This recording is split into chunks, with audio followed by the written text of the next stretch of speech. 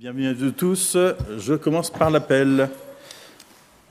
Olivier Lebrun, présent. Pauline Biodel. Vincent Guillon, absent, excusez pouvoir. Pauline Biodel. Laure Cotin. Présent. Louis Le Pivin. Jeanne-Marie Hermann. Jean-Michel Sakidis. Christine Caron. Jean-Philippe Ollier. Jean Bernicot. Philippe Gevray. Patrick Homauvert. Isabelle Coquelric. Valérie Le Dastumer. Geneviève Joux, absente, excusez pouvoir Jean-Michel Sakidis. Paul Apikevitch. Laurent Sassier, il va pas tarder. Valérie Médon, absente, excusez- pouvoir Jean-Philippe Ollier. Gweno Atteston. Bertrand Schneider. Aïlis Kata. Antoine Bess. Camille Falk. Arnaud Brosset.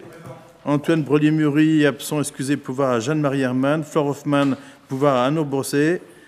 Patri- Patrice Ozorowitz. Christine Pachot. Cédric Perrier. Cécile Chopard. Suzanne Egal, Elke Zuberkrub et Benoît Florence. Bien. Et je mets présent à Laurent Sassier. voilà, qui fait une arrivée discrète comme ça. Euh, voilà, donc nous avons un ordre du jour qui est, euh, j'allais dire, il n'y a pas beaucoup, il y a une vingtaine de délibérations. Euh, les premières sont les plus lourdes, hein, puisqu'il s'agit de, de voter le compte administratif de l'exercice 2019. Euh, voilà, donc on essaye d'être euh, concis dans ces interventions, de dire ce qu'on a à dire en, euh, une seule fois autant que possible, même si le débat est ouvert. Euh, je nous proposons, oui, je vais faire passer le parapheur dans lequel je vous propose donc de signer sur la feuille de présence et je vous propose aussi de signer les trois feuilles suivantes qui sont pour le CA de la ville, le CA assainissement et le, euh, la décision modificative de la ville euh, parce qu'on a besoin d'avoir une signature pour chacune de ces euh, délibérations. Nous procédons à la désignation du secrétaire de séance. Y a-t-il des candidats Un petit secrétaire de séance. Allez, Pauline Biodel qui, s'y colle. Voilà, merci Pauline Biodel. Euh, nous procédons d'abord aussi à l'approbation du procès-verbal des deux euh, dernières séances du Conseil municipal, c'est-à-dire celle du 25 mai et celle du 4 juin 2020. Y a-t-il des commentaires sur ces procès-verbaux Madame Egal. Juste pour celui du 4 juin, on l'a reçu seulement euh, lundi, donc euh, nous n'avons pas eu le temps de, de le valider. Donc euh, il ne sera pas validé ce soir. D'accord. Madame Adèle Et moi, à la demande de Monsieur Guillon, mais la, la correction a déjà été faite, une toute petite euh, erreur, euh, page 20. euh, le sujet étant l'acquisition du cabinet médical Marivel. Et on dit nous avons pu obtenir des subventions qui vont faciliter l'acquisition des locaux. Or, il a dit qui ont facilité l'acquisition des locaux. Mais ça a déjà été corrigé ce matin. Ah d'accord. Donc dans la version définitive, ce sera corrigé. Ça sera corrigé. D'accord. Y a-t-il d'autres commentaires?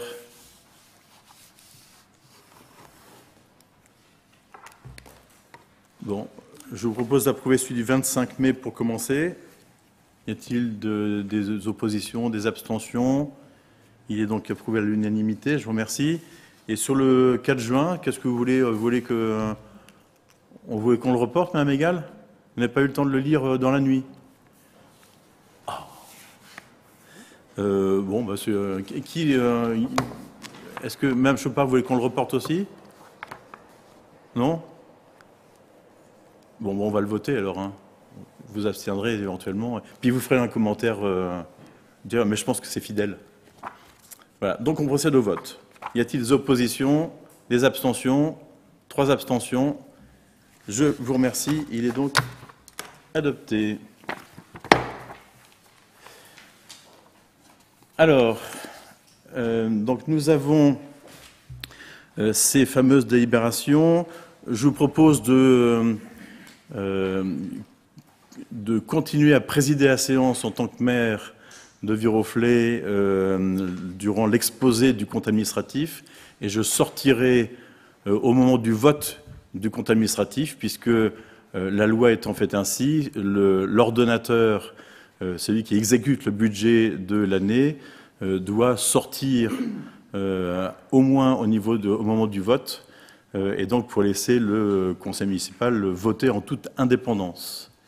Donc je ferai cela au moment du vote de la première délibération. Voilà, donc je vais donner la parole à Jean-Michel Sakidis qui va nous exposer ce compte administratif. Je rappelle, enfin il y en a deux, il y a celui de la ville et celui du budget assainissement. Je rappelle encore que le compte administratif, c'est euh, la réalisation donc euh, du budget 2019, c'est-à-dire que le budget ayant été voté début de l'année 2019, il s'est déroulé euh, dans ses réalisations, c'est-à-dire dans ses paiements et la perception des recettes durant l'année 2019. Et là, on ne fait entre guillemets, que constater euh, les euh, résultats de l'année 2019 euh, en dépenses et en recettes. Voilà, Monsieur Issakidis, je vous laisse prendre la parole et nous faire votre exposé. Monsieur le maire et vous tous mes chers collègues, donc en introduction de ce compte administratif et en perspective des délibérations suivantes, il vous est rappelé à l'écran l'enchaînement des étapes budgétaires de l'année 2020 avec, le cas échéant, les dates, où vous retrouvez le débat d'orientation qui a eu lieu le 23 janvier, suivi du budget primitif, le 2 mars, le budget annexe, merci, et puis donc, euh, à partir du point numéro 4, de la délibération 1 à 4, nous allons voir le compte administratif, le compte de gestion et euh, l'affectation du résultat, et enfin les décisions modificatives euh, du budget 2020. Alors le contexte de cet exposé euh, s'inscrit alors d'abord dans un contexte particulier qui est celui de, du début d'un mandat et une singularité que vous connaissez tous qui est celle de la crise sanitaire qui, au-delà de ce que tout le monde connaît, a vu, entendu, euh, impacte budgétairement aussi les villes. On va le voir plus tard. deux chiffres rapides pour vous donner un ordre de grandeur de ce qui se passe pour ce que l'on appelle le bloc communal, c'est-à-dire les villes en particulier, eh bien, euh, selon des estimations euh, récentes, eh bien, l'impact euh, sur la fiscalité sera de l'ordre de moins 2,7 milliards d'euros pour tout le bloc communal en 2020 et il est prévu moins 900 millions en 2021 et en 2022. S'ajoute à ça des déficits de recettes que, que nous aurons à subir pour la fraction qui nous concerne qui sont issus euh, des, des, activités tarifées, c'est-à-dire en gros euh, des services rendus à la population. Et donc en, une phrase, les estimations aujourd'hui semblent montrer un total d'impact de, cette crise du Covid, euh, budgétairement parlant, d'environ 8 milliards d'euros sur trois ans, 2020, 2021, 2022, dont plus de 6 milliards sur 2020 seulement. Donc c'est le contexte dans lequel euh, je vous rappelle dans cette planche qui vous est projetée un, certain nombre de dispositions légales qui vont permettre de mieux comprendre l'exposé qui va suivre, commençant par rappeler que le, maire est donc l'ordonnateur budgétaire et donc il rend compte euh, de ces opérations budgétaires exécutées au cours de l'année écoulée. Là, au cas particulier, ce sera 2019. S'ensuit, en accompagnement de cette fonction d'ordonnateur, si vous voulez bien passer à la planche suivante, le compte de gestion, qui lui retranscrit dans une séparation entre l'ordonnateur qui est le maire et la comptabilité publique, comme c'est rappelé à l'écran, eh euh, les décisions qui sont prises, impactant budgétairement ces décisions, et la bonne gestion sur le plan comptable, à minima, requiert c'est ce qui est souligné en gras sur ce qui vous est projeté, une concordance stricte entre le compte de gestion et la comptabilité publique. C'est ce que nous allons voir tout à l'heure. Pour compléter cette introduction, en vue d'avoir une meilleure compréhension de ce qui va suivre, il vous est rappelé à l'écran la structure budgétaire commune entre BP, donc budget primitif, CA, compte administratif, et DM, décision modificative, qui sont les trois véhicules budgétaires que nous allons balayer euh, des délibérations 1 à 4. On y voit, si vous voulez bien revenir, merci, on y voit donc une séparation euh, verticale et horizontale. Horizontalement, on distinguera ce que l'on appelle le budget de fonctionnement, en gris, comme vous le voyez euh, sur la partie gauche de l'écran, euh, et puis euh, sur la partie basse, l'investissement. Chacune de ces deux approches se scindant en dépenses et en recettes, conformément aux deux colonnes qui vous sont présentées. Et donc, au travers de ce canevas de lecture, qui est une, approche comptable et financière des choses, eh bien, on verra un peu plus loin comment tout cela se traduit en, en matière de services rendus à la population, au travers de euh, différents, différents secteurs, comme on l'a dit, que ce soit technique, euh, services aux habitants, petite enfance sociale, etc. Donc sur ces bases, commençant par la section de fonctionnement qui vous est présentée, regardant les choses de façon synthétique, ce que vous voyez à l'écran reprend en bleu le budget primitif 2019 en recettes en dépenses et en capacité d'autofinancement, CAF étant capacité d'autofinancement et non pas caisse d'allocation familiale au cas particulier, et en rouge, le résultat de l'exécution budgétaire 2019, donc CA 2019, à nouveau en recettes, en dépenses et en CAF. Et donc nous verrons euh, un petit peu plus tard le, constitutif de ces différences entre bleu et rouge sur ce type de graphique.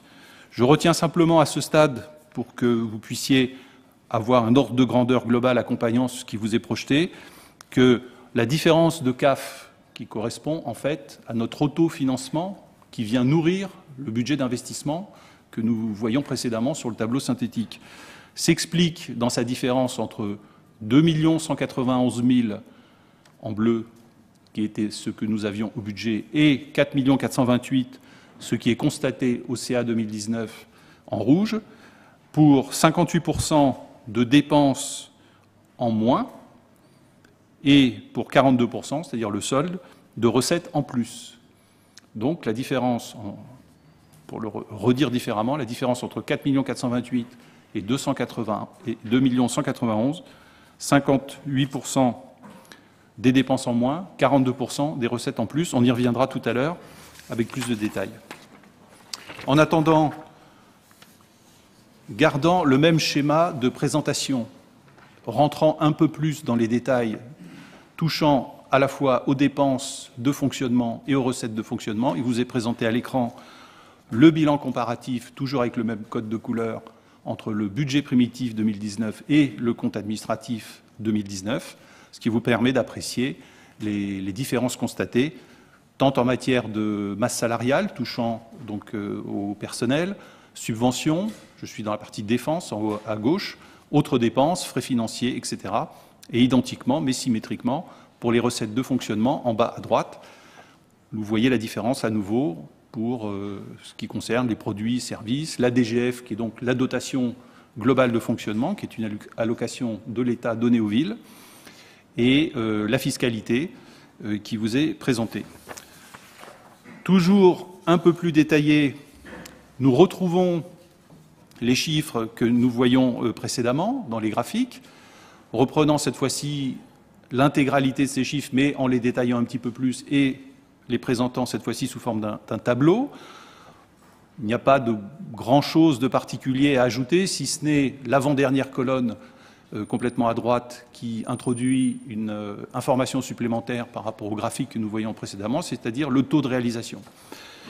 Le taux de réalisation est, comme vous pouvez le constater, élevé, euh, supérieur à 86% euh, sur tous les postes de dépenses, euh, allant jusqu'à 80, je cherche le plus grand, 15% dans les autres dépenses, donc très proche finalement du budget initial, et identiquement dans la partie basse du tableau qui vous est présenté, à nouveau considérant cette colonne de taux de réalisation, vous y trouvez les pourcentages afférents, où là encore nous sommes dans une tranche de 90 à 101% Je fais exception des droits de mutation, euh, dont le taux de réalisation est de 134% pour rappeler que ce taux de mutation, ces droits de mutation, sont inhérents au dynamisme du marché de l'immobilier, vente, achat, euh, sur lesquels, bien entendu, nous n'avons pas la moindre maîtrise. Et donc, c'est plutôt une bonne surprise que nous ayons euh, comptabilisé au CA 2019 34% de plus que ce que nous avions prévu. sachant que ce paramètre a toujours un caractère aléatoire. Quand c'est une bonne nouvelle, tant mieux, mais il ne l'est pas forcément toujours. On a pu avoir l'occasion de l'expérimenter en 2007-2008, rappelez-vous. Il y avait déjà une crise, pas la même qu'aujourd'hui, mais plutôt financière. Et, là, bon, bah, ce taux de réalisation n'était pas au rendez-vous. Mais donc, globalement, si vous considérez toutes les dépenses, qui est finalement ce qu'on maîtrise le plus en matière euh, d'exécution opérationnelle, on est à 93% en moyenne, donc ce qui est un très bon pourcentage. Ça signifie qu'on est proche de, la prévision. On poursuit, merci, on poursuit en regardant plus en détail encore, une fois de plus, euh, considérant euh, la section de fonctionnement, les écarts compte administratif, budget primitif, tel que ça vous est présenté, mais cette fois-ci avec une approche un petit peu plus euh, focus, où là on retrouve, si vous vous souvenez ce dont on parlait il y a quelques secondes, on retrouve en bas, en gras, les chiffres de 22 millions 579 que l'on voyait précédemment dans le tableau récapitulatif, et donc que l'on compare au CA 2019. Les écarts que l'on mesure sur la dernière colonne, complètement à droite, s'expliquent par le détail. Euh, si je considère par exemple les droits de mutation à 407 000 d'écart j'en ai dit un mot. Je prends l'autre chiffre qui est celui de 373 000 euros touchant aux services, redevances, domaines, etc. Il s'explique pour un, peu moins d'un tiers par euh, les produits euh, des services euh, périscolaires, incluant également la restauration scolaire. Il ne s'agit pas, comme on pourrait le penser comme ça, de but en blanc, parce que le biais de la lecture des chiffres peut parfois induire en erreur. Il ne s'agit pas d'une augmentation tarifaire, mais bien en majorité d'une fréquentation supérieure à ce que nous avions prévu au, budget primitif, ce qui explique un, tiers, en gros un tiers de, ce surplus de 373 000 euros que l'on retrouve dans la colonne euh, des écarts. S'ajoutent après d'autres choses qui, viennent complémenter ce, chiffre, en plus ou en moins, et qui euh, comptabilisent ce, résultat.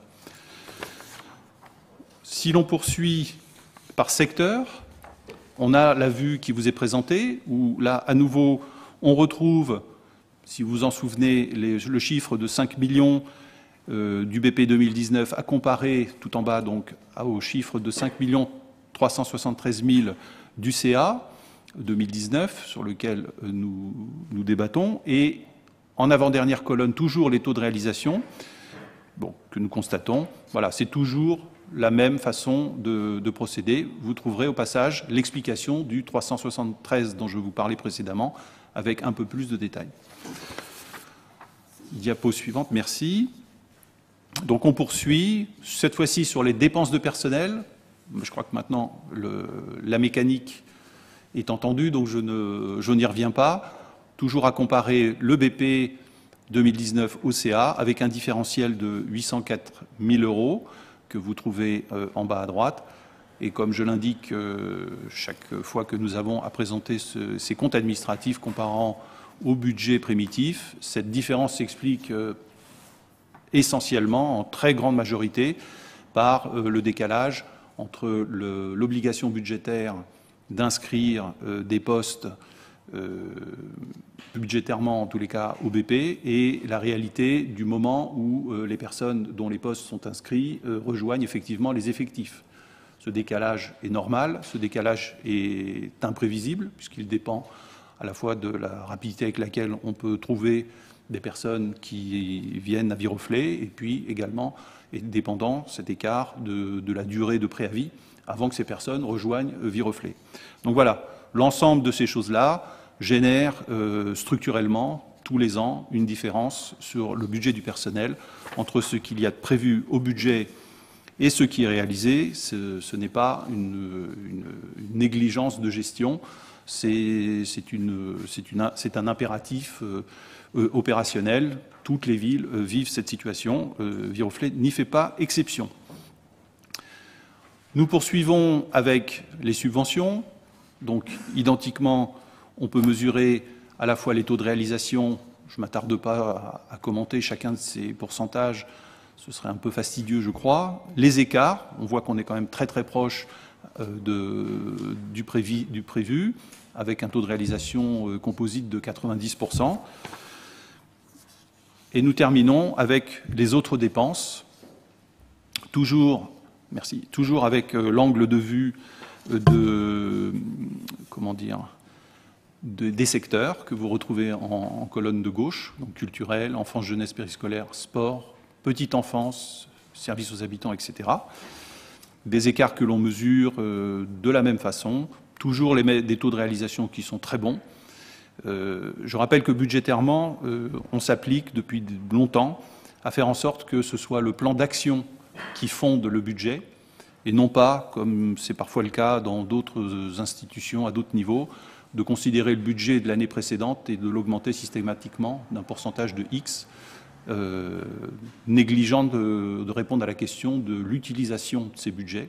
Et donc, il n'est pas étonnant, en procédant comme nous le faisons, d'avoir des taux de réalisation importants, puisque dès lors que c'est le plan d'action qui fait le budget, eh il est normal d'atteindre euh, de façon assez proche euh, ce, ce budget.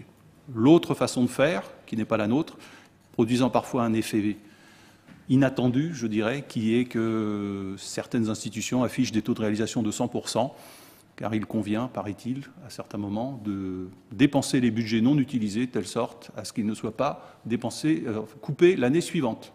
Donc, méfiez-vous des imitations, si je puis dire. Vous pouvez voir des budgets de réalisation à 100% ailleurs, mais en général, ce n'est pas bon signe. Voilà, nous terminons sur euh, la synthèse des dépenses avec un différentiel qui vous est présenté. Alors juste pour m'attarder euh, un tout petit peu sur ce différentiel euh, qui vous est euh, présenté, il s'explique donc un différentiel des dépenses à, hauteur de 1 200, 202 000.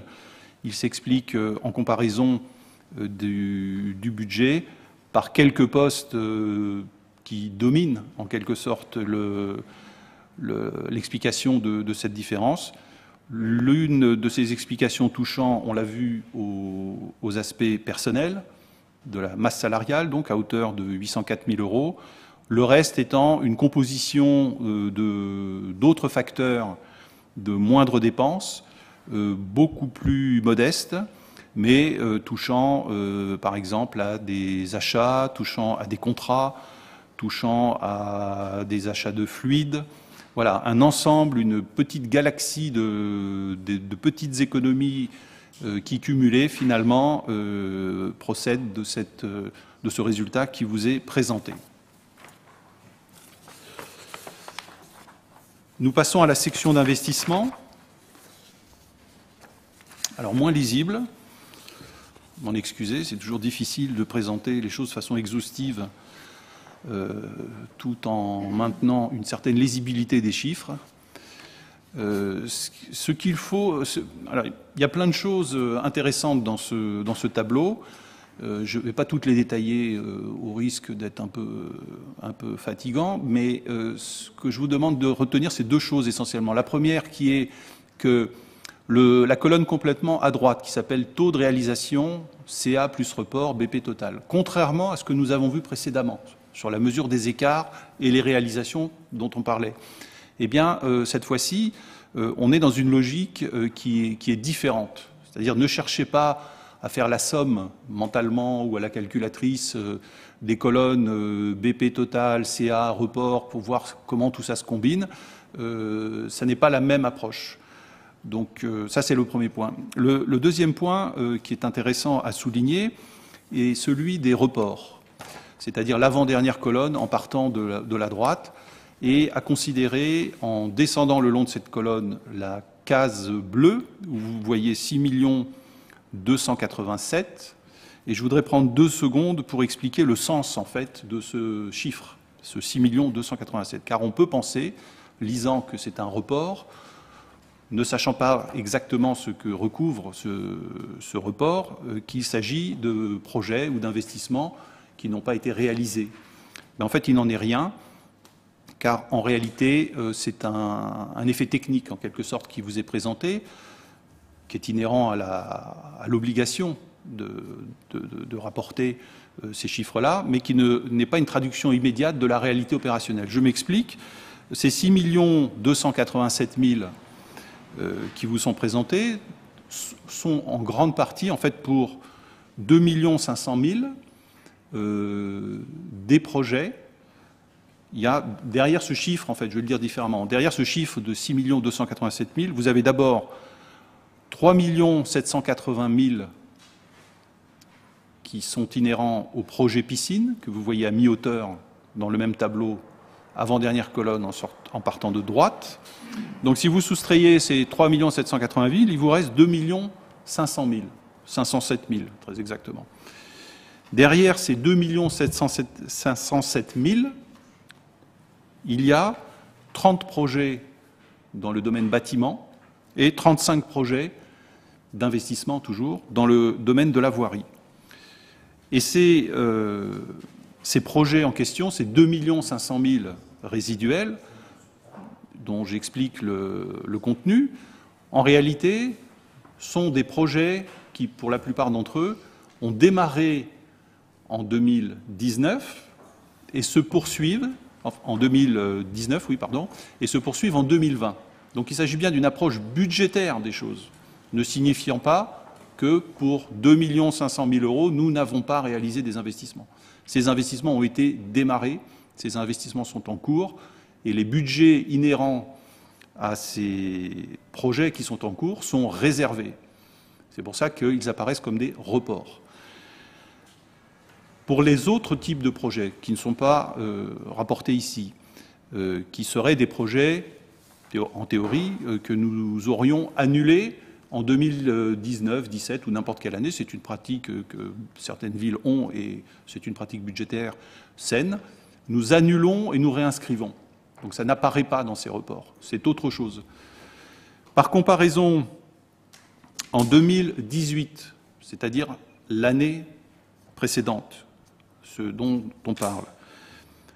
L'équivalent des 2 500 000 dont je vous parlais à l'instant était de 2 406 000, c'est-à-dire d'un ordre de grandeur tout à fait similaire à celui qui vous est présenté aujourd'hui. Donc, je répète, en 2000, de 2018 à 2019, au compte administratif, nous avions 2 406 000, hors piscine, j'enlève toujours la piscine qui a un effet de singularité, et sur les reports 2019 qui vous sont présentés, eh nous sommes à 2 500 000. C'est-à-dire, on est exactement, ça fait une différence de 4% Nous sommes exactement dans la même épure. Et donc, rappelez-vous, je vous disais, derrière tout ça, il y a 30 projets d'investissement, il y a 30 investissements en bâtiment, 35 investissements en voirie. Et donc, la quasi-similitude de ces deux chiffres deux années de suite démontre à la fois que nous poursuivons un programme d'investissement constant à travers, euh, les années, mais en plus que ces programmes d'investissement ne sont pas retardés, sans quoi ils viendraient à s'accumuler à partir de 2019, c'est-à-dire que le chiffre de 2,5 millions que je vous rappelais, si nous subissions des retards, eh bien, conséquent, eh bien, ce chiffre-là serait bien plus supérieur. Donc, le rapprochement du chiffre de 2018 je sais, c'est pas très simple tout ce que je raconte, hein, vous m'en excusez, mais, c'est inhérent à l'obligation de présenter les choses qui ne sont pas des choix de notre part. Donc le rapprochement de ces deux chiffres démontre en fait que nous, continuons d'investir avec le même dynamisme et que nous n'accumulons pas des retards dans, la réalisation de ces, investissements. Voilà donc pour ces écarts euh, d'investissement. Nous poursuivons donc on a parlé euh, on a parlé des reports. On regarde également les recettes. Tous les, tableaux détails qui vous sont présentés euh, se retrouvent dans la synthèse hein, précédente. Vous avez ici donc en complément et avec un petit peu plus de, détails que précédemment la section d'investissement qui vous est présentée, mais pour ce qui touche à ces recettes. Vous y retrouvez des choses qu'on voit apparaître euh, bah, tous les ans. Euh, un petit décalage des taux de réalisation qui sont très proches, là aussi, euh, des, 100%. Lorsque ça n'est pas le cas, c'est inhérent, comme je le précisais, à l'étalement sur deux exercices budgétaires d'une opération, comme par exemple le, cabinet médical Marivelle, dont on voit 43% de réalisation, mais. On comprend bien, là, 43% de réalisation, ça ne peut être que budgétaire. Tout le monde sait très bien que ce cabinet existe déjà. Donc il n'est pas à construire, on n'est pas dans une étape de, constitution de plan ou quoi que ce soit. Donc on a quelque chose de tout à fait illustratif du biais qu'introduit cette approche. Voilà, on poursuit sur le budget d'assainissement, plus simple, plus synthétique, où à nouveau, selon le même mécanisme, il vous est présenté en fonctionnement et en investissement le budget primitif 2019, le CA 2019, la mesure des écarts, et, puis donc, bon, avec une singularité euh, inhérente à l'année 2019, à savoir que c'est la dernière année au cours de laquelle euh, cette compétence sera exercée par les communes, puisque depuis le 1er janvier, elle passe entre les mains des intercommunalités, nous-mêmes étant rattachés à Versailles Grand Parc. Depuis le 1er euh, janvier de cette année, eh bien, c'est une compétence que nous avons transférée. Donc, avant cela, il était de bonne loi de, produire un compte administratif euh, prêt à être transféré. Donc, un certain nombre d'opérations qui vous sont présentées dans ce bilan comparatif BP-ACA tiennent compte de, notamment, pour ceux qui étaient là et qui s'en souviennent, de deux décisions modificatives que nous avons prises euh, en septembre 2019 et en novembre 2019, euh, de telle sorte à pouvoir préparer budgétairement le, transfert de cette compétence à euh, l'agglomération de Versailles-Grand Parc. Voilà, j'en ai terminé pour le compte administratif. Merci, Monsieur Isakidis. Euh, j'ajouterai une petite précision sur le fait que euh, les comptes publics sont majoritairement dans le principe d'enregistrement sur le compte des recettes dépenses, c'est-à-dire des, flux de trésorerie. C'est aussi pour ça que vous avez certains écarts, notamment qui ont été illustrés par Jean-Michel Sakidis euh, sur euh, le différentiel de subventions euh, à toucher par le Conseil départemental des Yvelines sur le cabinet médical, puisque il y a une partie de la subvention qui a été payée en 2019 comptabilisée donc en 2019, et l'autre partie sera est bien acquise et donc sera encaissée sur le, dans les comptes de la ville en 2020. Voilà. Donc c'est pour ça qu'il y a ces, différences. on est sur quelque chose de euh, de, parfois assez étonnant en fait en termes de, trésorerie. C'est une, une compta euh, budgétaire et de trésorerie, donc c'est un peu particulier euh, pour ceux qui ont l'habitude plutôt des, des comptabilités de société, où on est plutôt sur de l'engagement et non pas sur, le, sur la trésorerie. donc voilà pour ce, la présentation de ces comptes administratifs. Est-ce qu'il y a des personnes qui souhaitent prendre la parole pour euh, commenter, poser des questions? N'hésitez pas, je vois deux mains qui se lèvent. Je commence par la première, c'est Madame Egal. Bonsoir Monsieur le maire, bonsoir mes chers collègues. on vient d'avoir une présentation du compte administratif de la ville. Le compte administratif, c'est l'occasion de comprendre euh, la réalité des finances, des réalisations de la ville et surtout de leur évolution. Le tableau de synthèse du fonctionnement, puisqu'on va commencer par le fonctionnement, nous permet de visualiser les trois dernières années. L'évolution sur ces trois années ne fait pas l'objet de commentaires dans cette synthèse. Il serait intéressant de raisonner collectivement sur l'évolution de nos dépenses-recettes de fonctionnement, au moins sur ces grandes rubriques. Nos dépenses réelles, j'entends. La synthèse fournie est vraiment à minima. L'an dernier, nous avions les différents postes de la fiscalité locale, par exemple, la courbe d'évolution des droits de mutation, l'évolution des dépenses recettes depuis 2013, le net sur les charges courantes par poste. Comme nous l'avons exprimé déjà de nombreuses fois, nous regrettons que la communication externe, vœux, réunions publiques, magazines, soit largement faite sur les données budgétaires et moins clairement sur les réalisations. Nous allons donc commenter les réalisations. Nous constatons que les recettes liées à la fiscalité locale augmentent régulièrement plus 3,2% cette année contre 2,5% de plus l'an dernier, sans doute grâce aux nouvelles constructions. C'est une bonne nouvelle, bien sûr. De plus, les droits de mutation sur 2019, c'était souligné par M. Issakidis, sont particulièrement élevés et confortables. Ils dépassent même ceux qui étaient déjà confortables de 2017.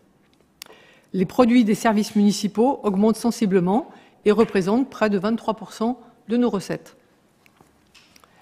Alors que le budget prévoyait une augmentation des dépenses de 1,3% en 2019 par rapport à 2018, nous constatons une augmentation réelle de 3,5%, sachant que le poste autres dépenses, qui lui représente 37% de nos dépenses totales, a augmenté de 6,5%. Lors de la présentation du budget 2019, dans le magazine de la ville, vous faites état d'une baisse des dépenses depuis 2014 de 1,4%. De même, vous indiquez une baisse des dépenses de personnel de 1,3%. Or, cette baisse inscrite dans les budgets ne se vérifie pas dans les faits. Les dépenses réelles, celles que l'on lit dans le compte administratif, celui que nous voyons aujourd'hui, ont effectivement baissé de 2014 à 2016. Mais depuis, elles augmentent régulièrement. Les dépenses 2019 sont supérieures de 6,4% par rapport à celles de 2016. Les dépenses de personnel suivent la même tendance, mais sur une courbe plus modérée. J'ai pris 2,6% par rapport à 2017, selon la, synthèse, on a ces chiffres. Euh, j'ai les chiffres également de 2016, mais l'année 2016 était atypique, donc j'aurais eu un écart extrêmement important, euh, dans le même sens d'ailleurs, mais donc j'ai pris 2017 sciemment. Donc disons-le clairement, nos dépenses augmentent depuis 2016, nous sommes plus sur une courbe descendante, nos recettes augmentent grâce aux nouvelles constructions, ceci n'est pas incohérent. En termes d'investissement, sur le support de synthèse, le budget d'investissement prévu a été engagé à 77% en 2019 contre 88% en 2018. Et on atteint à peine 70% si on retire le projet piscine. En commission, les retards sur les projets voirie ont été expliqués par un problème de ressources humaines.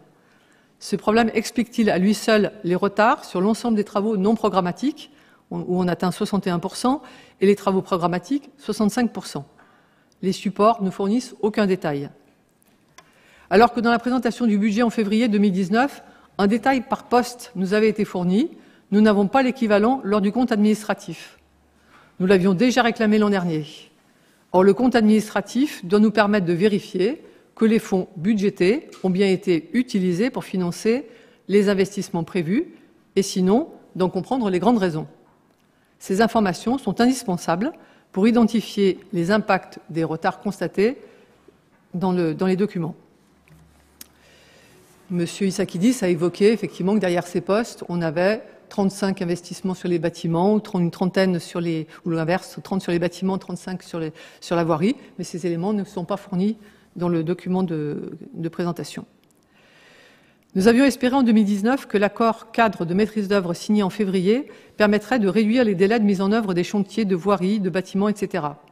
Nous avons bien compris qu'un problème de ressources humaines avait retardé certains chantiers, mais la question revient à nouveau. La programmation des chantiers courants est-elle réaliste? Les ressources affectées aux grands projets sont-elles adaptées aux enjeux? Pour conclure, la question n'est pas seulement de savoir si nous dépensons plus ou moins que les années précédentes, mais de savoir si nous dépensons à bon escient. Nous avons voté contre le budget 2019. Le compte administratif euh, présenté ici est la réalisation de ce budget. En conséquence, nous nous abstiendrons. Je vous remercie de votre attention. Merci. Madame Chopard.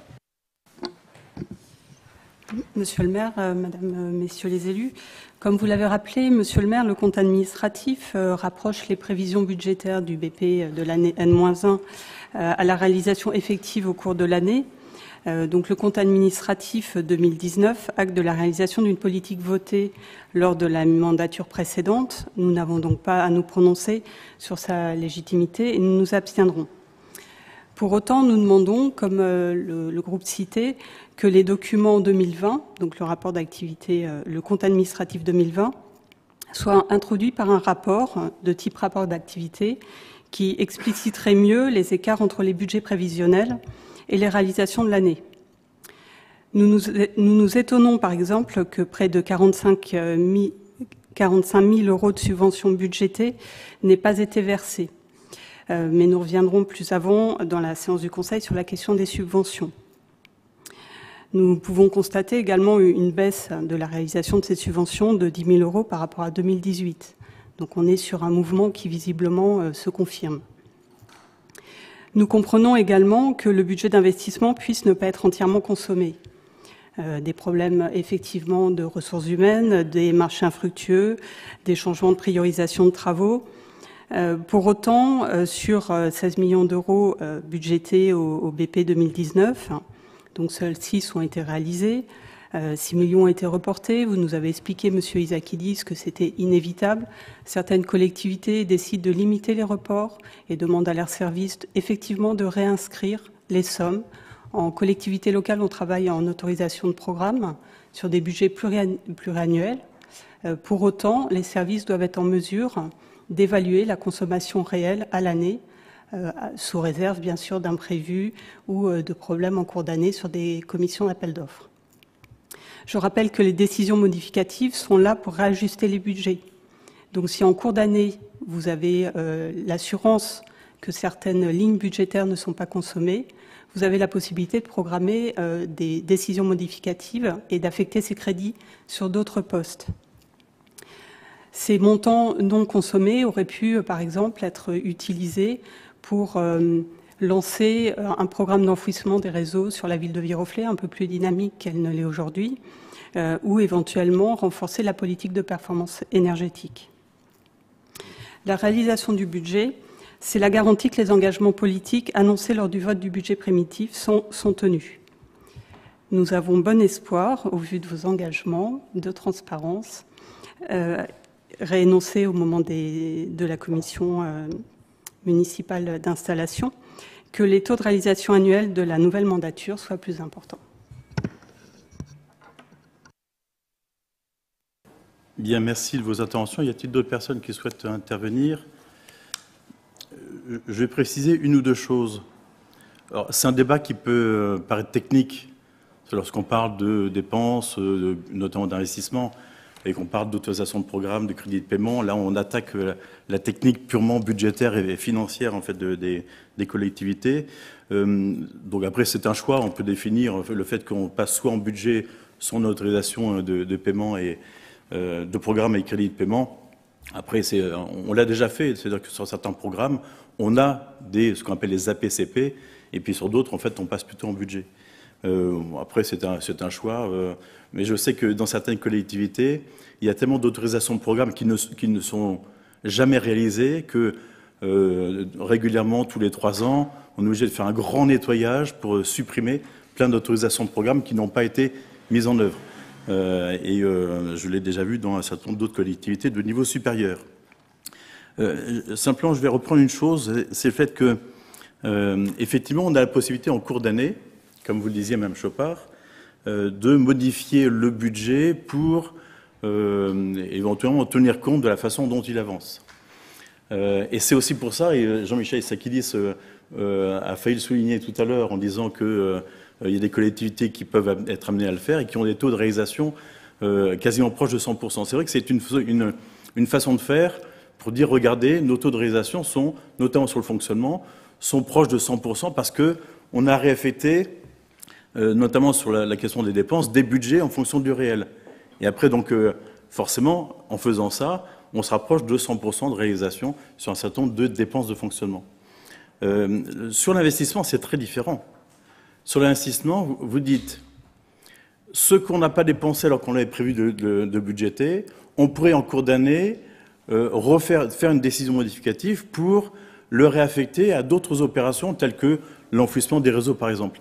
Euh, simplement, vous n'êtes pas euh, sans savoir que, dire, il y a des opérations telles que l'enfouissement des réseaux qui nécessitent plusieurs mois, voire plusieurs trimestres de préparation. il y a des études à, réaliser, il y a des cabinets d'études à mettre en place, il y a les, euh, dire, les, euh, concessionnaires euh, qui occupent le, sous-sol des rues à consulter, parce qu'on ne passe pas n'importe où. Donc une opération décidée comme ça en cours d'année ne se fera pas sur l'année en, cours, surtout si on la décide à partir de, l'été de l'année en cours. Là, clairement, elle n'interviendra que sur l'année suivante. Et je rappelle une chose qui est importante, c'est le fait que nous n'avons pas à Viroflay, et je le dis, et je le dis depuis toujours, nous n'avons pas à Viroflay de programmes spécifiques d'enfouissement des réseaux. Les enfouissements de réseaux se font systématiquement lorsque nous refaisons des rues en totalité, liées notamment à la question de l'état de, des égouts, donc de l'état de l'assainissement. Voilà. Parce que euh, ça nous paraît de bonne gestion de dire à partir du moment où on commence à ouvrir les routes euh, et les rues pour les refaire au niveau de l'assainissement, euh, évidemment on contacte les autres concessionnaires, l'eau, le gaz, pour leur demander si leur réseau n'ont pas à être refait en même temps. Et donc en fait on en profite pour refaire l'intégralité, ce qui fait que normalement, je dis bien normalement, nous n'avons pas à rouvrir les rues dans les 2, 3, 4, 5, 6 ans qui suivent. Euh, ça s'est déjà vu, hein, et ça s'est encore vu cette année. Euh, la rue euh, Robert Ardouin, par exemple, qui a été refaite il n'y a pas si longtemps que ça, Enedis nous a dit Ah ben tiens, vous allez rire, on va changer un câble, alors qu'on leur avait posé la question il y a 5-6 ans est-ce que vos câbles dans ces trucs qu'on va refaire sont en état suffisant Mais ils sont quand même intervenus. On a une chance, c'est qu'ils ont surtout, sont surtout intervenus sur le trottoir.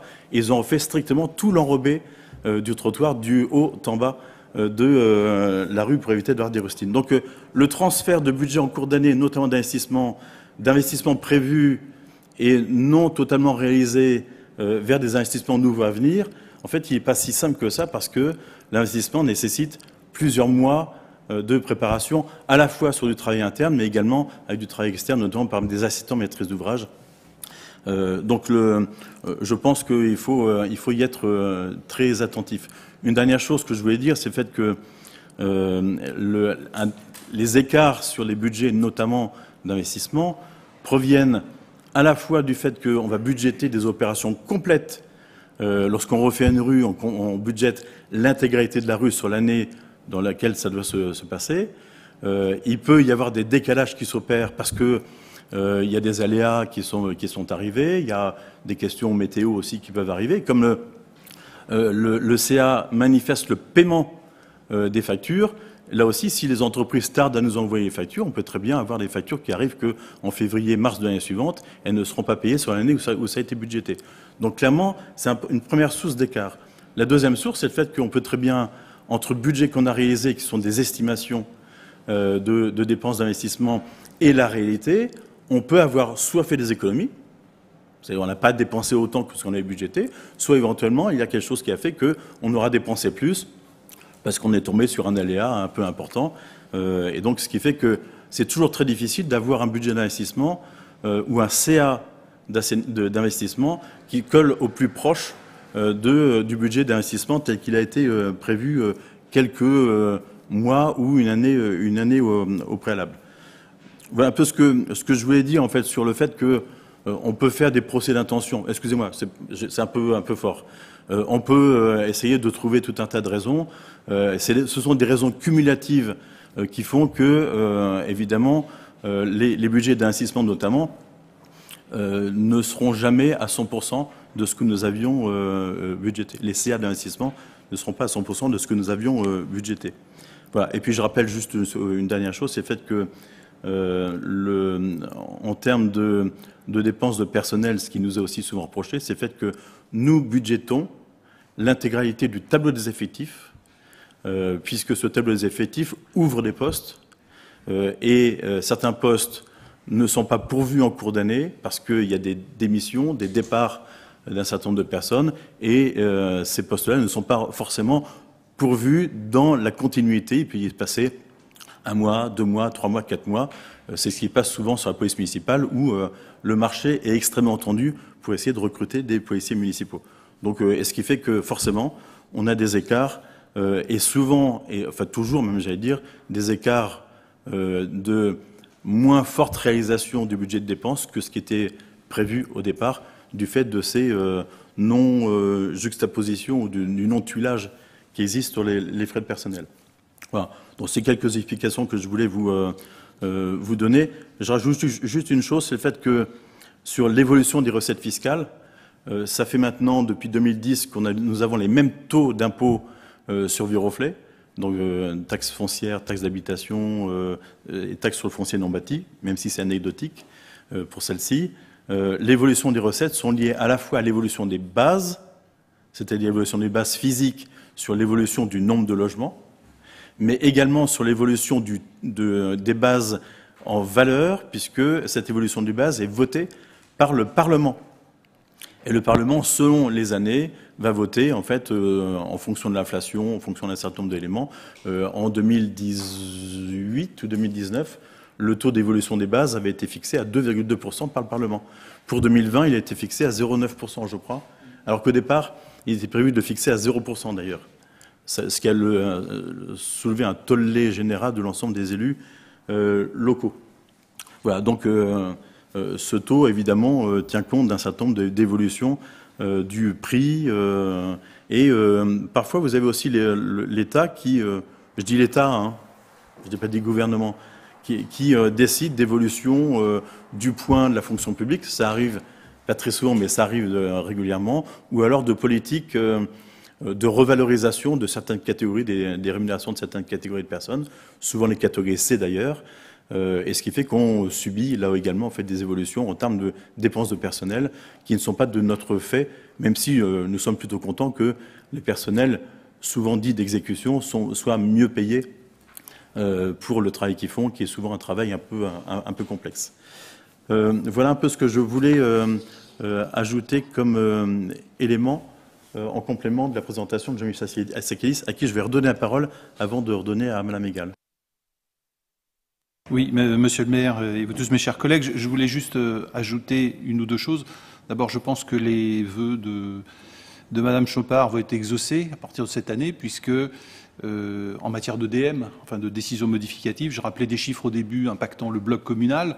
On parle de, je rappelle, 8 milliards de pertes, de recettes sous différentes formes, sur 2000, euh, dont 6 sur 2020, et le reste sur 2021 et, et 2022. Et donc ça introduit une incertitude euh, très importante, euh, dont je ne sais pas vous dire précisément aujourd'hui euh, quel sera l'impact demain, après-demain ou au-delà. Mais ce dont je suis certain, c'est qu'il y aura un impact. Je ne vois pas comment Viroflay ferait exception. Viroflay n'est pas une île isolée dans le Pacifique. Quoi, hein. donc on, aura forcément quelque chose, je ne sais pas quoi. Et donc l'outillage qui est euh, une décision modificative sera utilisé à bon escient, en précisant que euh, l'objet même d'une décision modificative budgétaire, parce que c'est ainsi en fait que sont les choses, euh, n'a pas pour objet de transposer un, projet d'investissement par un autre. dans notre construction budgétaire annuelle, nous avons un niveau de granularité suffisamment élevé de construction du budget lui-même, notamment d'investissement, mais pas seulement, qui nous permet avec beaucoup de souplesse de réaffecter euh, des sommes d'argent euh, lorsque nous découvrons, à l'image de l'exemple que vous preniez, qu'un projet ne se ferait pas exactement comme euh, il avait été pensé au départ, ou se fera différemment, voire se scinde en deux, etc. Cette souplesse, nous l'avons déjà. Nous n'avons pas besoin de, présenter des décisions modificatives à chaque conseil pour pouvoir euh, avoir euh, euh, cette, agilité. S'ajoute à ça, vous évoquiez les APCP, donc autorisation de programme, crédit de paiement, nous les connaissons. malheureusement, et je vous invite à le vérifier par vous-même, il y a quand même un certain nombre de rigidités réglementaires qui accompagnent ce, bel outil. C'est un bel outil, c'est un beau véhicule financier, un APCP, puisque justement ça permet d'avoir l'équivalent d'une loi organique, on va dire, en matière d'investissement, par le côté autorisation de programme, c'est la dimension programme, et une souplesse d'adaptation aux circonstances économiques par la partie crédit de paiement.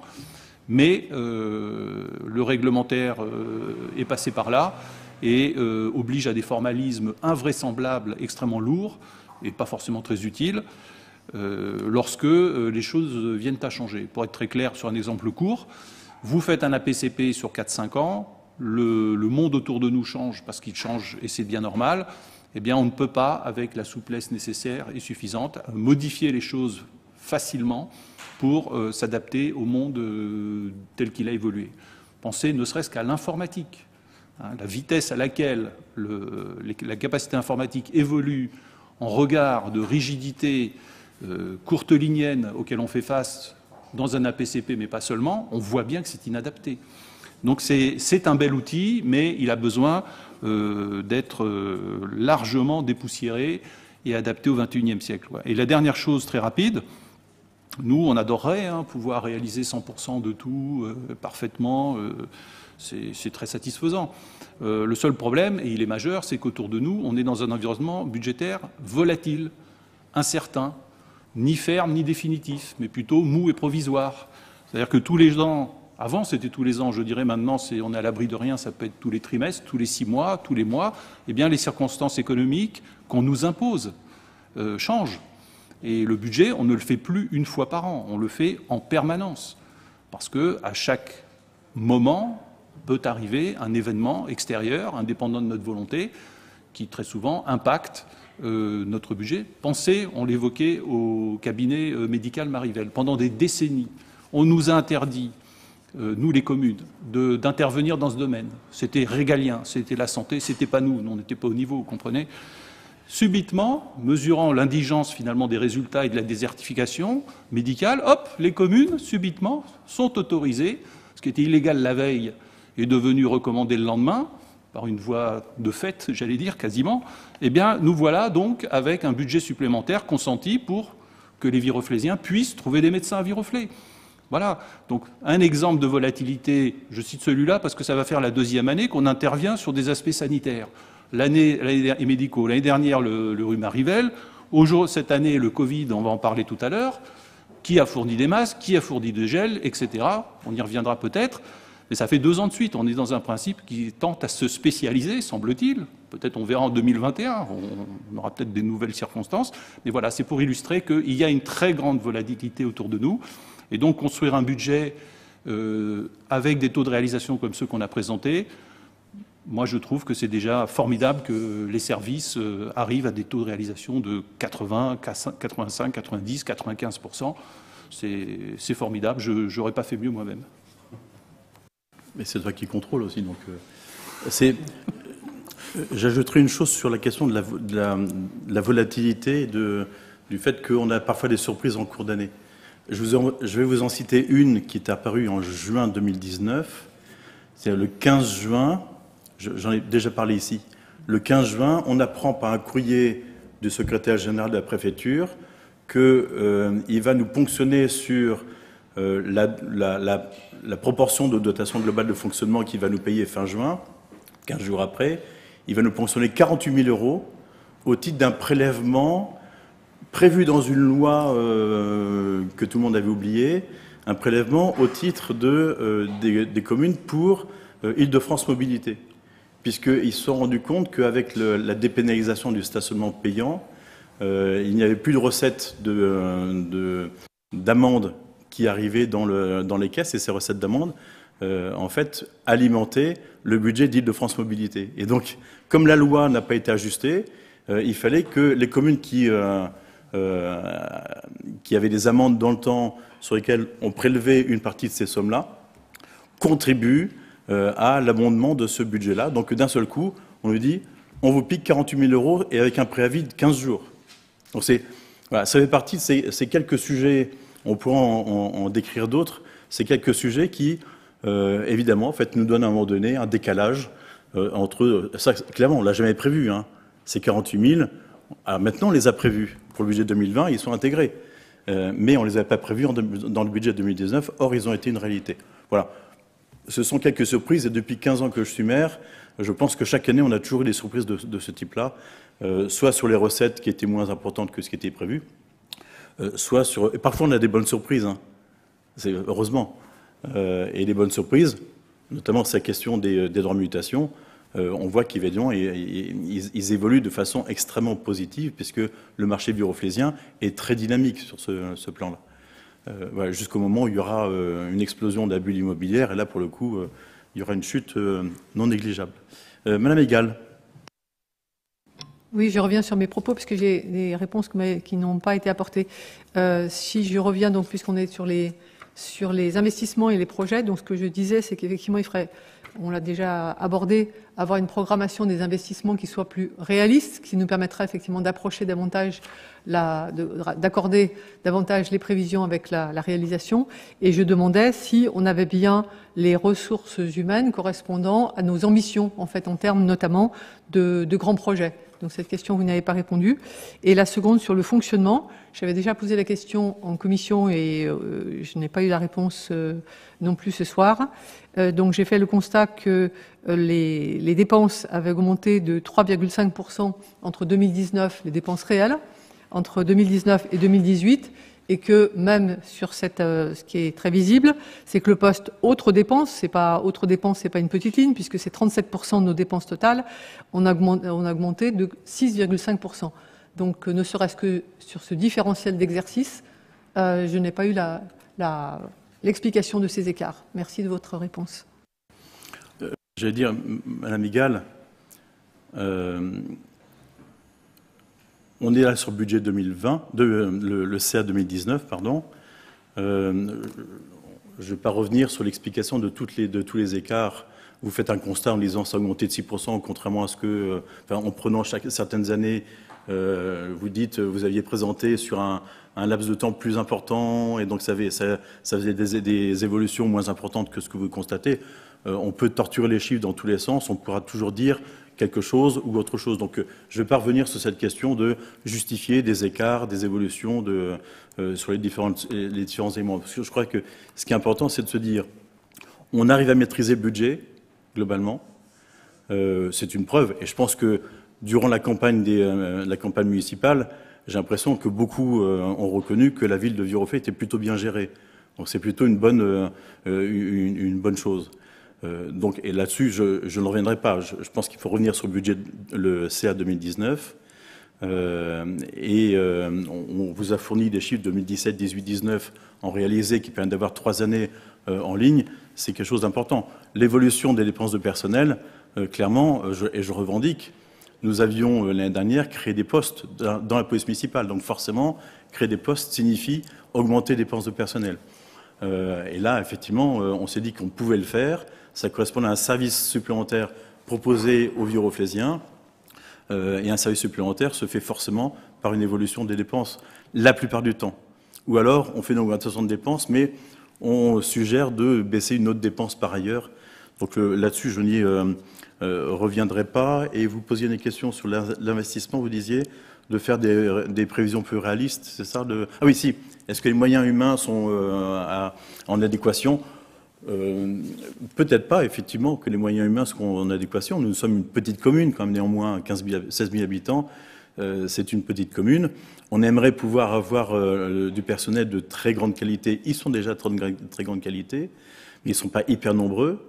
Lorsque un personnel s'en se, va, lorsqu'un un directeur de la voirie, quelqu'un s'en va, c'est clair que c'est compliqué de, recruter. Je peux vous dire que le, recrutement est un exercice très difficile dans des collectivités comme celle de Viroflay, euh, parce que nous sommes à mi-chemin entre euh, la petite commune où on fait un peu de tout, et puis la grande commune où il y a des projets super, euh, super emballants. On est au milieu, dans ce ventre mou qui est un peu euh, complexe pour le recrutement, et, euh, dans tous les domaines. Hein. La voirie, ça c'est un, une évidence. Euh, il se trouve que euh, le poste était vacant depuis plusieurs mois et euh, nous avons recruté une jeune personne qui a commencé hier. Donc là, voilà, et pendant plusieurs mois, le poste a été vacant. Et c'est notre directrice des services techniques qui a jonglé entre, entre management des services techniques, puis le, la, voirie, sachant qu'elle n'a pas de qualification dans la voirie. Donc ce sont des choses complexes, on est, on est lié à ça, et nous avons changé deux fois de responsable de la voirie en l'espace de trois ans. Euh, voilà, euh, je ne regarde pas que le précédent soit parti d'ailleurs. Je tiens à le dire. L'adéquation, euh, voilà, on fait, on fait ce qu'on peut. On peut se dire, mais dans ce cas-là, faites appel à des cabinets extérieurs qui vont vous aider en assistant maîtrise d'ouvrage, en, maîtrise d'œuvre. Bon, oui, on peut aussi faire appel à ça. C'est ce qu'on fait dans un certain nombre de projets, des projets d'envergure, comme ce que nous avons fait sur, la place de Verdun, dans le quartier Verdun. Nous avions effectivement des cabinets extérieurs qui suivaient et qui compensaient le, manque de personnel que nous pouvions avoir au niveau des, des services techniques. Mais euh, je peux vous le dire, on ne va pas dimensionner euh, les, effectifs parce que euh, je crois que nos effectifs, enfin dimensionner avec un niveau le, plus important possible. Un, on aura du mal à trouver, d'une part. Et puis deuxièmement, lorsqu'on recrute des fonctionnaires, vous savez combien de temps ils restent dans la collectivité, sauf s'ils s'en vont. Euh, mais c'est pas si simple que ça. Donc euh, on essaie d'ajuster euh, en fonction de, des possibilités. Voilà. Oui, oui. Allez, une minute. Je- j'ai- je- non, justement, excusez-moi, je suis obligée de revenir sur ma question. Vous n'avez pas répondu à mes deux questions. Sur la question des dépenses, j'ai posé une- clairement la question, j'ai j'ai évoqué dans, mon, dans ma prise de parole tout à l'heure, deux points. L'évo- L'évolution des dépenses depuis 2016, entre 2016 et 2019, vous m'avez répondu à l'instant. Vous n'avez pas répondu à la question de l'évolution des dépenses depuis 2018, donc juste l'année dernière. C'est pas, je ne suis pas remontée à une histoire lointaine. Euh, les dépenses ont augmenté de 3,5% entre euh, 2019 et 2018 sur les dépenses réelles, et dont le poste, justement, autres dépenses, qui a augmenté, lui, de 6,5%. Donc, en commission, j'ai demandé une explication, vous devez me la donner ce soir, je ne l'ai pas, et donc je vous repose euh, à vous, monsieur le maire, la, question. Merci. Je n'ai pas plus la réponse. Parce que quand je n'assistais pas à la commission, je n'ai pas pu euh, on, va essayer de vous trouver la réponse sur cette, euh, euh, cette question spécifique. Voilà. On se la note. Voilà. Donc je vais vous laisser. Première adjointe, Mme Biodel. Euh, et puis, euh, je vais, si je vais vous suivre sur euh, Facebook. Ah non, non, laisse, tomber, tomber. Confisqué. Voilà, à tout à l'heure.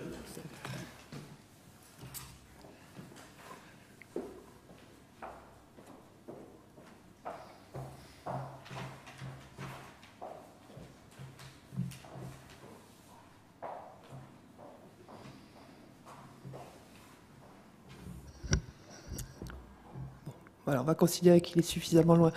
Donc, mes chers collègues, euh, je vous propose de passer à l'approbation de la délibération qui approuve les comptes administratifs 2019 du budget principal de la ville et du budget annexe assainissement et également euh, qui arrête les résultats de clôture du budget principal de la ville à 4 428 887 000 euh, et 9 centimes d'euros en fonctionnement et 7 385 245, je vous fais grâce des centimes en investissement, et qui arrête également les résultats de clôture du budget annexe de l'assainissement à 25 670 euros et 28 centimes en fonctionnement et 299 973 euros en investissement. Donc, est-ce qu'il y a des abstentions? Des abstentions. Qui vote pour? Voilà. Donc, cette délibération est adoptée à la majorité. Je vous remercie. Et je vais redonner la parole euh, à Monsieur Issakidis pour l'approbation des comptes de gestion 2019 du budget ville et budget annexe investissement. Madame le maire et vous tous mes chers collègues, donc euh, nous passons à la délibération numéro 2, approbation des comptes de gestion 2019, budget ville et budget annexe euh, d'assainissement. Alors je le rappelais au début, euh, dans le déroulé des étapes budgétaires 2020, si vous vous en souvenez, euh, après le compte administratif que nous avons voté, vient la présentation et le vote du compte de gestion. Le compte de gestion, c'est la tenue de notre compte administratif ville par euh, la trésorerie. La trésorerie, c'est la DGFIP, en fait, c'est Be- c'est Bercy, c'est l'agent de Bercy, euh, car c'est ainsi, en France, euh, il y a une double tenue de comptabilité de- des villes. L'une faite par les villes elles-mêmes, c'est ce que nous avons voté, compte administratif, et en miroir, le compte dit de gestion. Comme je l'indiquais, et ça vous est présenté à l'écran, quand tout est bien raccordé, les chiffres coïncident, et c'est ce que nous trouvons euh, devant nous, en considérant en premier le premier tableau horizontalement, donc qui est le budget principal, que nous avons vu précédemment sous l'angle du compte administratif, c'est-à-dire la partie la plus à droite de ce premier tableau, et comparant en fonctionnement et en investissement ces chiffres-là à ceux du compte de gestion 2019 que vous trouvez en colonne du milieu, là où entre parenthèses est inscrit DGFIP, et l'on voit la concordance euh, tant en recettes, en dépenses, euh, etc., de ces deux approches. Identiquement, pour ce qui touche au budget annexe d'investissement, qui est la partie basse, c'est le tableau en bas de la planche qui vous est présentée, on retrouve l'approche compte administratif 2019, l'approche compte de gestion 2019, en investissement, en fonctionnement, en recettes, en dépenses, etc. Donc une, une adéquation, une concordance entre les, deux approches, et c'est ce qu'il nous est demandé d'approuver euh, dans cette délibération numéro 2.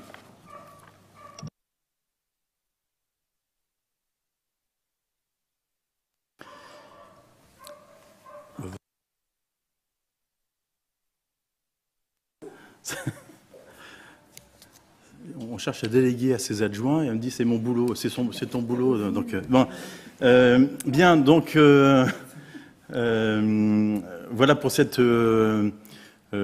présentation du compte de gestion pour montrer qu'il est bien conforme et identique au compte administratif. Voilà. Y a-t-il des questions, des oppositions, des abstentions?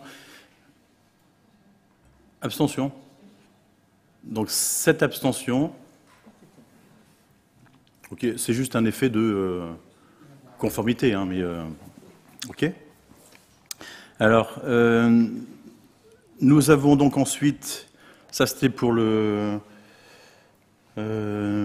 l'affectation des résultats de budgétaire donc 2019, c'est la suite logique de la constatation des résultats donc et du compte administratif 2019. Euh, tant pour euh, la ville que pour le budget annexe d'assainissement. Monsieur Issakidis, vous poursuivez? Monsieur le maire et vous tous, euh, mes chers collègues, donc ce qui vous est présenté résume ce qu'on a vu précédemment pour ce qui touche à la fois, enfin dans, cette première planche, pardon, le budget ville. Donc on y retrouve en vert, en jaune, des chiffres qu'on a déjà vu passer, donc je ne m'y attarde pas. Ce qui va être proposé, c'est d'affecter l'excédent de la section de, de, fonctionnement, pardon, c'est-à-dire en vert, les 4 428 que vous voyez, euh, au fonctionnement du budget 2020, nous le retrouverons après, pour compenser la perte de recettes et l'augmentation des dépenses de ce budget de fonctionnement 2020, et le reste euh, de l'affecter à la section d'investissement comme un budget supplémentaire, toujours concernant le budget 2020 identiquement, symétriquement, si vous voulez bien passer à la planche suivante. Parlant du budget annexe d'assainissement, vous y retrouvez, selon la même présentation, en vert et en jaune, euh, les chiffres euh, que nous avons vus euh, précédemment. Et donc, cette fois-ci, il est proposé d'affecter, d'autoriser en fait la reprise de ces résultats et de clôture de ce budget annexe d'assainissement et la reprise donc euh, par euh, la Versailles Grand Parc. C'est effectif déjà depuis le 1er janvier 2020, dans les limites donc de ce qui vous est présenté, c'est-à-dire en budget de fonctionnement au budget 2020, 25 670 euros, ce qui est en vert, et en budget d'investissement, ce qui est en jaune, le résultat de 299 973 euros. Donc ces, chiffres-là euh, ont vocation à être euh, transférés à Versailles Grand Parc.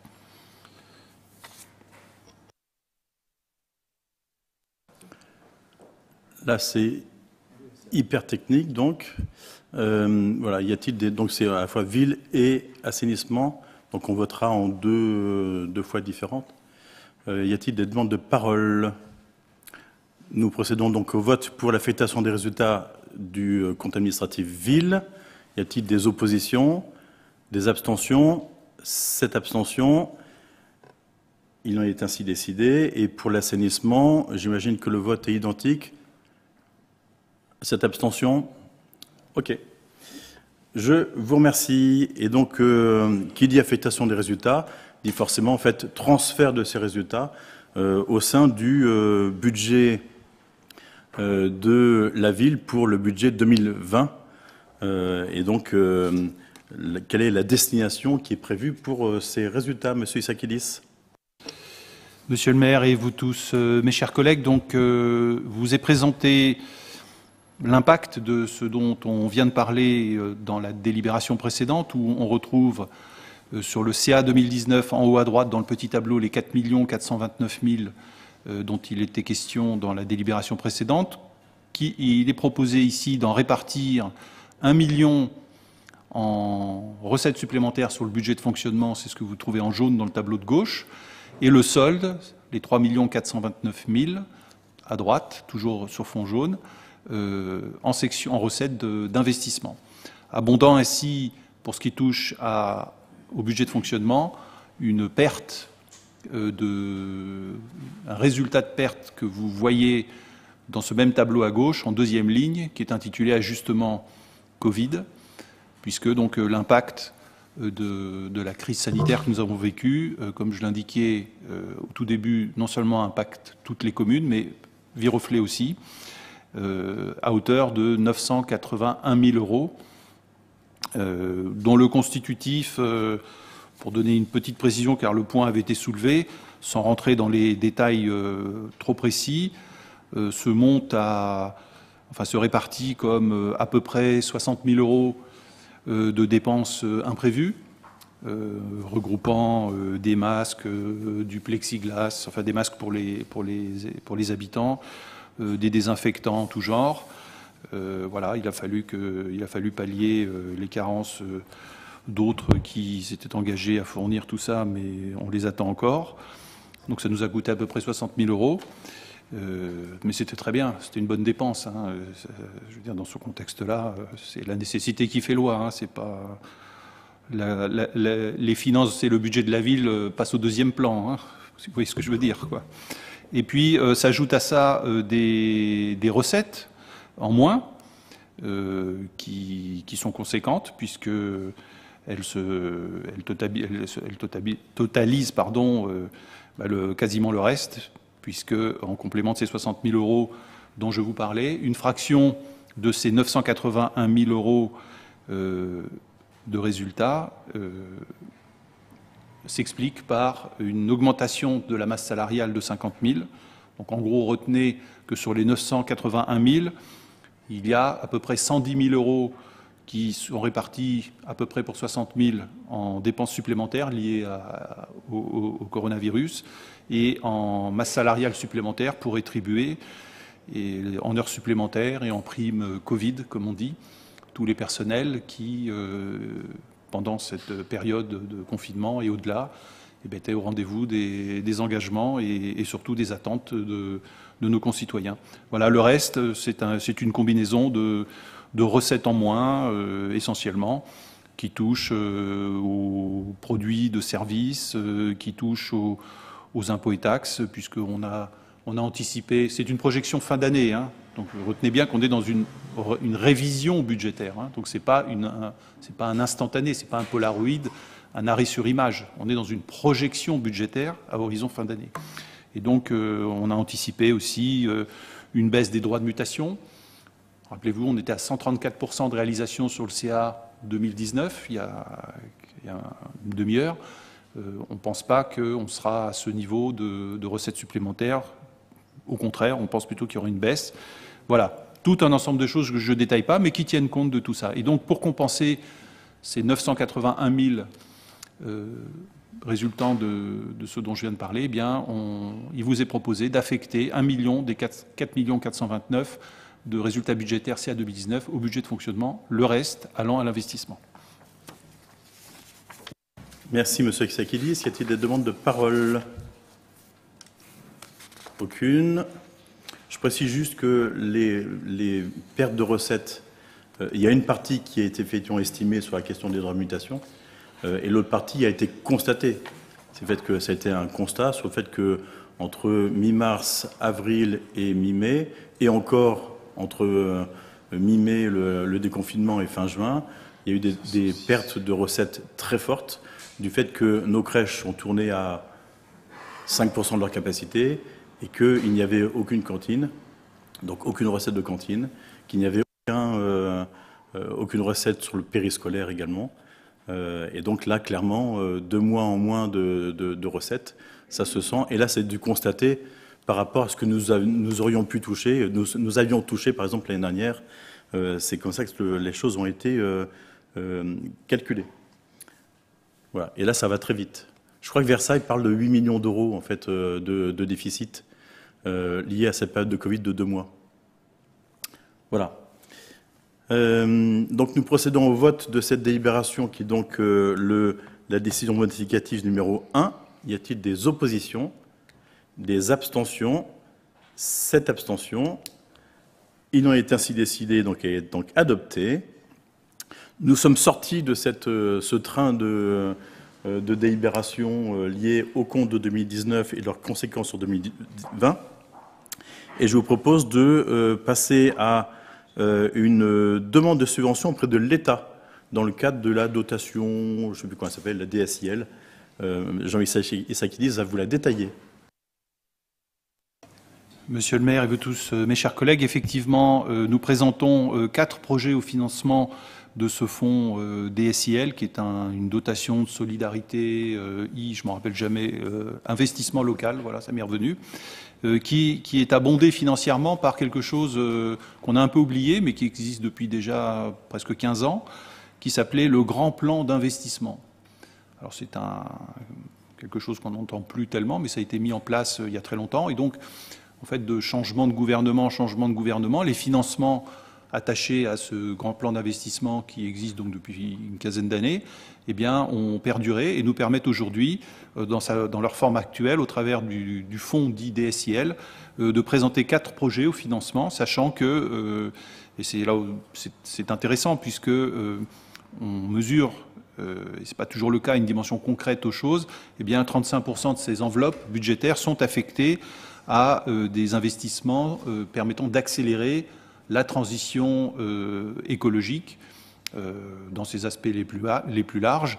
Euh, et donc, au travers de l'initiative dite numéro 2, eh qui vise à réduire l'empreinte énergétique des bâtiments publics, ainsi qu'une autre, qui est l'initiative numéro 4, qui touche au développement de solutions de transport, eh nous présentons quatre projets, qui sont ceux qui sont listés dans le document à votre possession, à savoir la réfection des fenêtres de l'école des Arcades, euh, la réhabilitation de la toiture de la bibliothèque de la ville, un remplacement de chaufferie et de réseau d'eau chaude sanitaire au stade des Bertisettes, et euh, la poursuite euh, et la complétude, puisque donc nous avons démarré ça depuis de nombreuses années, de la rénovation de l'éclairage public et le passage au LED, à l'éclairage LED, donc basse consommation, efficacité énergétique.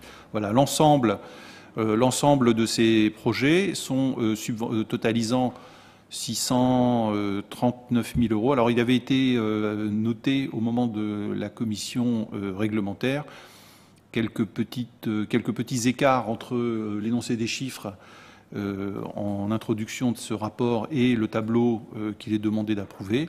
Je, ne sais, je, ne sais, pas si on a pu le, revoir, mais c'est les chiffres qu'on avait évoqués qui, faisaient foi. L'ensemble de ces financements totalise 639 euh, 000 euros. On peut en espérer, dans le, contexte d'un accord sur les quatre projets, et, si nous étions entièrement suivis, on peut en espérer 80% de financés par euh, ce fonds DSIL. Voilà, donc il nous est demandé d'approuver cette demande de subvention et la présentation de ces projets à ce financement. Comme on dit, l'espoir fait vivre, mais je n'y crois pas un seul instant que nous aurons 80% de cette somme-là, compte tenu en plus du contexte euh, national. Euh, voilà, donc si on, euh, si on peut avoir là-dessus, j'ouvre pas les paris, mais quelques dizaines de milliers d'euros, ce serait déjà bien.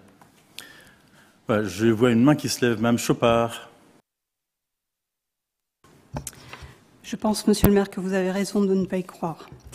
Euh, alors, je rappelle que le grand plan d'investissement, c'est un, grand plan d'investissement pour accélérer des politiques nationales, notamment un axe prioritaire dans, lequel, dans le cadre duquel va être déposé ces dossiers, qui est d'accélération de la transition écologique. Alors, je souhaite souligner que les travaux listés ne rentrent pas tous dans une vision globale et ambitieuse, mais que ça s'approche plus à une procédure d'optimisation financière et de mobilisation de lignes budgétaires non municipales. Lors de la commission d'appel d'offres du 17 juin, nous avons notifié, donc la commission, à l'entreprise Deschamps, les travaux de réfection de la toiture de la bibliothèque afin de résoudre les problèmes d'étanchéité au niveau des chéneaux. Le président de la commission nous a confirmé que ces travaux ne concernaient pas toute la toiture et donc qu'ils n'embarquaient pas, selon le vocabulaire euh, consacré, de travaux d'isolation ambitieux, car cela aurait été trop coûteux. Par ailleurs, concernant euh, la réfection des fenêtres, le remplacement des fenêtres ou la mise en place d'un double vitrage, euh, sans autres travaux d'isolation, le remplacement de fenêtres euh, ne, ne, règle pas des problèmes de pont thermique, d'isolation de façade, pour nous, ce sont des travaux de maintenance courante des bâtiments communaux et pas des travaux d'amélioration de la performance écologique. Je pense que nous sommes tous garants collectivement de la bonne affectation des dépenses et que pour au moins deux des dossiers, nous n'avons pas la, certitude que ce soit vraiment des travaux de performance énergétique ou de transition écologique. Donc comme on ne peut pas scinder la délibération, nous allons, nous allons euh, euh, voter, euh, enfin ne pas, ne pas voter, voilà, donc ça sera une abstention. Euh, mais pour autant, je pense que les dossiers devront être travaillés un petit peu différemment.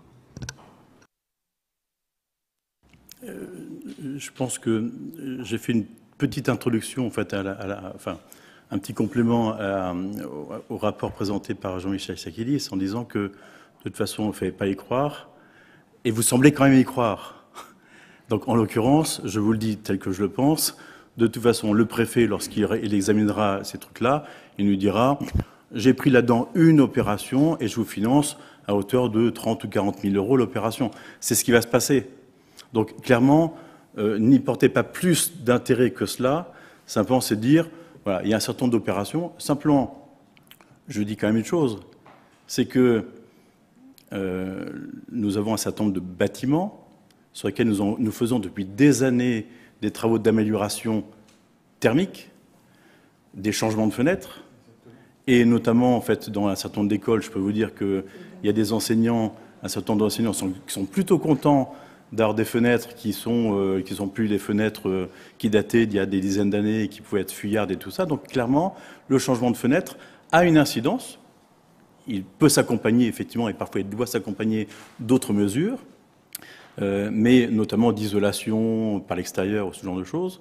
Euh, lorsque on a des écoles euh, comme celle des Arcades, par exemple, qui sont des écoles avec une architecture un peu remarquable, je ne me vois pas faire d'isolation par l'extérieur de ces maisons-là. Voilà. Il se trouve que les toitures des, on, de la plupart de nos écoles ont été refaites, et là aussi, en fait, euh, pas uniquement pour refaire le, le, les tuiles, mais pour refaire l'isolation par le dessous des, toitures. Donc en fait, on, fait ces travaux de façon progressive, selon un plan qu'on a établi euh, sur l'ensemble de nos écoles. Donc euh, voilà, c'est un, ça fait partie d'un des chaînons de cette amélioration progressive de l'état euh, de, de nos bâtiments dans le domaine, certes de l'entretien, mais également qui nous permet de baisser la, consommation en énergie. Donc euh, je pense que voilà. Après, on peut se dire c'est pas suffisant, mais en l'occurrence, on est sur la, la question des, des SIL, donc euh, c'est un budget, c'est un sujet qui est un peu périphérique. Même Biodel, oui. les écoles. Je rajouterais sur les écoles aussi, on a quand même une difficulté particulière, c'est que quand il y a des gros travaux, euh, on a deux mois quand tout va bien pour les faire. Je dis bien quand tout va bien, parce que cette année, on a eu quand même pas mal d'inconnus, on a donc été obligé d'arrêter certains travaux. Euh, donc typiquement pour l'école des arcades, c'est même pas toutes les fenêtres, cette année c'est une partie des fenêtres, mais on a un projet par exemple sur l'Aulnet, euh, on va tester, euh, je parle sous le contrôle de mon collègue Louis Le Pivin, hein, justement, on va voir si on est capable de le faire sur deux mois d'été, puisqu'il y a deux bâtiments, on va, on va tenter le coup, mais c'est vrai que les travaux dans les écoles, les travaux importants, euh, sont compliqués. Je pense que vous avez vos enfants à Corot, vous avez peut-être vécu l'année dernière les travaux de Corot. Voilà, voilà, c'était des petits travaux. Euh, si on peut éviter, là on n'avait pas le choix parce qu'il y avait autre, une autre dimension. C'est vrai que si on peut éviter de faire subir ça aux enfants et aux enseignants, mais malgré tout, par petites touches, améliorer leur confort et en même temps euh, avoir une, euh, une, attitude écologique, c'est bien, mais ça prend du temps. Voilà. Bien. Je vois une main qui se lève, Mme Supercrube.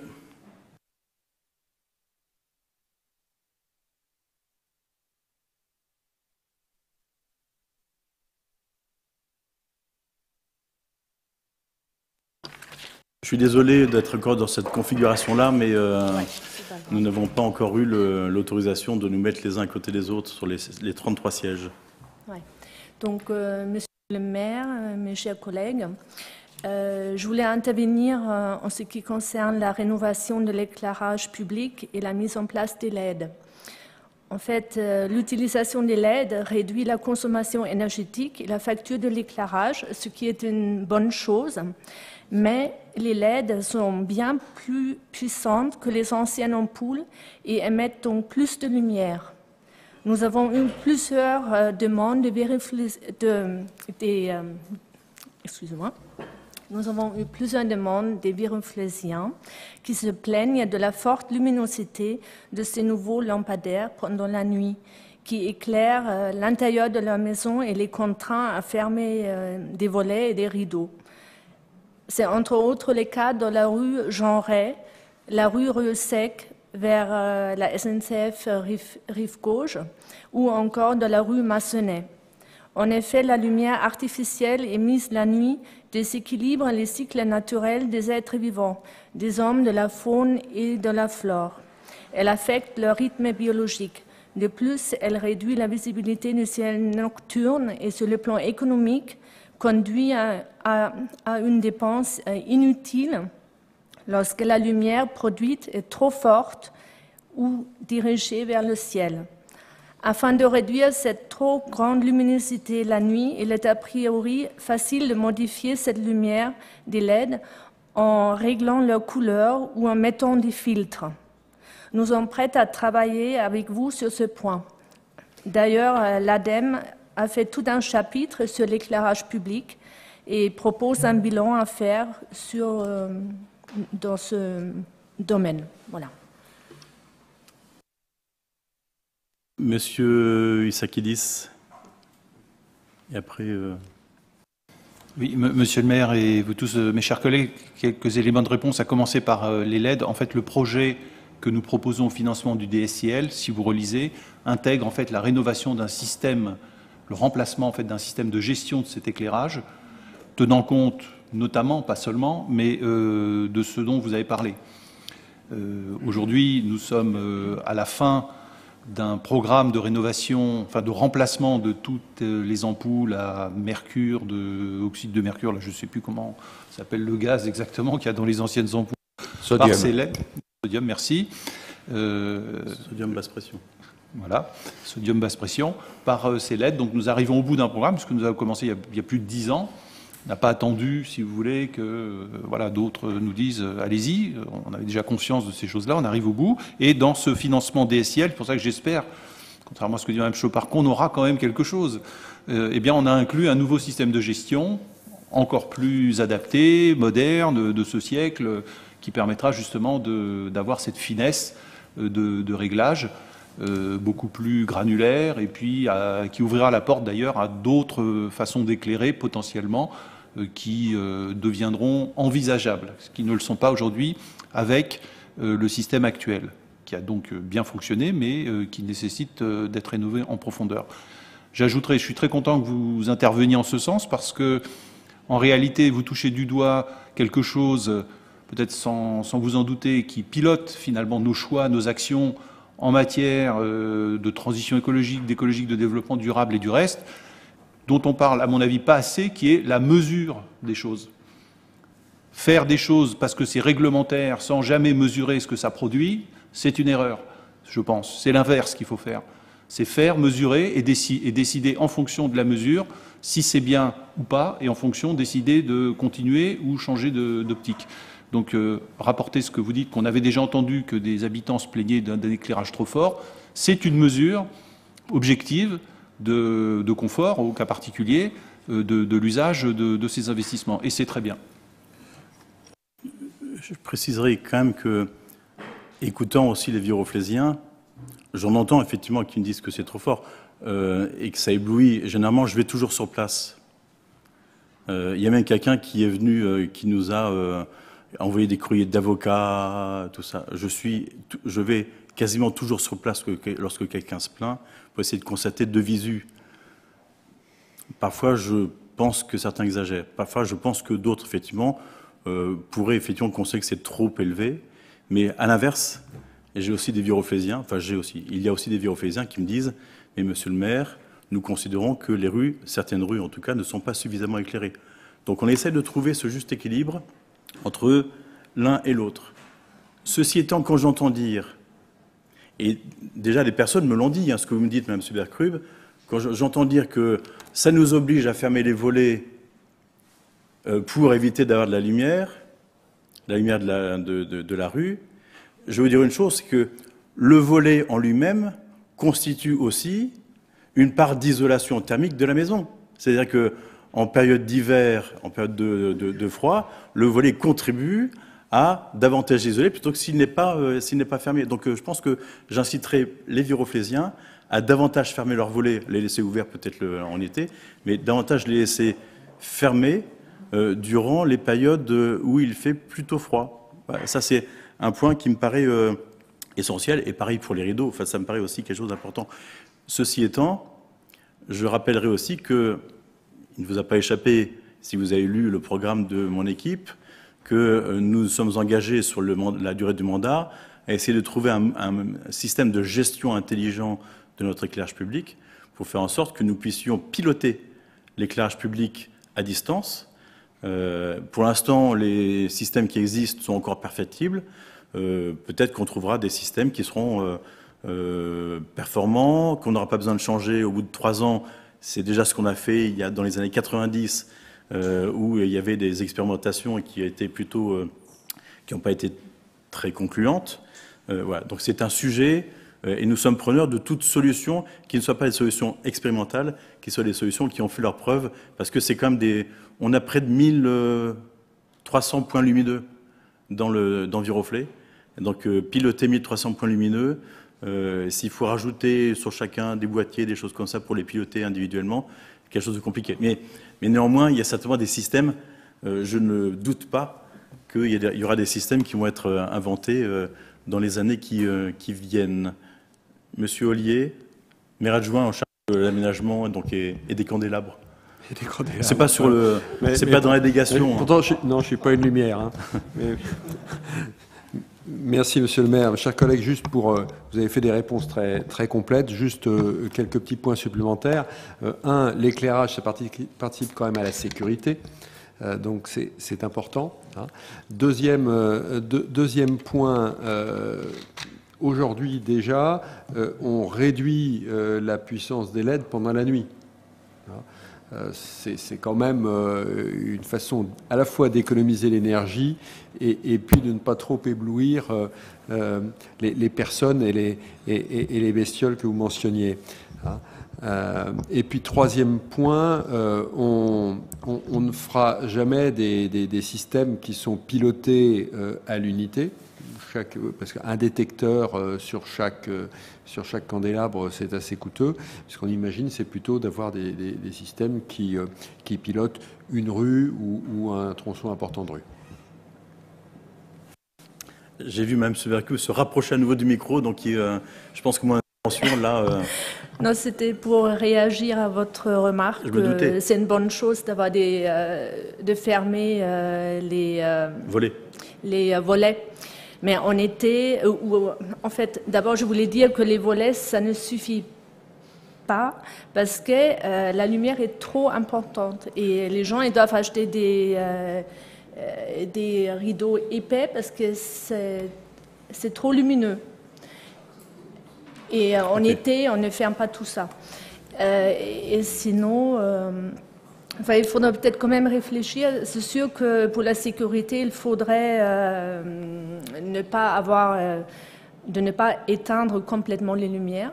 Mais il existe des villes et des villages. Je ne sais pas si vous connaissez, euh, ce qui s'appelle villages et villes étoilées, qui ferment à partir de minuit leur leur lampadaire et c'est du bénéfice pour la biodiversité et pour euh, également les hommes.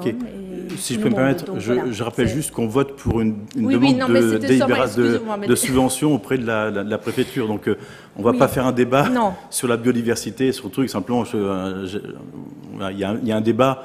Mais je pense qu'on ne va pas non plus poursuivre le débat et on aura d'autres moments pour le faire. en tout cas, il y a clairement il y a programmes qui ont été établis, il y a des choses qu'on va essayer de faire, et on sera attentif à ces questions-là. bien sûr. Même Chopard. Merci beaucoup. Oui, je voulais justement revenir sur le, débat initial, hein, sur l'objet de cette délibération, euh, en espérant que les, prochaines, euh, les prochains projets qui seront soumis à délibération pour financement au titre de la performance écologique seront des dossiers qui, dont l'objet principal est la performance écologique. Je vais vous dire, la prochaine fois, on n'en mettra que deux au lieu de quatre, comme ça ce sera plus simple. voilà. Mais de façon, après, euh, c'est à l'aune en fait du prisme en fait de leurs leur critères qui pourront juger celui-là on le prend, celui-là on le prend pas. Mais je sais le résultat, je le connais par cœur. Donc, euh, mais j'aurais beau pleurer devant le bureau du, préfet euh, et me rouler par terre, me mettre à genoux, j'aurais pas plus d'argent que euh, que ce qui, et surtout encore plus pour pour 2020. Ça, c'est clair que je pense que là, on fera le point à ce moment-là lorsque ce sera attribué. Hein. Bien, on procède au vote de cette délibération. Est-ce que donc vous m'autoriser à euh, déposer cette demande de subvention auprès de l'État? Pas d'opposition? Pas d'abstention? Abstention. Ah oui, à cause de. D'accord. Ok, non, mais bon, c'est. Euh, chacun est libre de faire. Euh, j'ai pas de problème par rapport à ça. Hein. ensuite, point numéro 6. Là, on revient un peu sur la question de l'assainissement avec le transfert à Versailles Grand Parc. Euh, et donc là, c'est un point qui est assez technique. Euh, et je vais donc euh, laisser Jean-Michel Seguilis vous le présenter.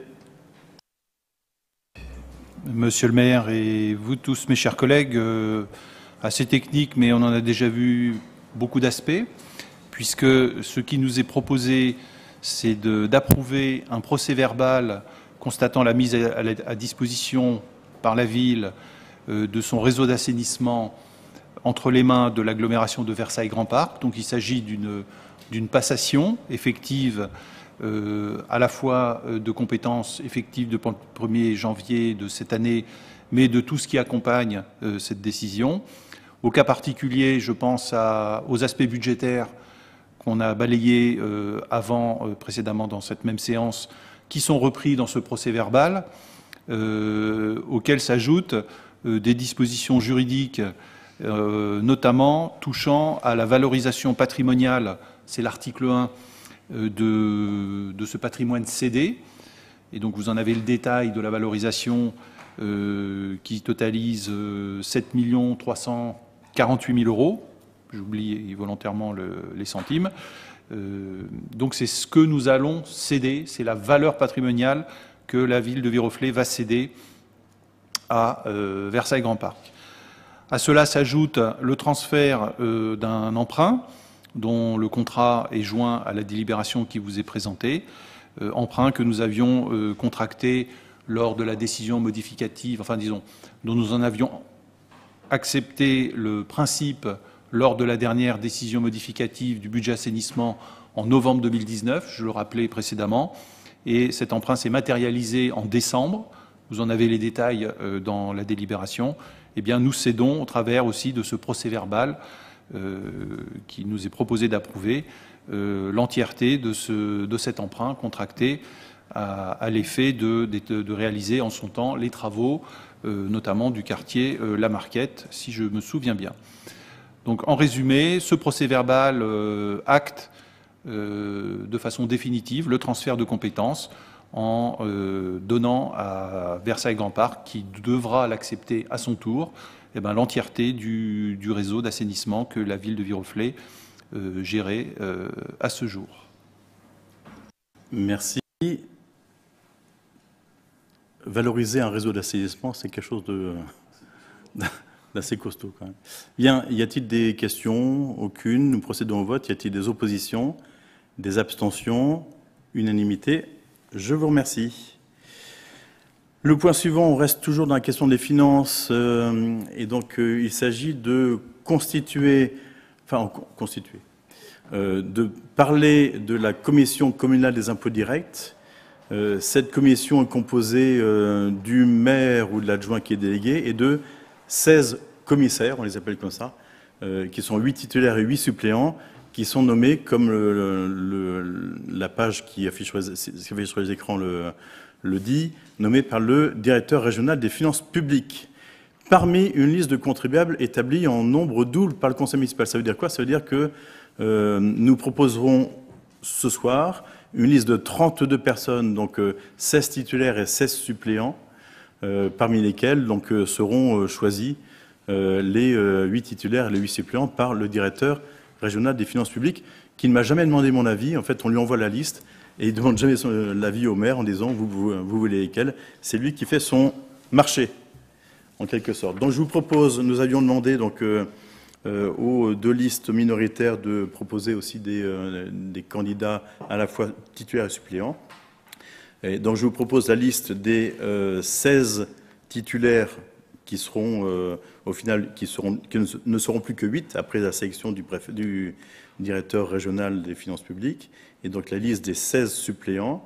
Donc nous avons Jean Gilbert, Antoine Brelet-Murie, Éric Fortuit, Julien Pierre, Béatrice Berthaud, Gérard Martin, Jean Bernicot, Christine Pachot, Stéphane Athanase, Philippe Gevray, Chantal Morin, Livier Venin, Bertrand Schneider, Catherine Le Réveillé, Catherine Janco et Jean-Philippe Ollier pour les titulaires. Et pour les suppléants, Antoine Rateau, Claire G, Hélène de Capelle, Daniel Der, Jean-Louis Derbe, Bruno Trévisan, Sylvain Pouillard, Patrice Ozorowitz, Claire Quesnel, Roland Dehaume, Jeanne-Marie Hermann, Isabelle Coquelric, Roger Lévesque, Louis Le Pivin, Geneviève Joie et Pauline Biodel. Voilà. Donc je vous propose de euh, proposer cette liste-là au directeur général des finances publiques. Pas de questions particulières. Donc y a-t-il des oppositions, des abstentions, unanimité? Je vous remercie. Nous passons à une rubrique euh, urbanisme. Euh, et donc c'est euh, Jean Nico qui va vous exposer la première délibération qui est euh, l'acquisition d'un terrain de l'établissement public foncier d'Île-de-France dans le quartier de la place de la Fête. Monsieur Jean Banico, conseiller municipal délégué à l'urbanisme, je vous laisse la parole. Merci Monsieur le maire, chers collègues. dans le cadre de l'opération Viroflé 2025, et à la suite d'un appel à candidature, euh, la société Cadral a obtenu la réalisation d'un projet immobilier euh, sur le site de la place de la Fête pour la construction de 64 logements, dont, 26 logements sociaux. L'emprise foncière de ce projet est composée de, d'une part, après division et déclassement du domaine public de la commune dans son domaine privé, euh, d'une parcelle euh, destinée à être cédée à la société Cadral. D'autre part, une partie, euh, après division, d'une parcelle appartenant à l'établissement public foncier des Yvelines. Les promesses de vente ont été signées respectivement le 5-6 février. Le permis de construire de Cadral a pu être déposé le 15 mai la, partie de la parcelle EPFIF non cédée à Cadral sera intégrée dans le domaine public de la ville. Euh, cette modification euh, d'alignement euh, pourrait permettre notamment la possibilité d'élargir tout le long de l'avenue de Versailles la voie piétonne actuelle pour éventuellement euh, en faire une voie à la fois piétonne et cycliste, dans le cadre, bien entendu, du projet d'aménagement qui est prévu pour ce quartier. De même, elle offrira en proue du projet immobilier un dégagement sur la place de la Fête. Euh, voilà. Donc, l'EPFIF euh, a accepté de céder à la ville cette parcelle de 308 m2 pour un euro symbolique. Et il est donc proposé, euh, au, euh, proposé Conseil d'acquérir cette parcelle aux conditions précitées. Merci, Monsieur Bernico. Y a-t-il des demandes de parole? Nous procédons donc au vote. Y a-t-il des oppositions, des abstentions? Unanimité, je vous remercie. Euh, Monsieur Bernico, vous allez poursuivre avec la possibilité d'adhérer au dispositif du Conseil départemental des Yvelines qui s'appelle le dispositif prévention carence. Oui, alors, euh, dans, un contexte de, contrainte des financements à la fois sur les collectivités et les bailleurs sociaux, et d'une tension sur le foncier tant en termes de, rareté que de cherté, le Conseil départemental a décidé de mettre en place un plan d'aide aux communes carencées ou déficitaires et susceptibles de le devenir. Euh, c'est dans ce cadre que, se situe euh, le dispositif prévention carence, qui repose essentiellement sur deux types d'actions. D'abord, euh, des subventions accordées aux bailleurs sociaux. Alors, il y a des subventions forfaitaires par type de logement, PLAI, PLUS exclusivement et d'autre part des subventions d'équilibre qui ben, visent à équilibrer le plan de financement des opérations portées par les bailleurs sociaux. Euh, deuxième, deuxième, pilier, c'est les opérations de dispositifs d'acquisition conventionnement qui, consistent par le qui consisteraient par le département à acquérir des immeubles en bloc non conventionnés pour en faire des logements sociaux et par la mobilisation des fonds de. Alors, c'est l'action foncière pour le développement des Yvelines. Euh, ce dispositif prévention carence, c'est un dispositif euh, tripartite qui regroupe le département, euh, la commune et Versailles Grand Parc. Et il est donc proposé que la ville de Viroflay adhère à ce dispositif. Merci, Monsieur Bernico. J'imagine qu'il y a peut-être des questions ou des commentaires à faire. Je m'en doutais. Madame Chopard a levé la main en premier. Je vous donne la parole. Merci, Monsieur le maire. Euh, la liste euh, vous est bien sûr favorable à ce partenariat qui est acte du soutien financier et organisationnel du département aux communes engagées dans une politique volontariste de production de logements sociaux. Cette délibération va aboutir à la signature d'une convention. Nous regrettons que lors de la présentation de cette convention, l'annexe 1 n'ait pas entièrement été euh, complétée, puisque c'est dans cette annexe, dans ce chapitre, que devaient être identifiées les opérations réellement complexes, c'est-à-dire les opérations d'acquis-amélioration dont vous parlez, l'acquisition par le département de bâtiments entiers en vue de leur conventionnement. Vous avez listé dans l'annexe euh, les opérations qui vont être déployées sur des terrains nus. Ce sont des opérations qui sont pour certaines ambitieuses en nombre de logements. Euh, pour autant, ne sont pas les plus compliquées à mettre en œuvre et elles ne nécessitent pas un appui exceptionnel du département.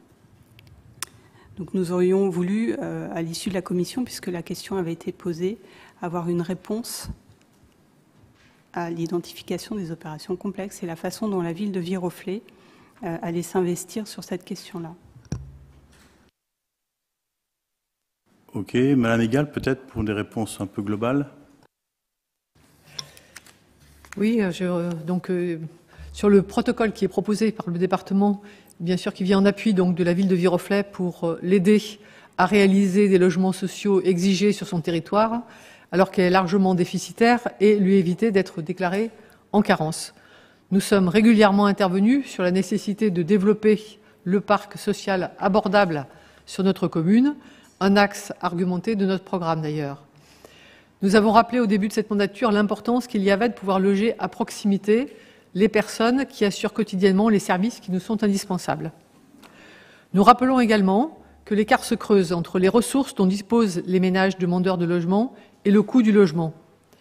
Les sommes mentionnées dans ce dispositif doivent donc être investies pour que, et c'est inscrit dans l'article 1 des objectifs du protocole, les niveaux de loyer pratiqués soient en adéquation avec les capacités des futurs locataires, c'est-à-dire être, de mon point de vue, de notre point de vue, majoritairement orientés vers la création de logements les plus abordables, donc les PLAI. En relisant le rapport de synthèse qui introduit cette délibération, nous lisons qu'il est question d'une subvention forfaitaire par type de logement social. Le protocole parle, lui, de logement social familial. Cette précision est importante. L'absence de PLHI, plan local d'habitat intercommunal, au niveau de VGP, nous prive d'un diagnostic en amont pour notre communauté d'agglomération. Le plan triennal mentionné au niveau du département s'appuie-t-il sur un diagnostic des besoins en termes de niveau de loyer et de taille des logements Si oui, le dispositif soumis à notre approbation est-il aligné sur ce diagnostic et comment seront suivis le respect des engagements?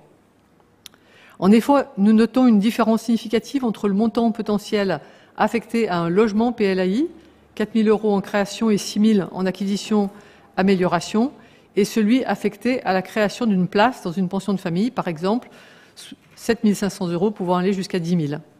Nous avons bien compris que dans ce type de structure, les surfaces consacrées aux services communs déployés constituent un manque à gagner et donc un surcoût qui explique ces valeurs. Compte tenu de notre déficit, si un diagnostic ne fixe pas les orientations, il pourrait être tentant de chercher à faire du nombre en créant des places dans ce type de structure plutôt que des appartements familiaux. Mais quel type de projet comptez-vous faire orienter vers, euh, vers quel type de projet comptez-vous orienter le recours au financement proposé par ce protocole. Outre l'aide financière, le dispositif d'acquisition-conventionnement permet au département d'acquérir des immeubles en bloc, c'est ce que vient d'évoquer Madame Chopard, en vue de les transformer en logement social avec mise en gestion auprès d'un bailleur par bail amphithéotique, par exemple. Ceci nécessite un travail préalable de repérage du patrimoine euh, qui, est disponible, qui serait disponible sur la commune, Là encore, la ville de Viroflay a-t-elle identifié de telles opportunités sur son territoire? Deux questions pour vous, monsieur le maire.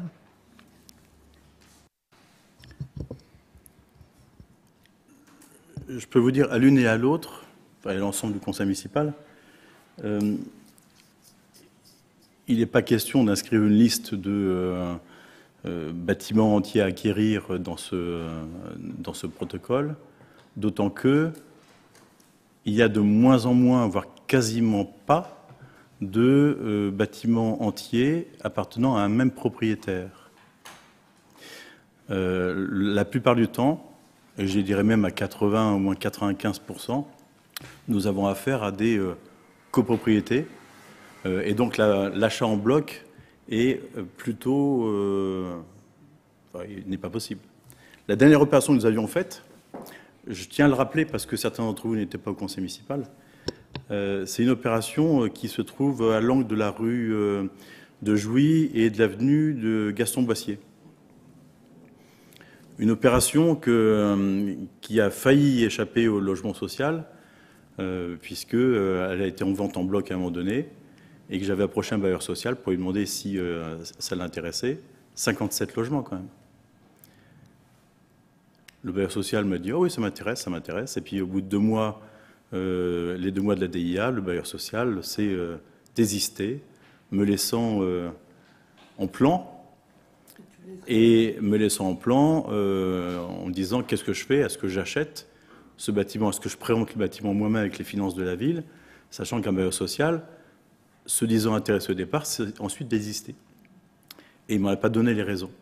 Donc j'ai laissé filer ce bâtiment. C'était il y a euh, peut-être une petite dizaine d'années. Ah, je venais d'être élu maire, donc c'était il y a 30 ans. Euh, et euh, une quinzaine d'années. il se trouve que ce bâtiment a, été, a eu un ravalement. C'était 7,5 millions d'euros à l'époque. Ce bâtiment a été ravalé, il y a eu des travaux, et il se trouve que deux ans après, après les travaux, le bâtiment est revenu à vente. À la découpe. Et donc là, euh, j'ai rencontré le propriétaire en lui disant faites une vente à la découpe. Je préempte immédiatement les deux premiers logements qui euh, se vendront et pour en faire du logement social, euh, voire très, très, très social. C'est une forme d'intimidation, je, reconnais, mais, je ne stigmatise pas le logement très, très, très social, mais néanmoins, ça fait peur. Puisque le logement social, voire très très social, fait peur aussi. Vous n'êtes pas sans, le, savoir. Euh, et donc du coup, en fait, il a réfléchi et il a dit, OK, je veux bien le vendre en bloc. Et on a réussi à trouver un bailleur social qui a racheté le bâtiment, certes ravalé, mais euh, qui avait pris 2,5 millions et demi de plus d'euros. Donc en fait, on a raté une occasion de faire acheter par le, un bailleur social à 7 millions et demi. On l'a vendu, il l'a acheté à 10 millions d'euros. Euh, et 2 millions et demi d'euros, c'était pas le prix du ravalement de ce bâtiment. Voilà. C'était un des derniers bâtiments. Il y en a eu d'autres dans le temps. J'allais dire, il y a le 61 bis Général Leclerc qui a été racheté pour y faire le, pour être vendu au, 3F. Il y a un certain nombre d'opérations comme ça qui ont pu être faites. maintenant, ça s'épuise. C'est donc je suis preneur. Si vous êtes, si vous habitez les uns les autres dans un immeuble qui appartient, dont vous êtes locataire et qui appartient à un seul propriétaire, je suis preneur. Il y en a très très peu. Et je peux vous le dire, il y a une opération qui a failli se faire à un moment donné, euh, dans laquelle il y avait quatre logements et des chambres euh, de, bonnes, je vais dire ça comme ça. Euh, le bâtiment était à 880 000 euros. Les travaux à faire étaient approchés les 400 000 euros. et quand j'ai approché l'ensemble des, opérateurs, enfin l'ensemble, les quelques opérateurs habituels, ils m'ont dit, dites donc, ça fait un prix de sortie aux alentours de 6500 euros du mètre carré. C'est assez peu compatible. Et donc on a approché le conseil départemental pour dire, mais est-ce que vous pouvez nous aider? Et là, on était sur, il fallait injecter des sommes considérables pour arriver à réduire le coût euh, pour le, au final pour le bailleur social ou mettre des fonds propres du bailleur social extrêmement important. Est-ce que ne font pas les bailleurs sociaux? Donc c'est, on est sur des opérations qui sont extrêmement compliquées euh, sur la question de la vente en bloc. Après, euh, si on, peut aussi s'attarder à la question de l'acquisition d'appartements. On peut choisir un immeuble dans Viroflay hein, et puis dire ben, à chaque fois qu'il y a un appartement qui se vend, eh bien, on le, préempte pour le vendre à un bailleur social, euh, sachant qu'il se vendra à 5 000, 5 500 euros du mètre carré. Donc, il faudrait quand même mettre des subventions de façon importante, y compris des subventions du conseil départemental. Euh, mais ça, c'est quelque chose qui peut éventuellement se faire. Pourquoi pas Mais c'est un peu la seule solution qu'on peut avoir pour essayer de créer du logement social sur du patrimoine existant. Euh, la vente en bloc, je pense qu'il faut presque l'oublier. Néanmoins, on est toujours attentif aux opportunités, mais euh, elle est vraiment euh, très très à la marge, ou sur deux, trois logements, je ne dis pas qu'il ne faut pas le faire, mais c'est très à la marge. On n'est pas sur des dizaines de logements d'un seul coup. C'est pour ça qu'il n'y a pas de liste de bâtiments à acquérir euh, en bloc dans cette, ces projets de convention. Voilà la réponse que je voulais faire. Madame Chopard, vous vouliez dire quelque chose? Oui, en fait, vous ne répondez pas à ma question. Parce que quand j'ai parlé d'acquisition euh, d'un bâtiment entier, ce n'était pas forcément une acquisition une fois. Euh, le protocole, le conventionnement euh, avec le conseil départemental, c'est aussi s'engager dans un dispositif qui comporte une ingénierie interne. Le département des Yvelines fait appel à l'EPFIF, donc à l'établissement public foncier, dans sa structure de l'Yvelines, à une SEM d'aménagement qui s'appelle Citalios et à un, bailleur social. Et cette ingénierie, elle va venir identifier sur le territoire de Viroflay des opérations qui peuvent être portées sur plusieurs années, avec des acquisitions, des, négociations. L'établissement public foncier, c'est son métier, euh, de négocier euh, des acquisitions de biens sur plusieurs dizaines d'années parfois, euh, pour ensuite devenir propriétaire de l'ensemble du bâtiment. Donc moi, ce que j'entends, c'est qu'aujourd'hui, vous n'avez pas eu cette démarche d'anticipation, euh, de constitution d'un schéma de, l'habitat qui, soit euh, un, plan, euh, un plan de l'habitat à l'échelle intercommunale ou à l'échelle communale. Aujourd'hui, cette stratégie, cette vision de l'implantation du logement social sur votre ville, quitte à ce que ça prenne quelques dizaines d'années, bien sûr, ça sera très long. Mais cette vision, vous ne l'avez pas, et donc elle va être construite par le département euh, au travers euh, de son ingénierie euh, interne. Merci. ça, c'est sur la théorie. Je suis désolé. la théorie, on s'y est confronté très récemment sur cette question dont je viens de parler. et là, on, s'est dit, bah, c'est l'occasion de signer cette, convention pour essayer d'avancer. Et clairement, l'opération dont je parlais, euh, elle a été euh, abandonnée parce qu'elle n'était pas euh, accessible. On arrive à des prix délirants, mais c'est ça le problème. C'est qu'on arrive à des prix qui sont délirants pour faire du logement social. Et vous ne pouvez pas dire, j'ai pas une vision sur le, les logements sociaux. J'étais, quand je suis devenu maire il y a 15 ans, on était à 7,3% de logements sociaux. On est à plus de 17% actuellement. Donc clairement, on ne peut pas dire qu'il n'y a pas de, vision, simplement. C'est, et les viroflésiens le savent, hein. ils sont nombreux à se plaindre du fait qu'il y a des constructions, y compris de logements sociaux à côté de chez eux. Donc, euh, et ça, vous, le savez. Donc, euh, euh, là-dessus, j'ai répondu, je pense, à votre question sur le fait que un, je vous l'ai pas dit, mais les PFIF, on travaille avec eux de façon régulière. On a des conventions de veille foncière, des conventions d'action, d'action foncière, je ne sais pas si ça s'appelle comme ça exactement, mais également des. Donc, pour pouvoir à la fois être en, en, attention et puis à la fois dans l'action. Et les PFIF, à un moment donné, on a été la commune des Yvelines qui avait le plus de, de terrain acquis par les PFIF. À l'époque, c'était les PFI, les Yvelines. Maintenant, c'est devenu les PFIF. Donc euh, depuis, il y, a eu des euh, communes carencées qui ont dû faire des conventions euh, avec les FIF obligés par, le, préfet notamment. Mais en l'occurrence, les FIF, on connaît bien sa façon de travailler, on travaille avec eux. Le, je rappelle juste une chose, hein. les 25% de logements sociaux, c'est en 2025. Donc je veux bien qu'on achète des, euh, des, appartements et qu'on fasse un plan sur des dizaines d'années. 2025, euh, c'est dans 5 ans. Euh, je ne sais pas s'il y a un ministre du Logement qui va être nommé prochainement et qui va nous dire comment on va faire pour arriver à, à remplir les objectifs. mais simplement, ce que je vous disais tout à l'heure, je pense qu'il va répondre à votre question, en disant maintenant dans on pourrait effectivement désigner des immeubles dans lesquels on dit je cible l'immeuble en question. On a une, action avec l'EPFIF de veille foncière ou en fait de, veille immobilière. Euh, et puis on se dit, ben, à chaque fois qu'il y a un appartement qui se vend, je le préempte pour y faire du logement social. Moi, ça ne me dérange pas de le faire ça. Simplement, il faut choisir les immeubles en question ou les résidences. Après, euh, on, est à la tête de la commune de Viroflay, nous sommes tous élus, euh, il faut prendre des responsabilités. Je peux vous dire que euh, lorsqu'on fera ça sur une première résidence, je ne pense pas qu'on soit extrêmement bien accueilli. Voilà, je, dis ça comme ça. Mais ce n'est pas pour autant qu'il faut, faut y renoncer. Ça peut faire partie des stratégies à mettre en œuvre. Moi, je n'ai pas trop de soucis par rapport à ça. Ça nécessite du courage, effectivement.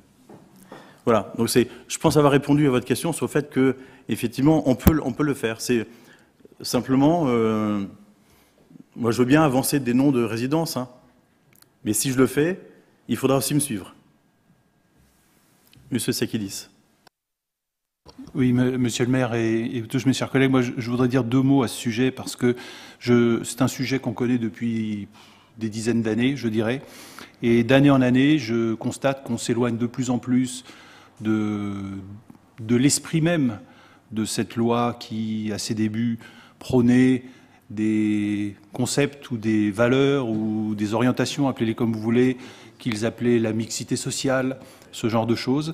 Et aujourd'hui, on en est réduit à des débats euh, d'arithmétique, de, de, technicité euh, amphigorique, euh, à passer des conventions avec les uns les autres pour essayer de satisfaire un système qui est arrivé au bout de son absurdité. Je vais prendre deux exemples rapides que tout le monde peut comprendre, ce n'est pas du tout technique. Affranchissez-vous de tout ça.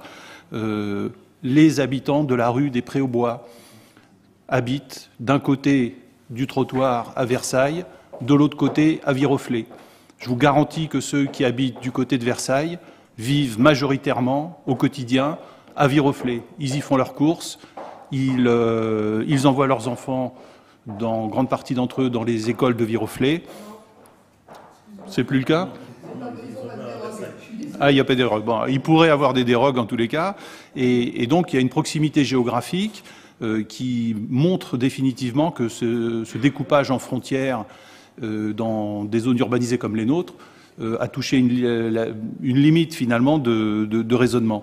S'ajoute à ça le, fait que sur le plan arithmétique, on pourrait, et certaines villes le font, satisfaire parfaitement à ces quotas, euh, mais sans pour autant euh, garantir une mixité sociale.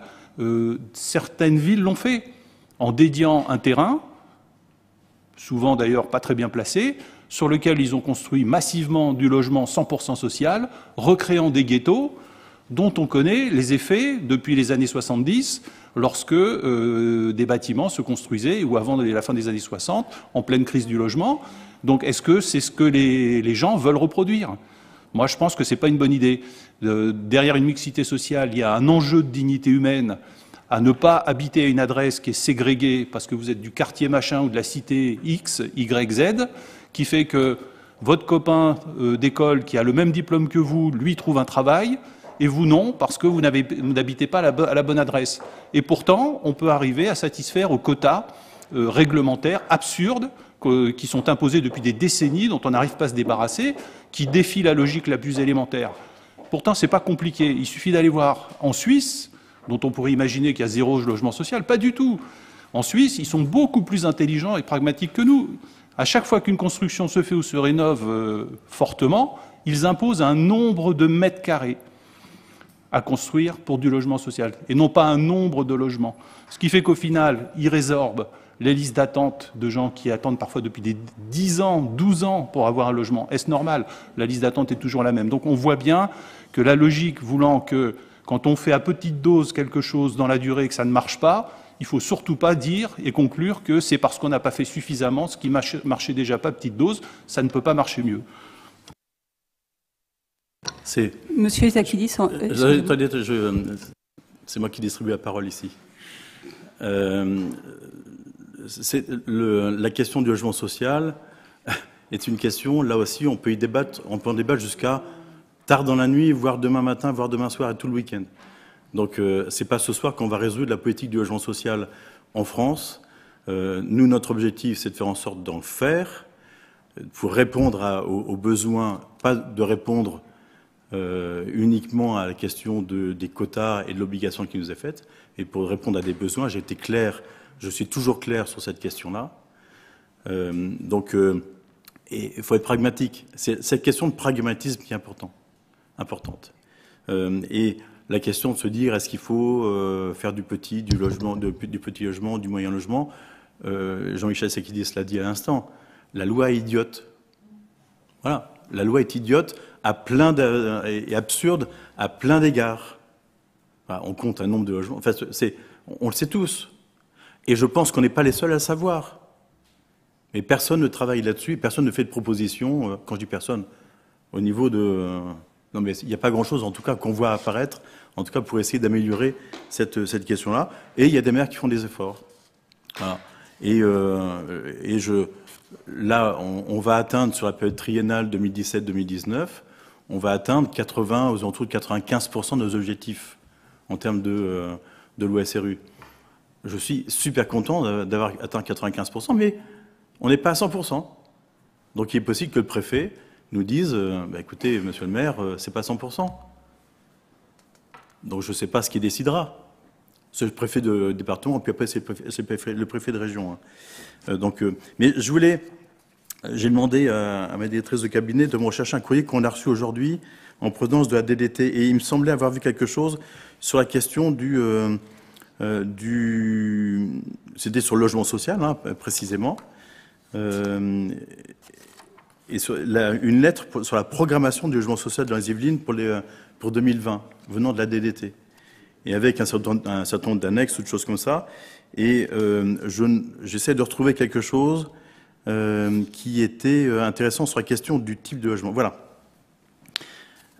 Et là, je ne prends pas je ne fais pas quelque chose extrait en fait euh, et hors du contexte.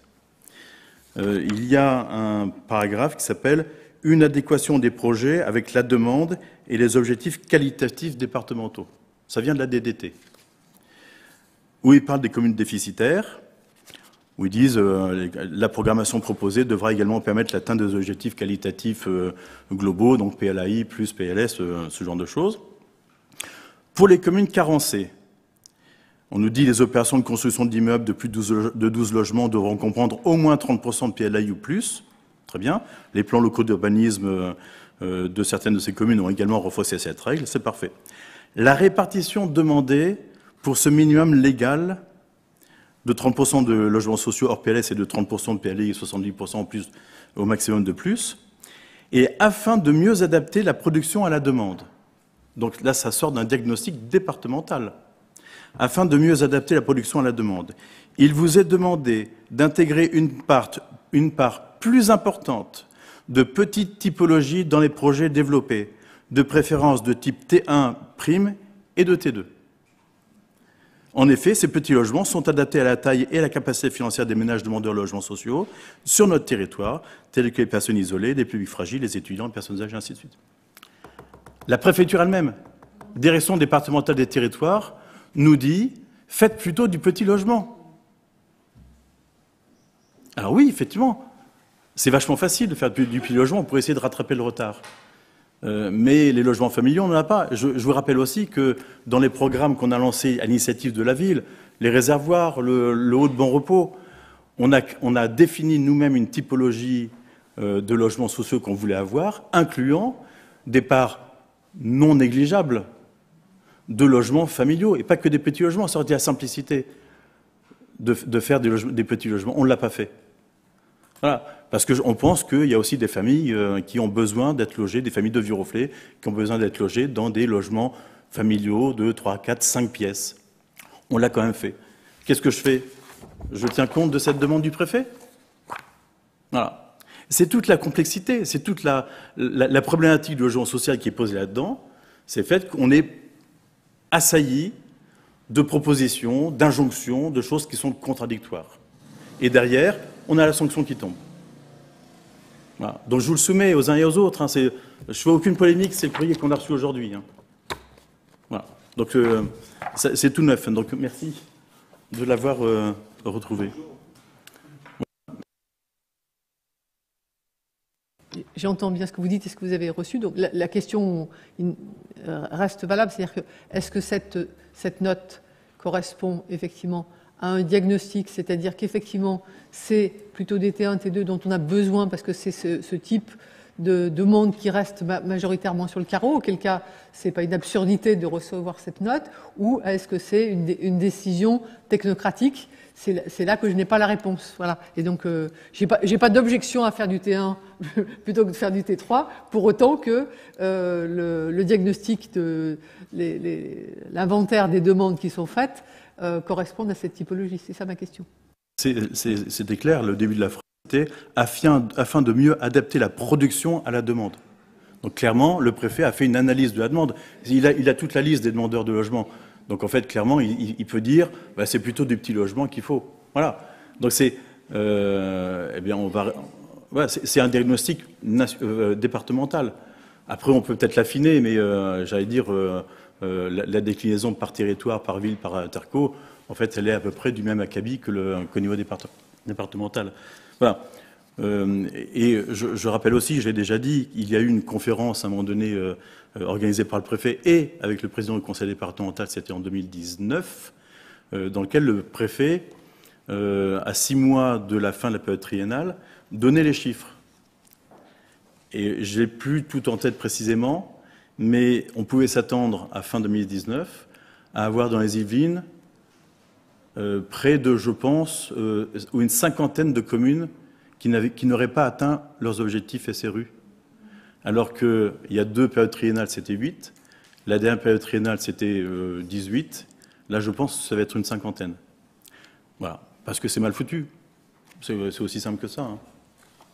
Voilà. Et ce qui est intéressant néanmoins, et ça, reboucle avec la délibération qu'on a là, c'est le fait que la DDT envoie euh, avec ce, dossier-là des annexes, dont le courrier du président du département des Yvelines, qui explique les dispositifs mis en place par le département pour aider à la construction de logements sociaux sur les territoires, dont la convention, donc toutes ces choses-là. Donc euh, euh, clairement, euh, c'est un travail qui est un travail en, commun et la collectivité départementale s'engage, et je peux vous le dire, elle s'engage de façon extrêmement forte et parfois le président du conseil départemental se heurte de façon frontale avec des maires qui ne profitent pas d'opportunités qu'ils auraient pu avoir. ça a été le cas avec le maire de Versailles il n'y a pas très longtemps. Voilà. Et puis, euh, il parle aussi du BRS, le bail réel solidaire, qui est, à mon sens, qui est quelque chose d'intéressant aussi euh, à mettre en œuvre pour euh, l'accession à la propriété des ménages les plus modestes. Voilà. Donc, je propose qu'on ferme le débat sur cette, cette question du, du, de cette convention. ce dispositif. Donc je vous propose d'y adhérer. Y a-t-il des oppositions Y a-t-il des abstentions? Unanimité Je vous remercie. Donc c'était la neuvième délibération. Nous avons ensuite, euh, nous passons à la partie euh, enseignement jeunesse et c'est Pauline Millodel qui va vous rapporter les deux délibérations suivantes. La première, c'est une délibération classique sur l'aide financière de la formation BAFA. Oui, merci Monsieur le maire, mes chers collègues. Donc, comme tous les ans, euh, je vous propose de nous autoriser à verser euh, un montant de 150 euros euh, pour les jeunes qui pourraient, qui nous apporteraient leur bulletin d'inscription à la troisième phase du troisième phase du Bafa, puisque je vous rappelle que le Bafa se comporte une première phase théorique, puis une phase pratique et en fait ensuite un perfectionnement. Euh, l'année dernière, nous avons eu quatre euh, jeunes qui en ont fait la demande. Je ne vous cache pas que je crains qu'en 2020, nous n'en ayons pas beaucoup, parce que je crois que les stages BAFA avec le Covid, euh, il y a pas mal de restrictions. Mais ce n'est pas une raison pour ne pas voter cette opportunité. Je vous remercie par l'avance pour eux. Bien, merci. Merci Mme Biodel. Y a-t-il des demandes de parole? Mme Chopard? Oui, bien sûr, nous allons voter pour euh, cette, euh, cette décision, cette délibération. Pour autant, euh, le, fait que seuls quatre jeunes viroflésiens ou viroflésiennes aient demandé la subvention nous interroge. il nous semble que ce dispositif est aujourd'hui peu visible, peu compréhensible par les jeunes. Euh, Madame Biodel nous a expliqué euh, la, démarche de la ville euh, et il nous semble important peut-être de changer de paradigme, de se dire qu'aujourd'hui, un parent qui lit le journal, qui informe le jeune de la possibilité d'une subvention et qui l'aide à écrire le courrier à la ville, c'est peut-être pas la façon dont la meilleure façon pour euh, mobiliser euh, l'enthousiasme des jeunes, ou tout au moins leur mobilisation, sur euh, ce diplôme qui n'est pas seulement un moyen pour eux de gagner un peu d'argent, mais qui est aussi un vrai élément discriminant sur les CV et donc qui permet pour des jeunes qui débutent dans la vie professionnelle d'avoir déjà une expérience qu'ils peuvent valoriser de prise de responsabilité, d'insertion dans la vie économique. Donc euh, nous souhaitons euh, que ce dispositif soit euh, pensé différemment, que peut-être que les services de la ville aident les jeunes à monter les dossiers administratifs plutôt que ce soit le jeune qui soit obligé de demander l'aide, mais au contraire que les services soient plus aidants sur le montage du CV, sur la mobilisation des autres aides, notamment départementales ou de la CAF. Et euh, nous avons également noté que euh, la ville euh, prend des, stagiaires, donc dans le cadre de la troisième partie de, la formation BAFA. certaines villes, une ville voisine des Yvelines, rémunèrent les jeunes stagiaires. Donc ils sont payés un peu plus de 10 euros de l'heure pour plus de 9 heures de travail par jour. Donc à l'issue de leur stage, ils ont gagné à peu près 1400 euros la ville, considérant que le travail qui a été fourni, la prestation, euh, est à, la même hauteur que euh, les vacataires ou le personnel communal. Donc nous allons voter pour, mais pour autant, nous demandons à ce que le dispositif soit peut-être pensé différemment. Madame Biodel. Je, Alors, je suis quand même très étonnée qu'il soit rémunéré 1400 euros pour ce stage, parce que le stage pratique, pardon, le stage pratique dure 10 jours.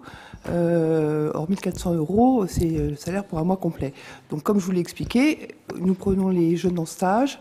La partie qui correspond à ils ne sont pas rémunérés, mais en général, le stage se prolonge et pour le reste, bien entendu, ils sont rémunérés. Dans la mesure où nous pouvons les accueillir, puisque nous n'avons le droit qu'à un certain nombre de non-diplômés l'encadrement de l'animation étant très réglementé par la DDCS. Euh, sur la partie, j'ai entendu, et l'autre jour on en a discuté, et c'est vrai qu'il faut qu'on ait d'autres moyens d'action, euh, peut-être par Instagram pour mobiliser les jeunes. Quant à la partie administrative, je vous garantis que pour demander l'aide à la ville de Viroflay, c'est juste un petit courrier à monsieur le maire. Alors voilà, j'ai passé mon BAFA, 6 juin le... Et je pense que ça fait partie de la responsabilisation des jeunes aussi, d'être capables de, faire ce genre de choses. Et c'est dans cet esprit-là, quand ce sont les parents qui nous interpellent, nous, nous expliquons aux parents, mais aidez votre enfant à le faire, mais que ce soit le jeune qui fasse la démarche. Que ce soit pas papa ou maman qui écrivent « mon fils va faire le BAFA ». Je pense que ça fait partie euh, de l'acquisition de l'autonomie, c'est très important. Mais je vous rejoins en revanche sur le comment euh, euh, transmettre l'information à cette tranche d'âge euh, qui, comme je vous l'ai expliqué, n'est plus enfin, d'or à Viroflay, mais à sa vie. Voilà, ça c'est une vraie difficulté. Bien, qui est récurrente, hein, donc, euh, mais on est preneur aussi de, solutions. Voilà, donc euh, y a-t-il des oppositions, des abstentions, unanimité? Je vous remercie.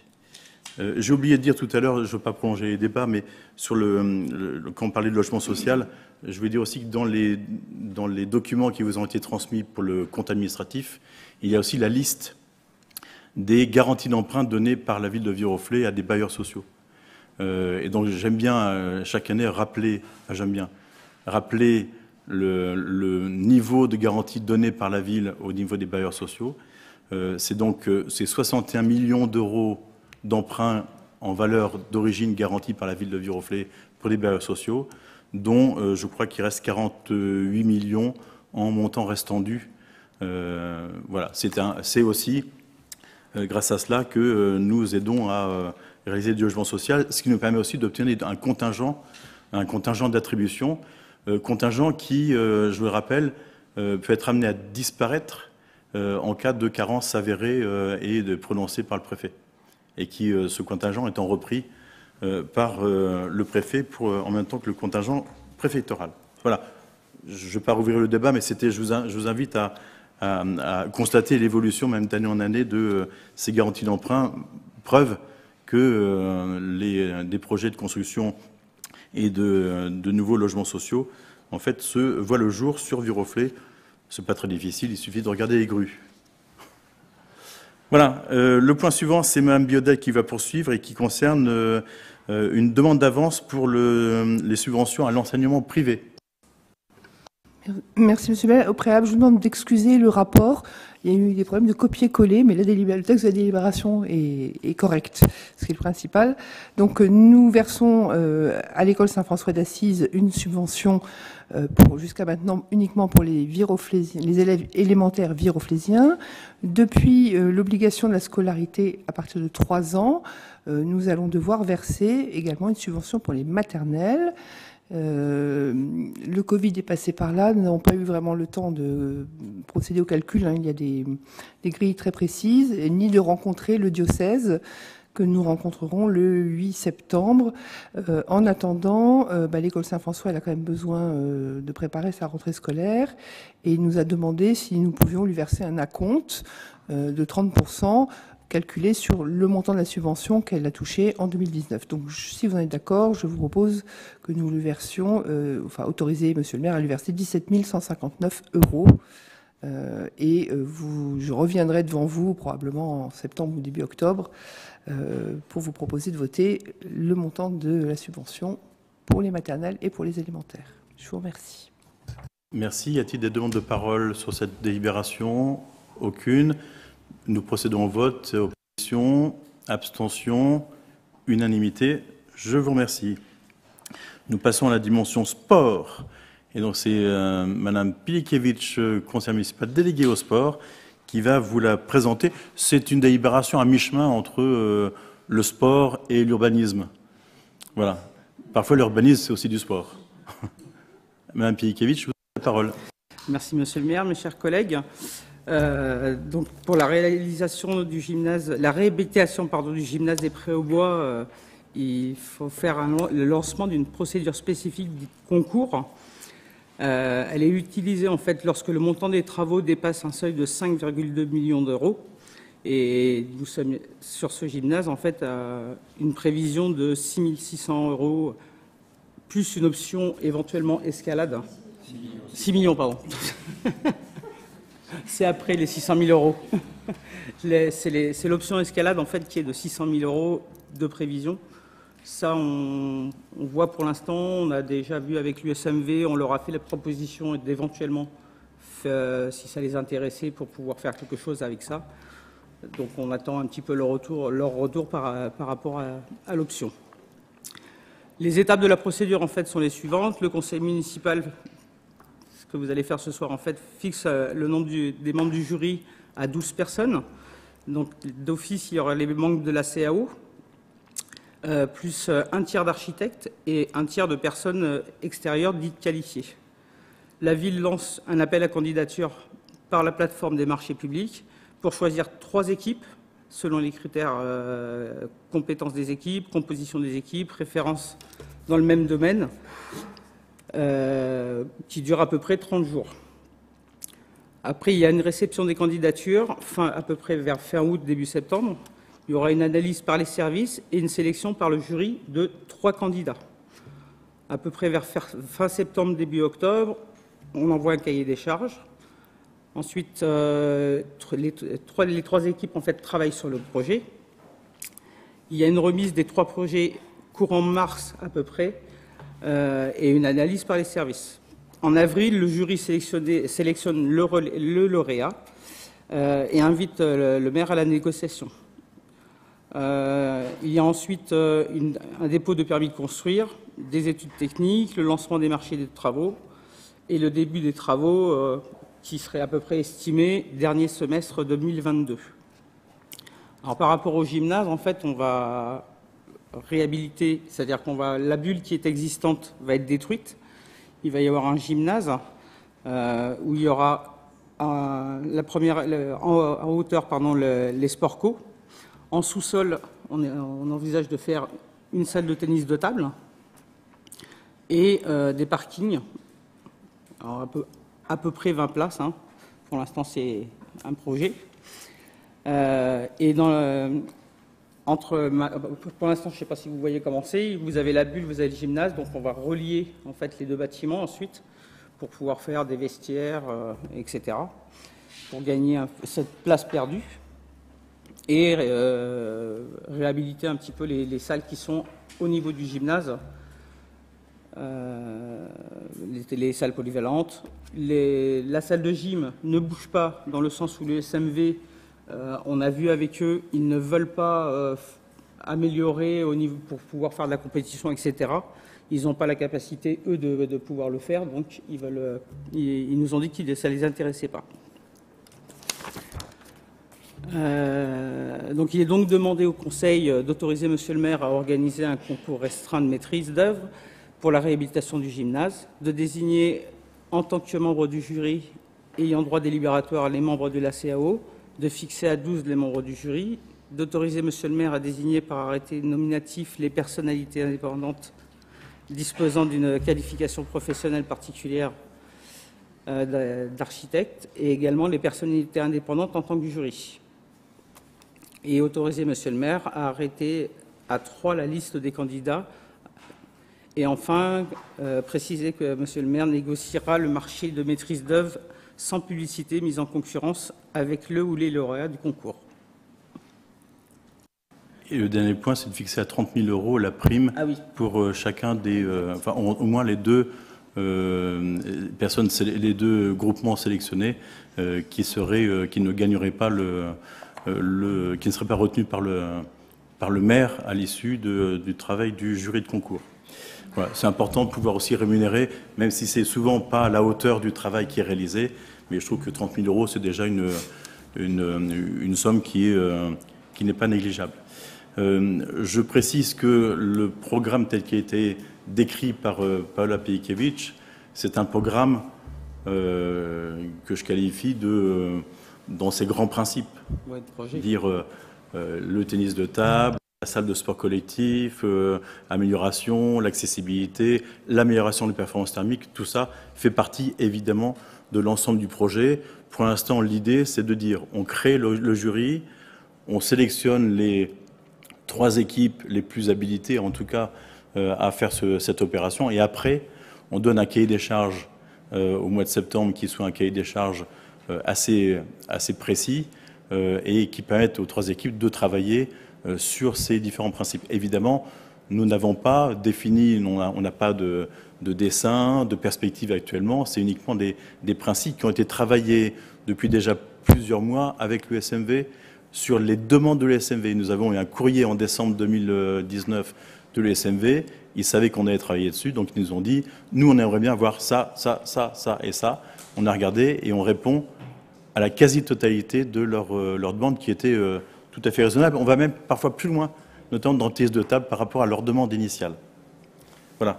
Et euh, je précise qu'au niveau des membres du jury, donc on, a, on va faire appel aux membres de la commission d'appel d'offres, qui ont été désignés une fois précédente. Et je propose ce que j'ai fait, je crois, j'ai déjà fait, j'ai déjà dit à Mme Egal, Mme Egal ne faisant pas partie des membres titulaires de la commission d'appel d'offres, je vais certainement trouver un moyen de l'intégrer comme étant une personnalité qualifiée euh, dans les euh, six autres euh, personnes pour qu'elle puisse participer, elle ou un membre de son équipe, participer au jury de concours. Voilà. Donc y a-t-il des demandes de parole sur cette délibération Madame Chopard? Alors nous, nous regrettons que ces travaux de rénovation ne s'appuient pas sur un audit des besoins certes actuels, mais surtout sur une évaluation des besoins prospectifs euh, d'un futur public euh, sportif, tant sur les pratiques, sur l'adaptabilité euh, des équipements actuels en termes d'accessibilité, tout handicap, du handisport ou autre. en fait, ce, diagnostic général, vous ne l'évoquez pas, donc j'imagine qu'il n'existe pas. Euh, faute d'anticipation, euh, un emplacement réservé qui se situait euh, rue Joseph Bertrand et rue du Pré-aux-Bois, donc pas très loin du gymnase actuel, mais par contre complètement accessible pour les véhicules, puisque sur, un, sur une voirie suffisamment large pour accueillir des flux de, de dépose minutes. Cet, emplacement réservé, a été abandonné, alors même qu'il aurait permis la création d'un équipement accessible, rationnel et moderne. Donc nous allons bien sûr pas nous opposer euh, à, la réhabilitation du gymnase actuel, mais nous regrettons qu'il n'y ait pas eu euh, une euh, réflexion plus large. Et si je peux me permettre une, expression familière, on, a un peu l'impression qu'on bricole avec ce qu'on a. Je vous remercie, Mme Chopard. Mme Egal. Oui, donc je, je voudrais revenir un petit peu en arrière en ce qui me concerne. Euh, lors du débat d'orientation budgétaire en, janvier 2020, euh, il nous a été dit qu'il y avait un programmiste qui était chargé de l'étude de la réhabilitation du, gymnase des Prés-aux-Bois, qu'il y avait plusieurs scénarios possibles, que le programmiste avait consulté le service des sports, qu'il s'appuyait sur un diagnostic des bâtiments, qu'il avait connaissance des, demandes du président du SMV et ses propositions. Et à ce moment-là, il n'a pas été possible d'en savoir davantage. Nous savons que ce projet a fait l'objet d'une présentation en début d'année à un groupe restreint de personnes, présentation à laquelle les élus minoritaires alors en fonction n'ont pas été invités. En pleine campagne électorale, une telle réunion est très discutable quant au respect des pratiques démocratiques. Mais bon, laissons cela aujourd'hui. Euh, nous sommes en, juillet aujourd'hui, c'est déjà loin. Euh, vous nous proposez maintenant donc de créer une commission d'appel d'offres en tant que jury du concours de maîtrise d'œuvre pour ce projet. Compte tenu de l'importance de l'investissement envisagé, nous sommes très favorables à ce principe et comptons bien prendre une part active dans ce dossier. Donc, je vous remercie pour la proposition qui a été faite. Cependant, cette délibération semble euh, partir du postulat que le contenu du cahier des charges, alors peut-être pas du cahier des charges, mais fait du dossier, qui définira l'appel d'offres et qui va conditionner ce projet, est approuvé. Lors de la réunion de lundi, donc consacrée à des points spécifiques d'évolution du PLU, nous avons découvert un projet d'implantation et quelques éléments du projet. Nous ne comprenons pas que le projet envisagé ne nous soit pas présenté de façon plus complète ce soir à l'occasion de cette délibération. Hein d'autant que j'ai noté, là, il y a quelques minutes, que euh, l'objectif, c'est d'avoir un cahier des charges en septembre. Euh, en juillet, euh, août, septembre, on y est. à quel moment les viroflésiens seront-ils consultés pour donner leur point de vue sur ce projet, dont la réalisation impacte les 50 années à venir? Beaucoup pratiquent un sport, souhaiteraient en pratiquer un, ont des enfants qui en pratiquent ont des idées d'évolution et auront un avis pertinent, en plus de celui de l'USMV. Par exemple, a-t-on prévu des espaces de convivialité qui permettraient aux parents d'échanger pendant que leurs enfants pratiquent une activité comme à la MJC de Chaville? Ce lieu peut-il favoriser les liens entre les générations? Nous sommes ici les porte-parole des viroflésiens qui souhaitent prendre part à la réalisation des projets structurants de la ville. Vous avez lancé un questionnaire pour les marchés dont le succès prouve que les viroflésiens sont prêts à donner leur avis. Ce projet est un des plus importants, donc, euh, investissements, un des plus importants investissements qui est engagé par la ville, avec un budget de 6,6 millions d'euros. Euh, il concerne un équipement, donc je l'ai déjà dit, qui sera utilisé par plusieurs générations euh, à venir. Dans le magazine de juin, vous écrivez que vous allez lancer les réflexions sur la rénovation intégrale du gymnase des Prés au Bois. Alors que nous constituons un jury pour sélectionner le maître d'œuvre qui réalisera ce projet, pouvez-vous nous expliquer comment les viroflésiens participeront à la réflexion? Merci de votre écoute. Je vous demande si je ne veux pas regretter de vous proposer une place dans le jury, Madame Egal. Je ne faisais pas ça pour vous amadouer de toute façon, parce que je considérais que c'était important aussi que vous puissiez y prendre part. Voilà, je ne regretterai pas de toute façon. De la même façon qu'un un des membres de votre groupe, euh, au dernier mandat, a participé au choix de la piscine. Donc, euh, je n'ai pas de problème par rapport à ça. Euh, on peut faire des procès d'intention en permanence. la question du gymnase des Prés au Bois, elle existe depuis quelques années déjà, hein, la question de sa, rénovation, très clairement. Euh, la preuve, le PLU 2013, effectivement, faisait euh, éventuellement état d'un emplacement réservé, euh, et vous savez pourquoi il n'a pas été maintenu, pour des raisons, les raisons que vous savez. Simplement, nous dire qu'on fait une réunion en période électorale et ses limites sur le plan de la démocratie.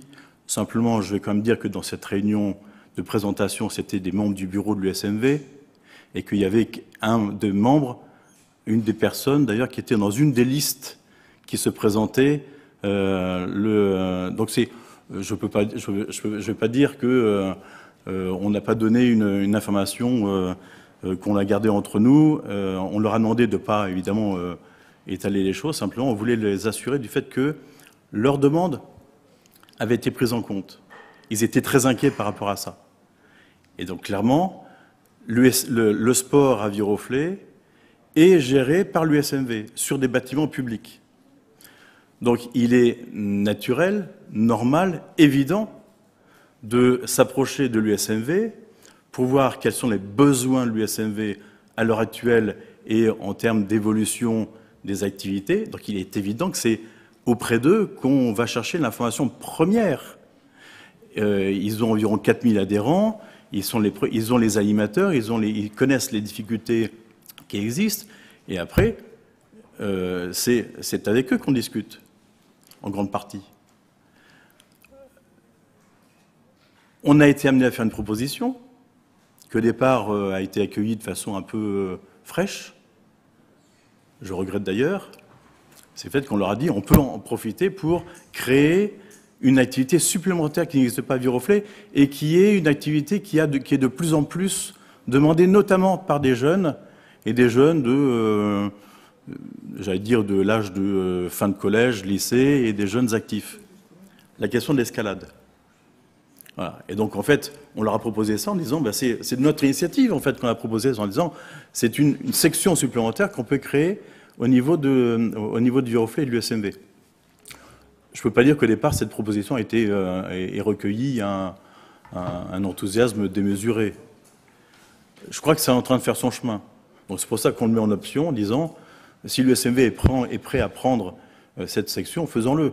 J'ai pas envie de proposer cette activité escalade, qui je pense en fait est, est quelque chose qui est euh, de plus en plus euh, sollicité. D'autant que je rappelle, dans les prochains JO, la question de l'escalade devient une discipline olympique.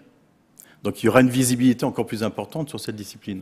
Donc, et là aussi, on anticipe en fait ces questions-là. Alors peut-être que dans 30 ans, c'est une discipline qui va disparaître complètement. On verra bien. Peut-être que le volet disparaîtra complètement aussi. Ou basket, je, n'en sais rien. voilà, on ne répondra pas à toutes les questions.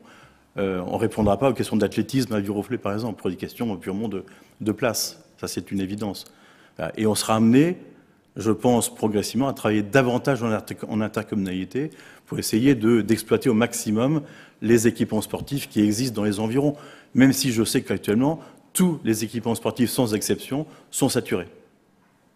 Donc nous, on va créer un équipement qui va avoir plus d'aisance, qui va offrir des possibilités à plus de personnes de faire du sport, dans un meilleur confort.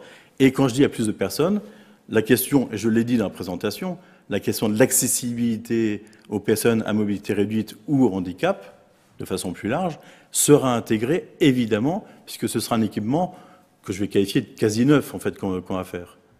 Ou en tout cas à moitié neuf, et l'autre moitié va être totalement réhabilitée. Donc cette dimension sera intégrée, et clairement, les, tous les niveaux, toutes les salles seront accessibles sans difficulté. Et après, ce sera l'USMV, en tant que partenaire unique, quasi unique, du sport à viroflé, de dire, bah, tiens, je vais pouvoir développer des activités de handisport. Ça fait partie de la convention que l'USMV euh, a signée avec la ville de Viroflay. C'est un, des items, le développement du handisport à Viroflay. C'est un des items. Et on ne va pas le faire par nous-mêmes. On n'a pas les, les, animateurs, les moniteurs, les professionnels qui savent le faire. L'USMV est en mesure de le faire. Et on leur a même dit qu'on était en mesure d'aller plus loin, de leur euh, financer des formations pour certains animateurs, euh, spécifiquement pour la question du handisport. Donc là, on, euh, fait, tout ce qu'il faut faire pour, ça. Voilà. Donc je réponds à cette question. Sur la question de la consultation, ça m'a paru de bonne loi de... attendez, j'ai pas fini. De bonne loi de travailler avec l'USMV et ensuite d'intégrer dans le jury de concours euh, l'ensemble des composantes du conseil municipal avec les deux listes minoritaires. Voilà. Et on a des plans, oui, effectivement, parce qu'il faut bien partir d'options à partir d'un programmiste, et les options répondant à la demande du, de, SMV, donc, euh, euh, et allant plus loin sur l'offre de sport à Viroflay. Voilà. Madame Égal, je vous ai vu lever la main avant que j'ai fini de parler. Juste un, complément par rapport à mon intervention. Euh, vous avez effectivement consulté l'USMB, mais il y a d'autres utilisateurs du gymnase. Il y a, de, la, danse, par exemple, qui s'y fait. Donc, c'est pas, il n'y a pas que le sport piloté par l'USMB qui est présent sur ce, sur ce gymnase. Euh, la, on, regarde sur les 50 euh, ans qui viennent devant nous. Donc, c'est pas forcément que cette activité, que les activités que l'on connaît aujourd'hui. Vous avez parlé de l'escalade et c'est une, une opportunité qui me paraît intéressante. Mais je, suis étonnée qu'on ne regarde pas plus largement, en fait, euh, ce qui pourrait euh, être fait dans un, établissement comme celui-là. On a déjà rénové le, gymnase, l'autre gymnase. il y a eu beaucoup de remarques suite à cette rénovation. Donc, je ne sais pas si toutes les remarques qui ont été faites ont été intégrés dans ce nouveau dossier. J'espère qu'on n'a pas perdu euh, les, constats qui avaient été faits et qui, bon, qui posaient quelques difficultés pour les utilisateurs de, cette, de cet espace. Donc je, regrette qu'on arrive aujourd'hui à quelque chose qui semble déjà extrêmement avancé, sans qu'il n'y ait pas eu une... J'ai bien compris, et ça a tout à fait du sens d'avoir euh, vu l'USMV sur ce sujet. Je laisserai de côté la question du calendrier, mais euh, c'est vraiment la l'élargissement en fait de, la consultation sur ce, le devenir d'un établissement comme celui-là. On, aura dans 50 ans, on aura la même chose. Une fois qu'on aura rebâti, on aura ça. On n'aura pas forcément réfléchi à tout ce qu'on pourrait en faire. Mais dites-nous, Madame Egal, dites-nous ce qu'il faudrait intégrer pour dans 50 ans. En fait, nous, on est ben vous me dites que le cahier des charges, il est pour le mois de septembre. Donc là, on est, on est pris de court. Je, vois, je vois qui non, non, non, bah non, c'est. Euh, je, regrette sur un projet aussi structurant qu'il n'y ait pas une consultation plus large. Mais on ne prévoira pas quel sport sera pratiqué dans 50 ans. Simplement, un des, un des éléments fondamentaux, il y a, deux, il y avait plein d'éléments euh, essentiels. C'est premièrement la salle de tennis de table qui était trop petite pour y faire des compétitions, l'entraînement, et, euh, et qui empêchait le tennis de table de se développer. Clairement. Donc là, clairement, avec une salle beaucoup plus grande, d'un seul tenant, ils vont se développer. Et, euh, et je vous rappelle aussi qu'ils ont ils ont fait à un moment donné des activités dans les écoles qui leur a apporté euh, euh, des, nouveaux adhérents, notamment dans les jeunes. Ils n'ont pas pu les, accueillir tous, évidemment, faute de place. Donc là, ils pourront le faire sans aucune difficulté, et même avec plus de place que ce qu'ils avaient demandé au départ. Il y a la question des sports collectifs. Actuellement, on a une salle de sport collectif à Viroflay, qui est au gymnase de Gaillon, et qui pose des problèmes sur la cohabitation, notamment pour les matchs officiels, euh, la cohabitation du volet et du basket.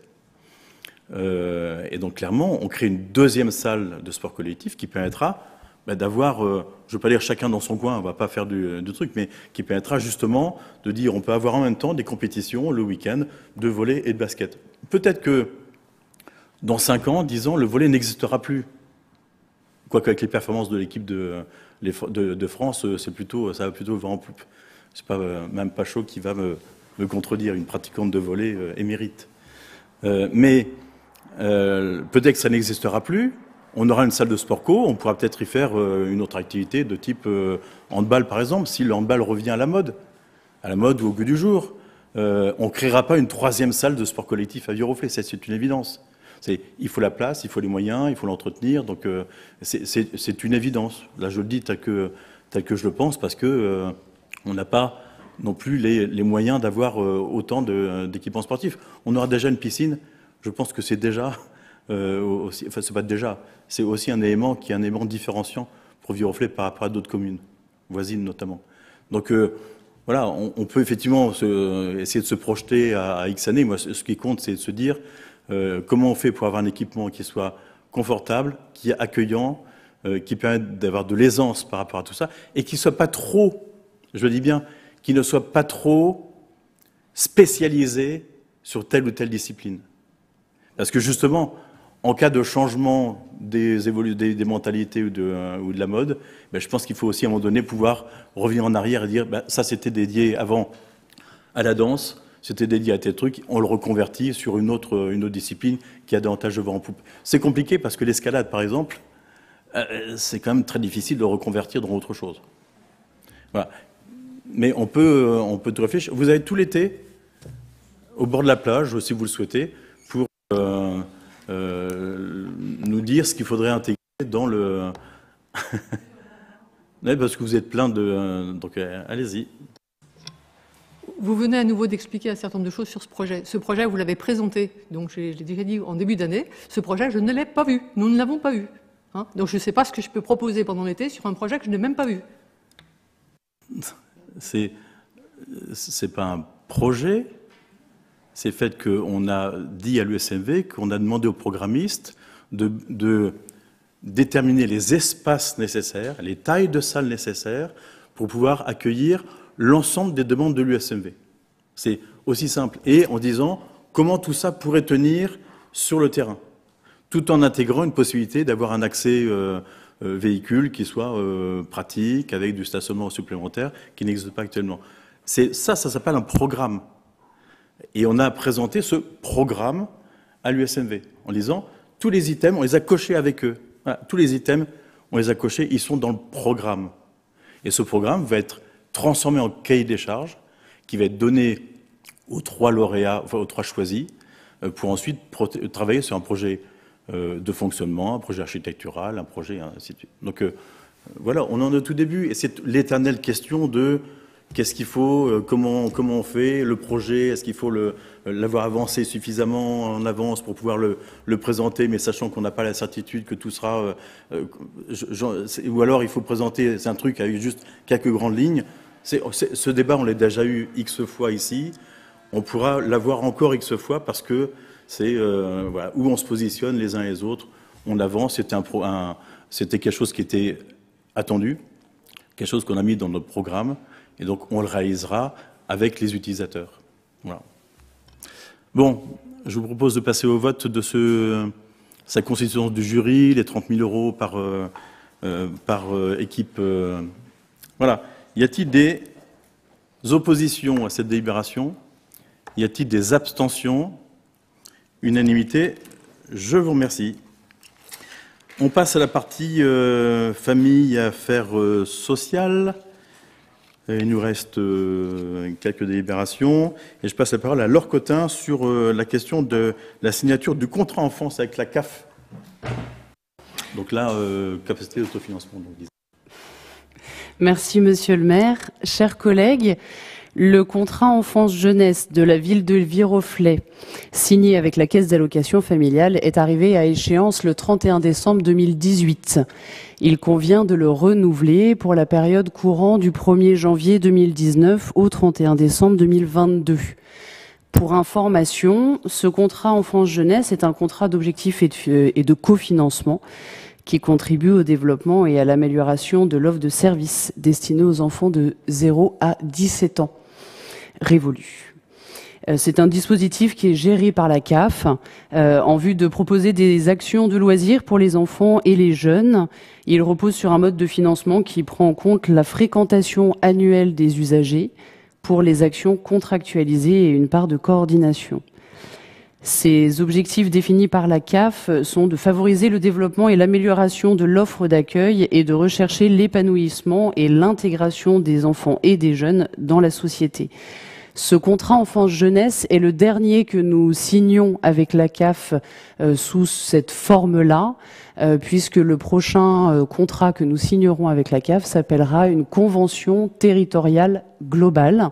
On en aura plus d'éléments courant 2022-2023. Donc à suivre. il est proposé au conseil municipal d'approuver ce projet de contrat et d'autoriser monsieur le maire à signer tout document lié à ce contrat. Merci, Madame la maire adjointe. Y a-t-il des demandes de parole? Je vois une, main qui se lève. Madame Supercrude.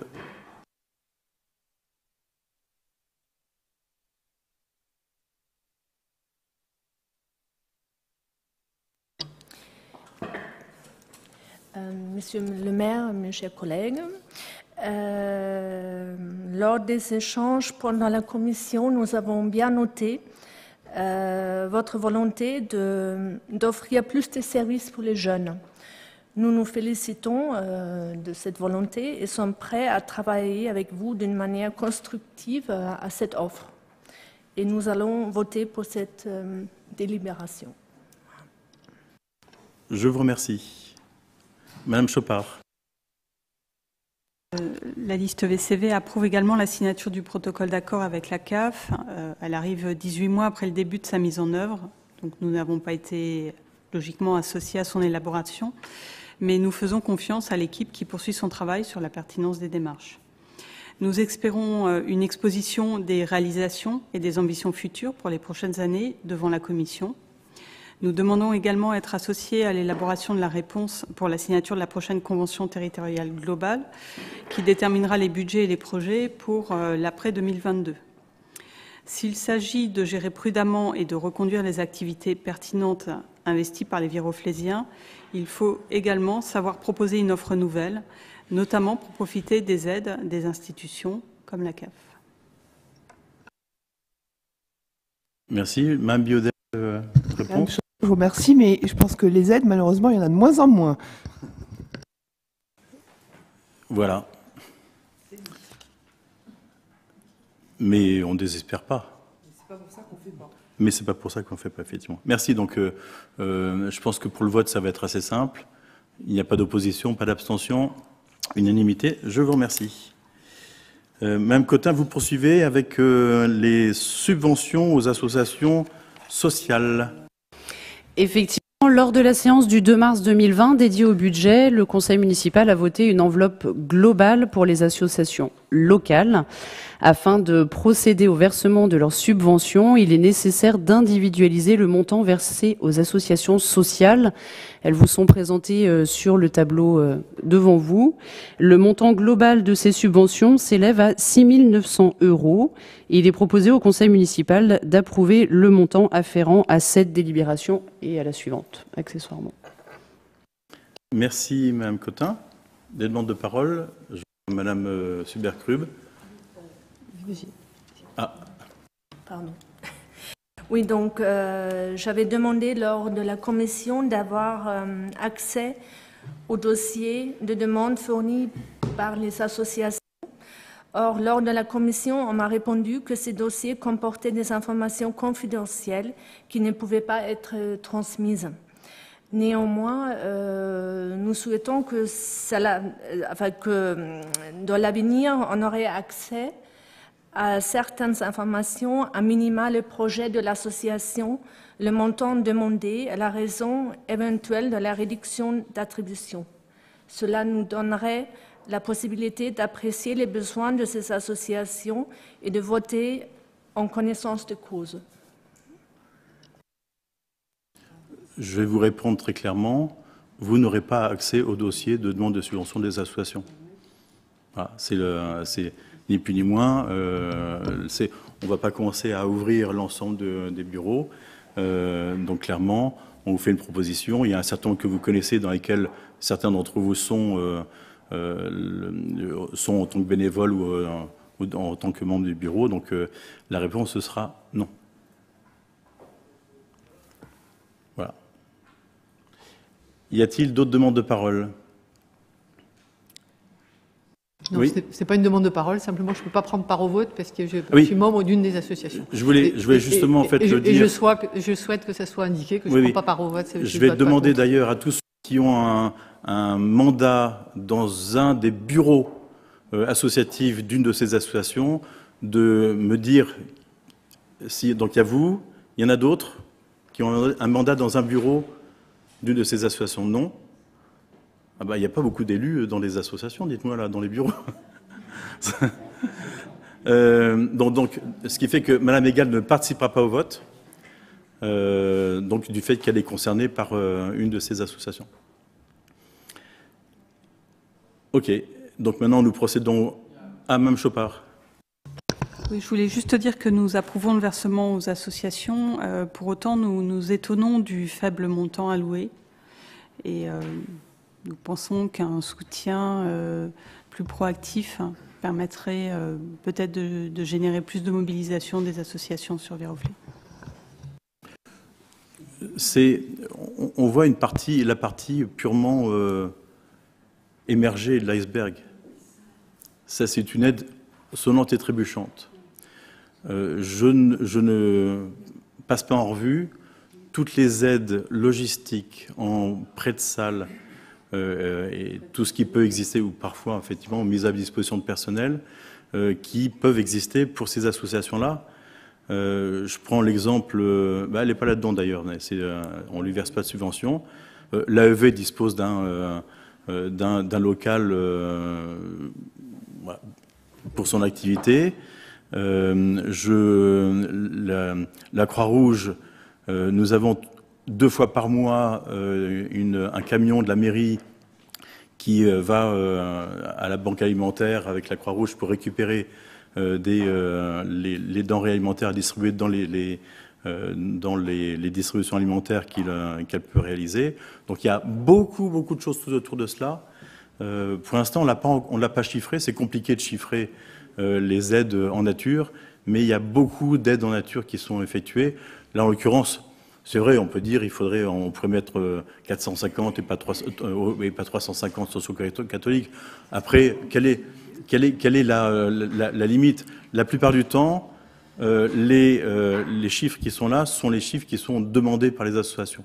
Parfois, effectivement, une association dit euh, j'avais eu 1000 euros l'année dernière, j'en veux 1200.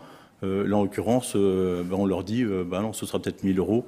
Et parfois, effectivement, on est amené à ne pas accepter une demande d'augmentation sur ces différentes associations. Mais clairement, le partenariat existe avec toutes ces associations, dont certaines sont aussi représentées au sein du CCAS, pour euh, continuer à travailler pour le bien des euh, viroflésiens. Donc euh, voilà, on peut, euh, se... Oui, euh, Laure Cotin me fait passer un, papier qui est intéressant.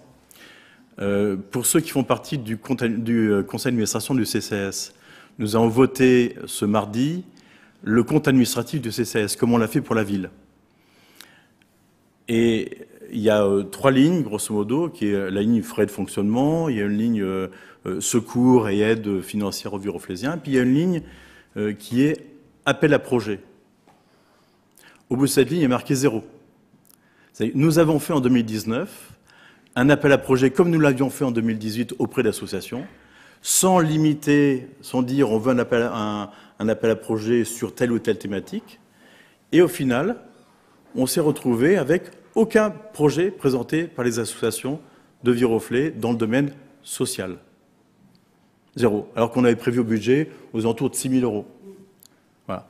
Donc, alors qu'on préfère pouvoir dire, si vous avez des projets, venez nous les présenter, plutôt que financer du fonctionnement chaque année euh, et qui se noie en fait dans, la masse. Donc euh, le projet me paraît quelque chose d'important.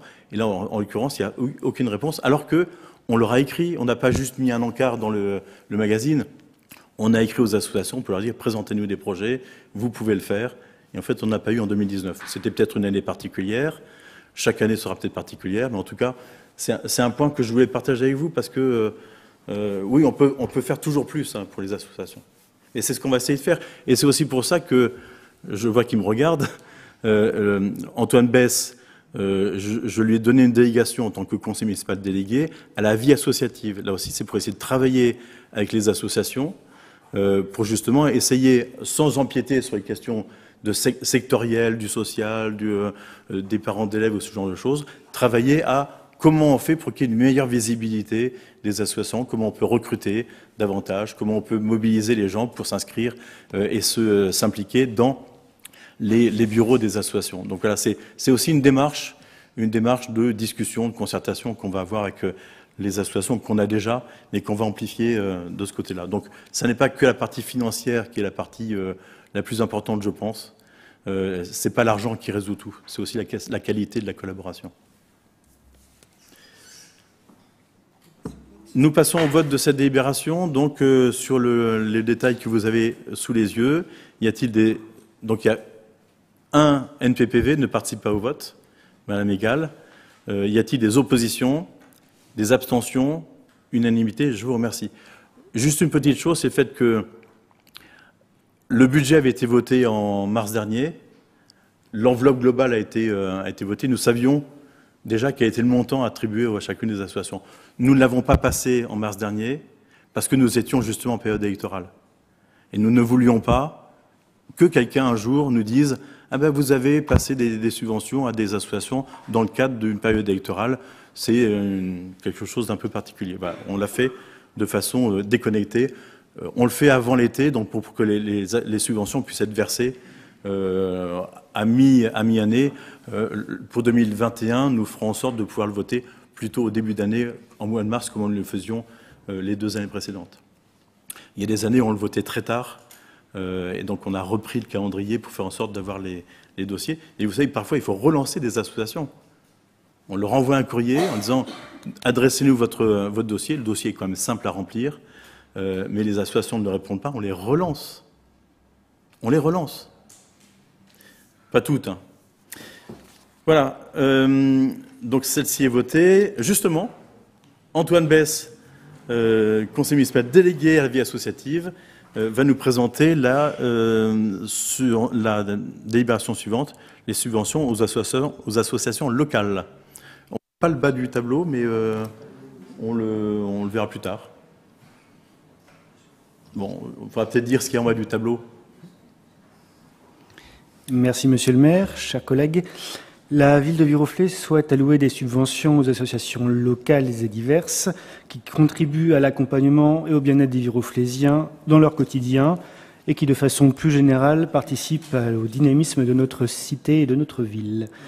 Pour information, sans rentrer oralement dans les détails, puisque là vous avez le tableau qui a l'air de défiler à peu près correctement, il s'agit d'associations donc multisectorielles. On y retrouve aussi bien le secteur de la jeunesse, les associations patriotiques, le secteur loisirs et culture et les associations de commerçants. Pour rappel, ces subventions se font sur demande des associations, en parallèle des autres aides évoquées précédemment par Monsieur le maire, là ici, hein, pas que le secteur social, euh, sur présentation du rapport d'activité et bien évidemment sur les projets à venir. Cette dépense sera ici imputée au budget de 2020. Il vous est donc proposé d'accorder une subvention aux associations pour un montant total de 18 715 euros et de donner pouvoir à Monsieur le maire de signer toutes les pièces nécessaires à l'exécution de la présente délibération. Grosso modo, c'est l'échec. les pièces nécessaires. c'est des, des, mandats, pas l'échec. Bien, y a-t-il des demandes de parole? Madame Chopard, Monsieur Florence et Monsieur... Voilà, on va commencer par Madame Chopard. Alors, euh, Monsieur le maire, chers collègues, euh, il serait intéressant que euh, vous puissiez nous communiquer pour une meilleure compréhension des montants proposés, les raisons motivées des évolutions à la baisse ou à la hausse des dossiers de subvention. par ailleurs, je renouvelle ma remarque sur le soutien aux associations, le soutien administratif. Vous dites qu'effectivement, certaines structures sont tellement peu outillées qu'elles en oublient de demander des aides financières. Euh, un nouveau dispositif va s'imposer à eux à partir de 2020, puisqu'elles sont soumises à, la rédaction d'un plan comptable. Euh, le plan comptable des associations va intégrer la valorisation du bénévolat. Cela ne sera pas sans conséquence pour les collectivités locales et donc pour la ville de Viroflay, qui a tout intérêt à se former euh, et à former les associations, à comprendre ce qui leur est demandé et à les aider à le mettre en œuvre. J'ai perdu mes feuilles. fait, cette valorisation, ou tout au moins la prise en compte du nombre d'heures passées par les bénévoles pour leurs activités associatives, peut s'apparenter à une forme de délégation d'un service communal vers un service associatif. Monsieur Florence? euh, La commission de mardi a exposé une volonté d'examiner les demandes plus en détail afin de pouvoir moduler ces demandes suivant les projets présentés et les trésoreries. Pour 2021, nous souhaitons avoir plus de détails dans le dossier qui sera présenté au conseil municipal, euh, comme demandé en commission, notamment un commentaire pour chaque demande d'association et notamment pour celles qui ont une variation de subvention. Nous voterons pour cette délibération. Merci. Pauline Biodel, une précision Oui, je voulais juste apporter une petite précision. Euh, dans les subventions jeunesse, la PEV, vous voyez que le montant est important. Et si vous aviez les dossiers l'année dernière, vous avez vu que l'année dernière, il n'y avait pas de subvention. En fait, ils ont bien renvoyé l'an dernier leur euh, dossier, mais qui a fait euh, tiroir restant quelque part à la mairie. et donc, il est ressorti après. Donc, s'il avait été au bon endroit, ils auraient touché leur somme l'année dernière et donc j'ai jugé euh, normal euh, de leur verser cette année les deux, d'où l'augmentation importante. Bon, ce que je vous propose, c'est que l'année prochaine, on mette les deux colonnes, ce qu'il y avait l'année dernière, ce qu'il y a cette année. Déjà, on verra l'évolution, on vous dira pourquoi ça évolue. Donc il y a, il y a une explication d'évolution. La plupart du temps, ça évolue peu ou pas. Euh, voilà. Alors, y a-t-il euh, les personnes qui ne, euh, doivent pas, prendre... Si Jean-Michel, tu as une question? Non, je voulais juste mentionner un point. Ah oui, bah, allez-y, monsieur Sekilis. Oui, monsieur le maire, mes chers collègues, je voulais juste mentionner un point qu'on a peut-être un peu oublié. En 2017 a été créé sur la base de l'ancienne réserve parlementaire un fonds qui s'appelle Fonds de développement de la vie associative. Alors, on me dit aujourd'hui, enfin d'après Internet en tous les cas, qu'il n'est plus à l'égale valeur de ce qu'était la réserve parlementaire. Mais ça, c'est un autre sujet. Euh, toujours est-il que euh, depuis 2017, les associations, toutes les associations, paraît-il, ont un accès direct à ce fonds. Donc, euh, qui peut venir aussi en complément de ce que chaque commune ou autre contributeur peut verser à ces associations. Et je me souviens qu'il y a un, an, je crois, ou deux, ou en 2018, fin 2018-2019, on avait conseiller et un peu guider les pas euh, des associations pour euh, les inciter sur Internet à soumettre un dossier de financement, parce que tout était en ligne et donc euh, accessible. Bien. il y avait une, remarque sur le plan comptable associatif. le plan comptable associatif, je vais vous dire, il y a un certain nombre d'associations là-dedans ça va leur faire une belle jambe. Quand je dis ça, euh, je, parle en connaissance de cause. Hein. je, pratique les, plans comptables divers et variés, l'associatif avec ses modifications. Euh, je peux vous dire que euh, qui je vais prendre là-dedans? Les associations de parents d'élèves, à mon avis, le plan comptable associatif, la valorisation du bénévolat et tout ça, je pense que vont, ils, vont, ils vont bien s'amuser hein, pour faire ça. on peut les accompagner mais euh, au final, je pense que ça ne servira à rien. Euh, les grosses associations qui, ont un peu de volume, là, effectivement, ça, ça a de l'intérêt. J'en ai un certain nombre dont, euh, je m'occupe. et là, a un vrai intérêt parce que le bénévolat, on voit, si jamais il fallait remplacer par les salariés, là, on voit effectivement ce que ça coûte réellement. Mais c'est tellement la bouteille à l'encre, la façon de valoriser le bénévolat. Il y a, y a plein de méthodes qui sont différentes. Donc en fait, c'est une information effectivement qui, euh, qui, apparaîtra dans les comptes en annexe, dans les comptes 800 et quelques. Euh, mais je pense que pour au moins 70% euh, des associations qui sont là, c'est quelque chose qui leur passera largement, largement par-dessus la tête. et je rajouterai une chose, c'est le fait que, effectivement, il faut qu'ils valorisent non seulement le bénévolat, mais tous les apports en nature, toutes les contributions en nature. Et euh, ça veut dire quoi? Ça veut dire que toutes les, tous les prêts de salle, toute la logistique, le prêt d'un camion pour la Croix-Rouge pour aller chercher euh, tous les 15 jours les denrées alimentaires, avec les deux personnels de la ville de Viroflay, il va falloir que la ville de Viroflay fasse un travail qui ne va rien lui rapporter pour donner une information à chacune des associations. Je peux vous dire qu'on va peut-être sélectionner certaines à qui on fait, euh, à qui, auxquelles on donne davantage, en, termes de logistique, mais on ne va pas le faire pour toutes. C'est une évidence que j'ai pas envie de, là pour le coup, d'avoir un personnel que je vais occuper pendant euh, deux ou trois mois à faire des calculs analytiques dans tous les sens, des répartitions de coûts directs, indirects, pour euh, donner une information qui ne servira à rien. Voilà. Donc, euh, et après, si certaines associations là-dedans se disent, ben, nous, on a envie de, nous en servir, on pourra, avec euh, Antoine, voir éventuellement comment on peut les aider à comprendre comment ça fonctionne. Moi, je suis prêt à les recevoir pour justement leur faire une petite formation sur le sujet. Euh, j'ai une associée qui, euh, qui, est une spécialiste d'association, donc euh, qui peut leur expliquer gratuitement, sans aucun problème. Il faut la mettre dans le, dans le chiffrage des, apports en nature d'ailleurs. mais c'est. Mais, mais voilà, donc je pense que. Voilà, je, je donne mon sentiment. c'est.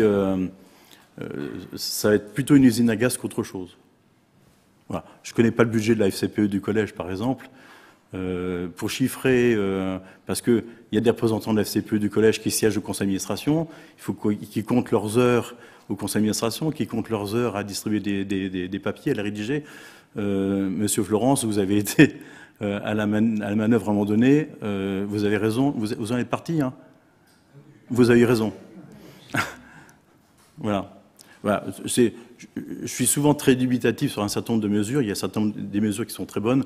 Celle-là, j'en suis, je suis plus dubitatif, en fait.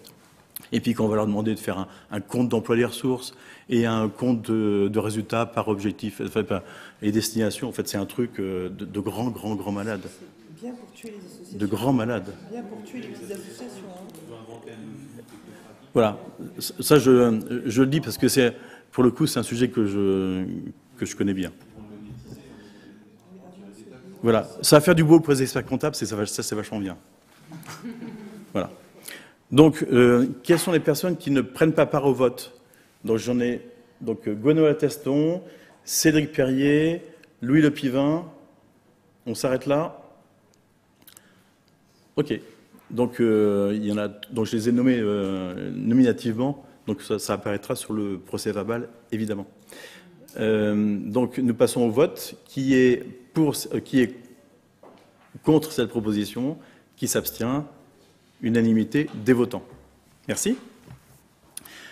Nous passons maintenant, euh, c'est Jeanne-Marie Hermann, d'une dimension culturelle, euh, Jeanne-Marie Hermann, sur la convention avec la ville de Chaville pour une prestation de l'accompagnement à la programmation de spectacles vivants.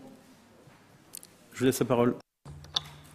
Monsieur le maire, mes chers collègues, vous savez que la ville de Viroflay euh, propose dans son auditorium un certain nombre de spectacles et elle a souhaité élargir et développer sa programmation de spectacles qui pour l'instant était surtout axée vers le jeune public et accompagnée de représentations scolaires et donc d'élargir donc le public à un public euh, plus, adulte, voire à des collégiens. Donc, euh, dans ce cadre-là, on a souhaité se rapprocher de la ville de Chaville qui euh, dispose donc d'une salle de spectacle conséquente et qui a l'habitude de, programmer de, nombreux spectacles, d'ailleurs, à laquelle de nombreux viroflésiens sont abonnés.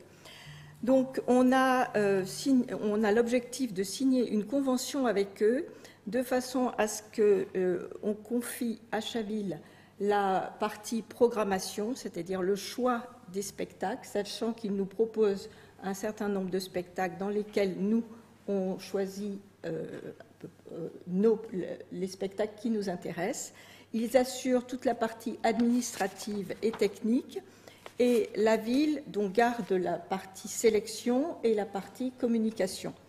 Ce travail-là euh, donc fait l'objet d'une convention pour un montant de prestation globale de 15 000 euros qui sera facturé en trois euh, termes de 5 000 euros.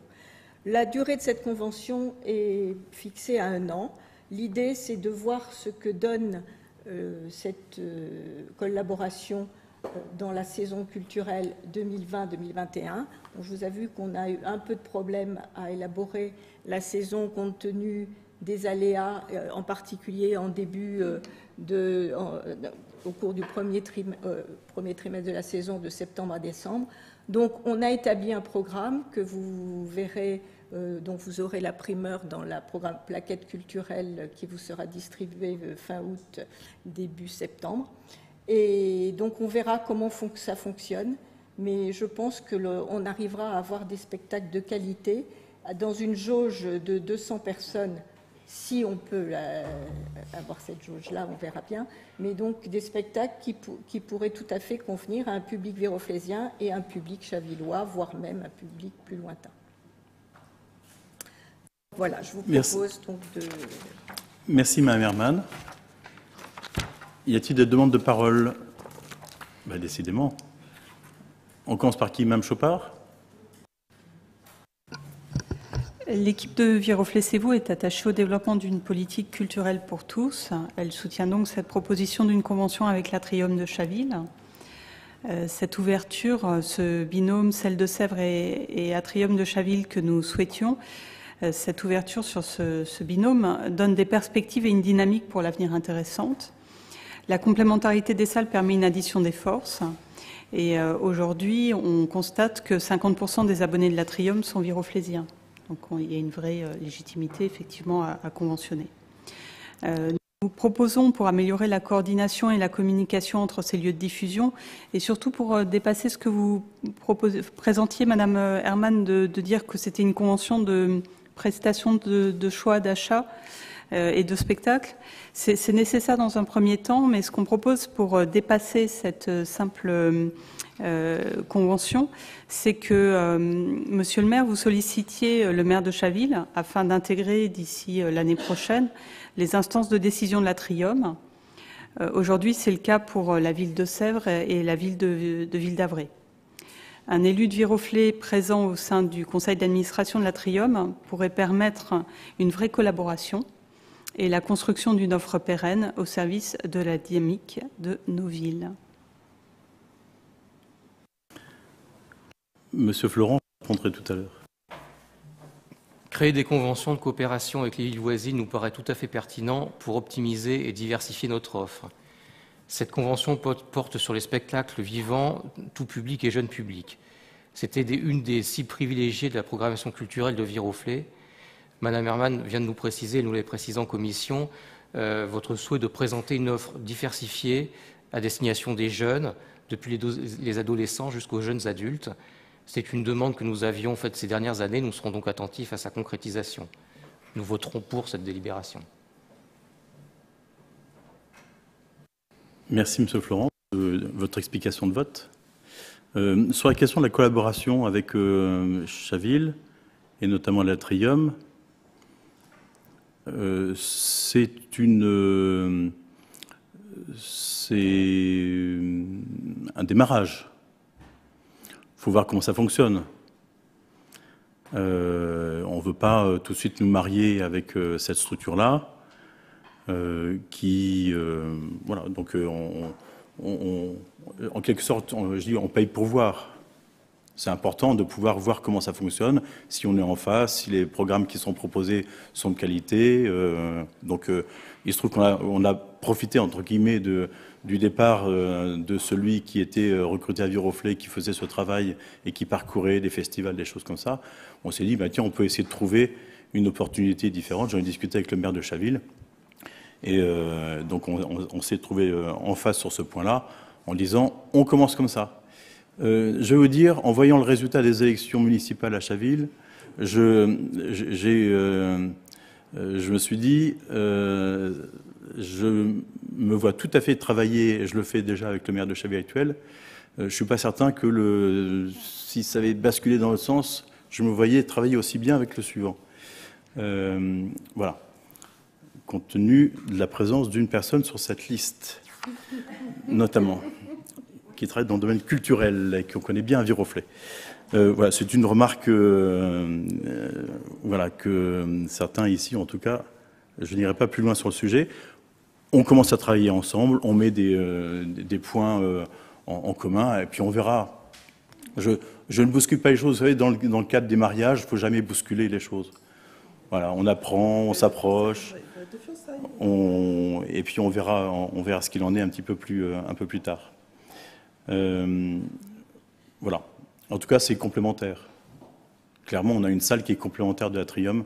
Euh, et euh, effectivement, on a les durophésiens sont intéressés par l'Atrium pour la qualité de la programmation qui s'y fait et, et, du fait qu'on a une, y a une taille de salle qui permet de faire aussi cette programmation à l'Atrium.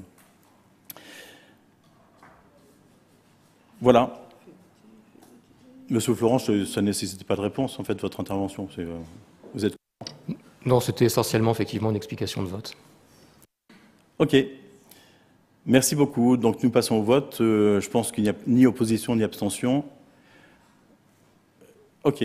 Parfait. Il n'y a pas de personnes concernées par, euh, directement par cette, euh, qui ne participent pas au vote? Ce Perrier, vous n'êtes pas directement concerné par. euh,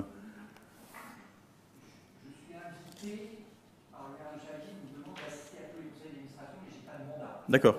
OK. Très bien. Je vous remercie de cette précision. Donc, c'est l'unanimité pour cette euh, délibération. Nous passons à la question du commerce et donc euh, et une proposition faite par euh, Christine Caron de signer un avenant pour la délégation de services publics relatif au marché alimentaire. Merci, Monsieur le maire, mes chers collègues.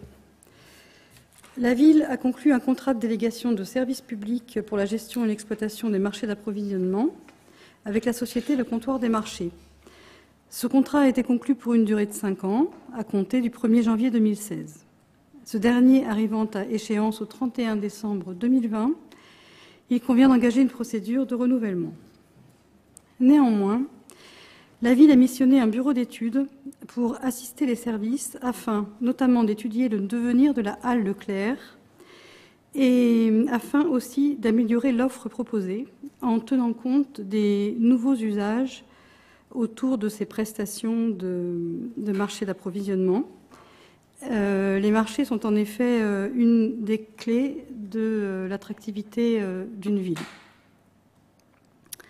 Donc, à ce sujet notamment, nous avons lancé une enquête en ligne en mai auprès des viroflésiens et nous nous réjouissons aujourd'hui euh, d'avoir euh, reçu euh, 600 euh, participations à cette enquête qui n'est pas encore terminée, euh, ce qui nous laisse imaginer que les, résultats de cette enquête pourront être euh, assez représentatifs des, euh, nouvelles tendances et des souhaits des, des viroflésiens, enfin, pas que des viroflésiens, mais des utilisateurs ou des futurs utilisateurs de nos six marchés, six séances de marché euh, hebdomadaires.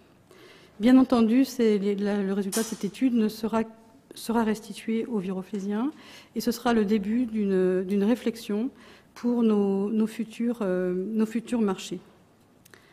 Donc, ceci étant dit, nous avons un, un autre point plus technique. Donc, par ailleurs, un diagnostic technique du bâtiment, là je parle principalement de la halle Leclerc et du parking à côté, a dû également être réalisé pour identifier les travaux de mise aux normes euh, qui devraient euh, se, être réalisés euh, prochainement. Voilà.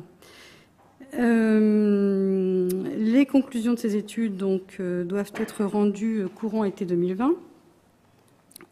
Et voilà, donc ceci plus les réflexions dont je vous parlais sur la stratégie de nos futurs marchés, c'est une chose auquel nous tenons et nous prendrons le temps qu'il faut pour le faire bien.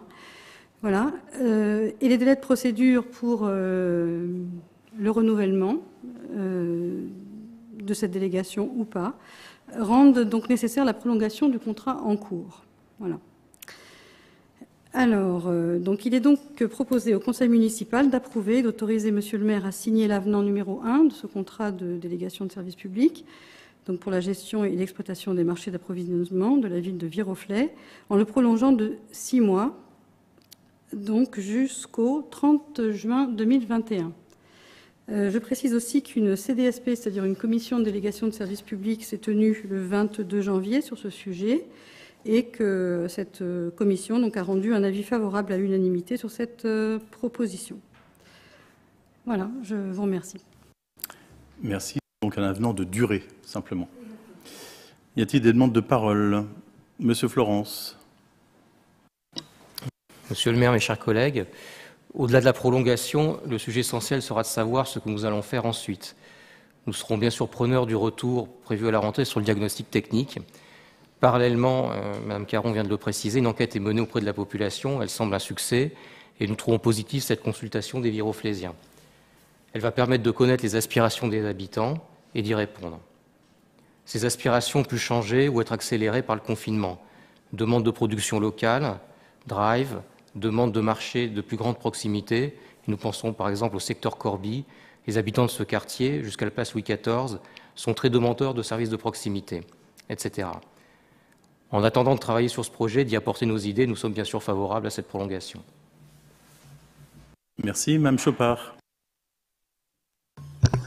Euh, monsieur le maire, euh, chers collègues, l'équipe du Viroflé vous considère que la ville doit pouvoir répondre aux évolutions des besoins des usagers en matière de diversité d'offres commerciales et de maintien d'un commerce de proximité actif. Nous soulignons l'effort qui a été fait pour concerter les habitants et nous regrettons euh, que ce type de concertation n'ait pas pu être mis en œuvre sur la programmation sportive. Pour euh, maîtriser euh, la gestion euh, des, marchés d'approvisionnement et adapter l'offre sans risquer que l'objectif soit contraire à celui d'un délégataire, il nous semble que la reprise du marché en gestion directe pourrait être étudiée. Cela permettra à la ville de mener des actions d'animation coordonnées, profitant aux commerçants des marchés ainsi qu'à ceux qui sont implantés à l'année. À ce titre, la réflexion sur les marchés doit intégrer le quartier Raphaël Corby, en fort développement, et souffrant actuellement de son éloignement et d'une absence d'offres commerciales suffisantes. La liste VCV est favorable à la signature d'un avenant de prolongation de six mois à la DSP, à la délégation de services publics des marchés d'approvisionnement, qui s'achève à la fin de l'année 2020, et indispensable pour des raisons administratives, à défaut de pouvoir engager dans ce calendrier un appel d'offres ou mener une réflexion relative à la gestion alternative des marchés. Au-delà de cette prolongation technique, nous demandons, comme je l'ai fait euh, en préambule, à ce que la ville mène une réflexion sans précipitation et après une large concertation de tous les acteurs concernés, afin de définir un nouveau mode de gestion, éventuellement, lui permettant d'en conserver la maîtrise, une maîtrise qui soit souple, afin de répondre aux attentes du plus grand nombre des, des viroflésiens.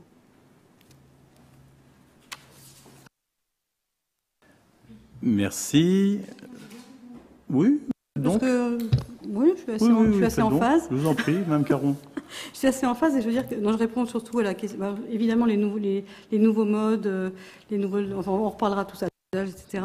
En tout cas, sur les, la façon de, de voir dans quel, euh, dans quel mode on repartira ensuite, ça c'est sûr, c'est ce que je disais en préambule, c'est quelque chose qu'il va falloir vraiment décortiquer, qu'on avait d'ailleurs décortiqué il y a cinq ans pour la, la délégation de services publics en cours, là, qui sort, parce que nous sortions d'une délégation de 25 ans. Donc on, a vraiment, on avait vraiment tout remis sur la table en étudiant tous les modes de contractualisation possibles. Et effectivement, à l'état de ma réflexion actuelle, on n'a pas de solution. Mais franchement, c'est ce que j'avais dit en commission euh, et en CDSP aussi.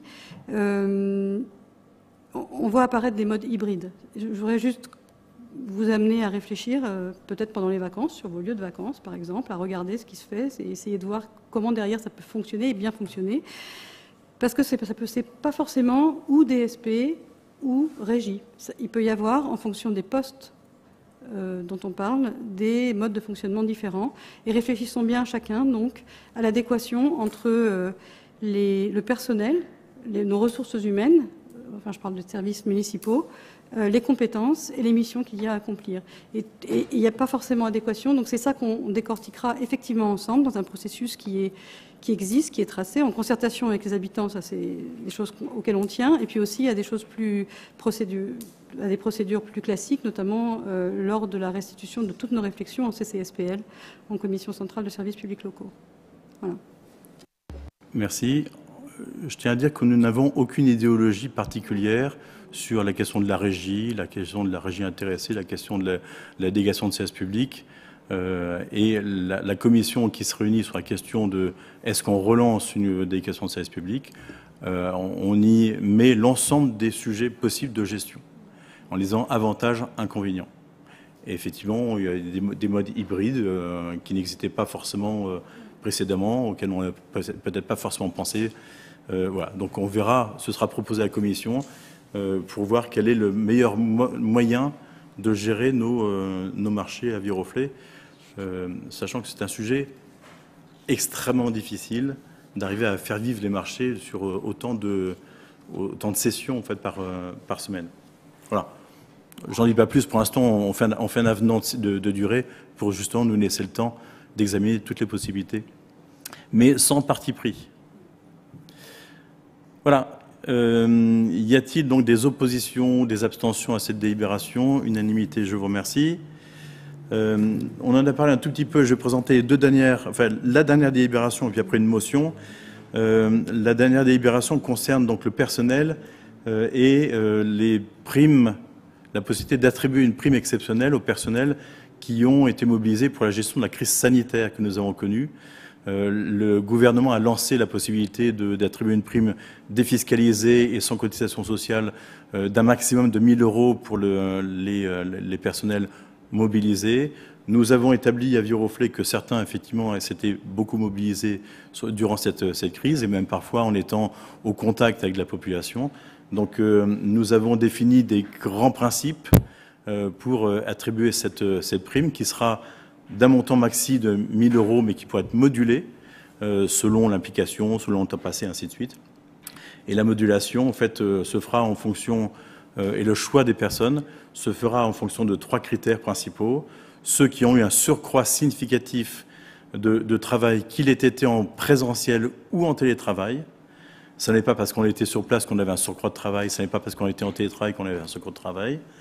Euh, ceux qui ont connu des situations à risque en présentiel euh, et euh, ceux dont les fonctions qui ont été exercées en, présentiel ont été différentes de celles qu'ils exerçaient précédemment et qui, a nécessité leur a nécessité de s'adapter aux nouvelles fonctions qui leur ont été proposées pendant la, durée des deux mois, qui a duré cette, deux mois et quelques qui a duré cette, euh, cette crise. Voilà. Donc je vous demande l'autorisation euh, d'attribuer ces primes euh, au, au, personnel qui, que je définirai avec l'aide des services évidemment, je ne le fais pas tout seul, sur cette,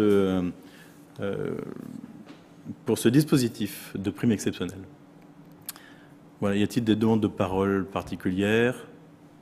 Nous passons donc au vote. Y a-t-il des oppositions, des abstentions? Unanimité. Je remercie pour eux. Et enfin, donc ça, l'ordre du jour est, épuisé.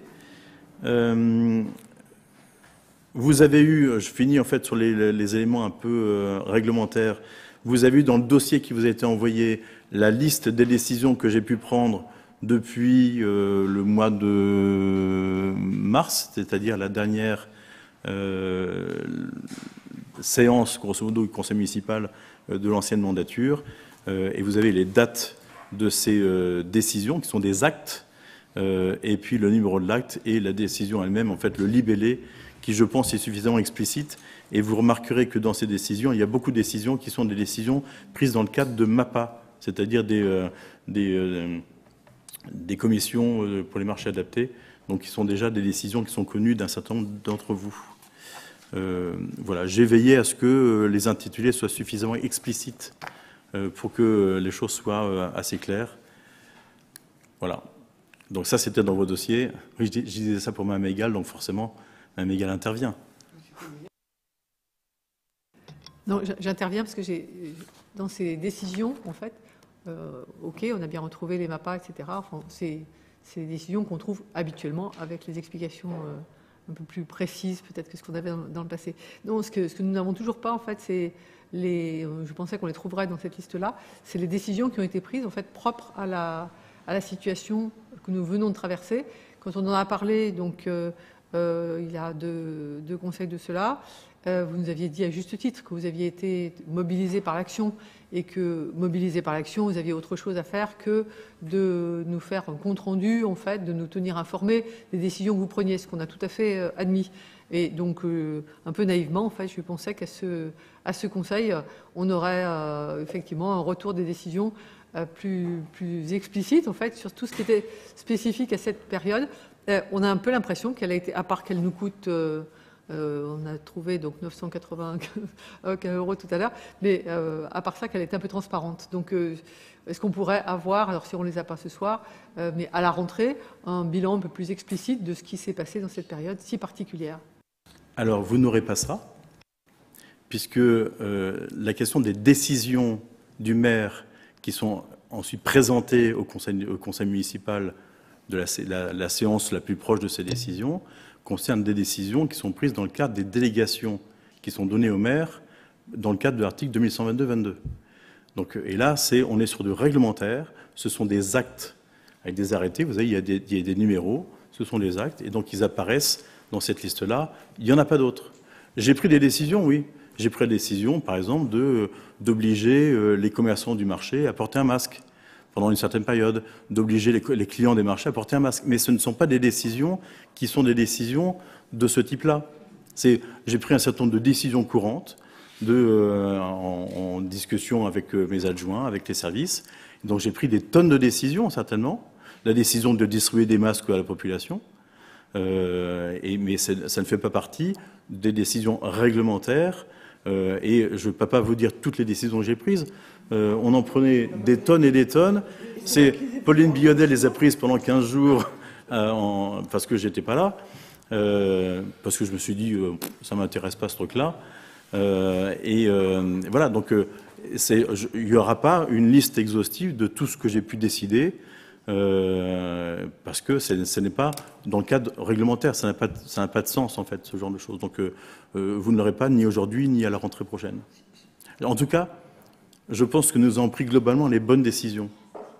Euh, et euh, l'investissement des uns et des autres euh, a été, vous le reconnaissez d'ailleurs, a été important, voire même au-delà du important. On s'est arraché les cheveux. Donc, on a pris la décision de prendre des rendez-vous avec le coiffeur dès qu'ils allaient rouvrir. Ça, c'est un point important. mais c'était compliqué dans le sens où euh, les choses changeaient en permanence, donc il fallait prendre des décisions. Et puis en fait, la décision qu'on a prise, il fallait, la changer parce que euh, le protocole sanitaire pour les écoles avait changé. Euh, voilà, tous ces genres de choses. Donc voilà. et je vais laisser Pauline Biodel prendre la, prendre la parole juste après, parce qu'elle était beaucoup à la manœuvre aussi, et beaucoup d'entre nous. Voilà. Mais je ne le ferai pas parce que ce serait aussi faire la même chose pour l'ensemble des décisions que je peux prendre tout le long de l'année, qui sont des décisions qui n'ont pas de euh, portée réglementaire, qui ne figurent pas dans les actes euh, municipaux. Et, ces actes-là sont des actes officiels. N'importe qui peut venir les consulter, euh, s'il le souhaite, pour en voir tout le détail. Notamment à qui j'ai loué le pavillon d'Elvire le 12 mars, par exemple. C'était pour un mariage, par exemple. donc c'était limite. Hein. limite. Je crois en fait, Mme Egal, que vous avez tous su de, ce qu'on a fait, parce que c'est vrai qu'on était dans une situation très particulière. Alors, il y a des décisions qu'on a été obligés de prendre parce qu'elles nous ont été imposées. Quand on a dit on confine, on confine, hein, euh, donc on a fermé. Ça, ça s'est fait avec euh, Cécile de Facio, les, les, personnels. Bon, mais après le reste, je veux dire, ça a été tout ce que vous avez vu sur Facebook, euh, ce que Christine au commerce a fait, ce qui a été fait dans les crèches. Y a, on, on, a été, puisque ça a été justement la plus grande difficulté, c'était de faire passer des informations. Il n'y a rien eu d'autre. Alors si, je vais vous dire quoi, on a, on a donné euh, le stock de bouffe de la cuisine centrale, hein, les, les, les, 60 euh, paquets de, de 200 euh, trucs à fines herbes sont partis dans les EHPAD parce qu'on n'allait pas les jeter, puis à la Croix-Rouge, enfin voilà, des choses comme ça. Mais après, tout, vous l'avez vu sur Facebook, parce que tous les jours, on a communiqué, surtout, et il y a eu, voilà, c'est... C'était, c'est vrai que c'est une situation extrêmement particulière. Je veux dire, ça reste de la gestion courante malgré le, côté exceptionnel de la période, c'est de la gestion courante. Et donc, euh, je ne vais pas faire état de tout, les, tout ce qu'on tout ce qu'on fait, les uns aux autres, pas que moi, hein, en tant que gestion courante, ça c'est clair. Voilà, donc c'était cela. J'en je, viens à la motion que vous avez eue. Je ne vais pas forcément la lire en intégralité, hein, vous, euh, vous l'avez eu, vous avez eu le texte. C'est une motion euh, qui concerne le, un, qui est adressée à, l'État euh, et au gouvernement sur la question euh, d'établir un plan de sauvetage d'urgence des transports en commun dans la région Île-de-France. Mais pas forcément que Île-de-France, mais c'est la région Île-de-France qui l'a pu toucher. Euh, L'État a largement ouvert le, le porte-monnaie pour essayer de sauver, un certain nombre de secteurs en difficulté, le secteur de l'automobile, le secteur des transports aériens, le secteur des restaurants, les, entreprises, enfin les, commerçants, les artisans. Enfin, il y a beaucoup de choses qui ont été faites pour faire en sorte de lisser au maximum euh, les impacts de cette, de cette crise sur le plan économique. Simplement, il y a un secteur qui a été oublié. Pas complètement oublié, c'est-à-dire qu'il y a un plan particulier d'aide de l'ordre de 400 millions d'euros qui, a été, euh, euh, qui a été défini. Mais en fait, c'est largement inférieur au, déficit lié au manque de recettes, c'est surtout ça, hein, lié au manque de recettes du fait qu'il n'y a eu aucun transport, aucune personne transportée quasiment durant, tout le, durant toute la crise. Euh, et donc c'est un manque à gagner de l'ordre de, je crois, de 2 milliards 4 ou 2 milliards 5 euh, pour la région de France, principalement pour Île-de-France Mobilité. Et là, rien ne vient. Et Île-de-France Mobilité a des contrats avec la RATP, avec la SNCF. et donc, et vous avez dû en entendre parler certainement dans la presse, et donc il va être difficile pour Île-de-France Mobilité de d'honorer les contrats en, termes de paiement de ce qui est dû euh, à la SNCF et à la RATP dans le cadre de ces contrats-là. Donc, euh, à la demande de la, présidente de région, euh, nous avons l'ensemble des maires de la région Île-de-France.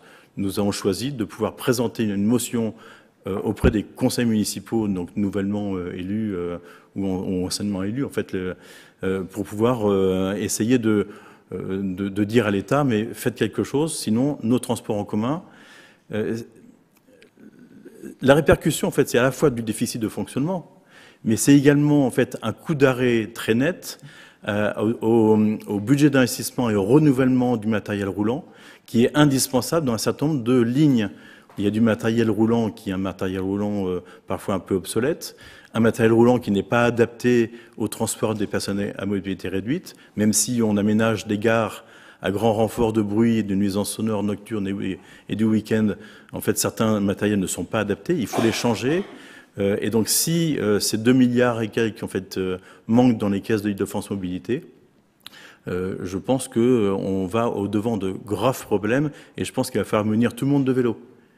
et là, pour le coup, c'est, je ne suis pas certain que ça marche bien ou alors qu'il va falloir que tout le monde passe au télétravail.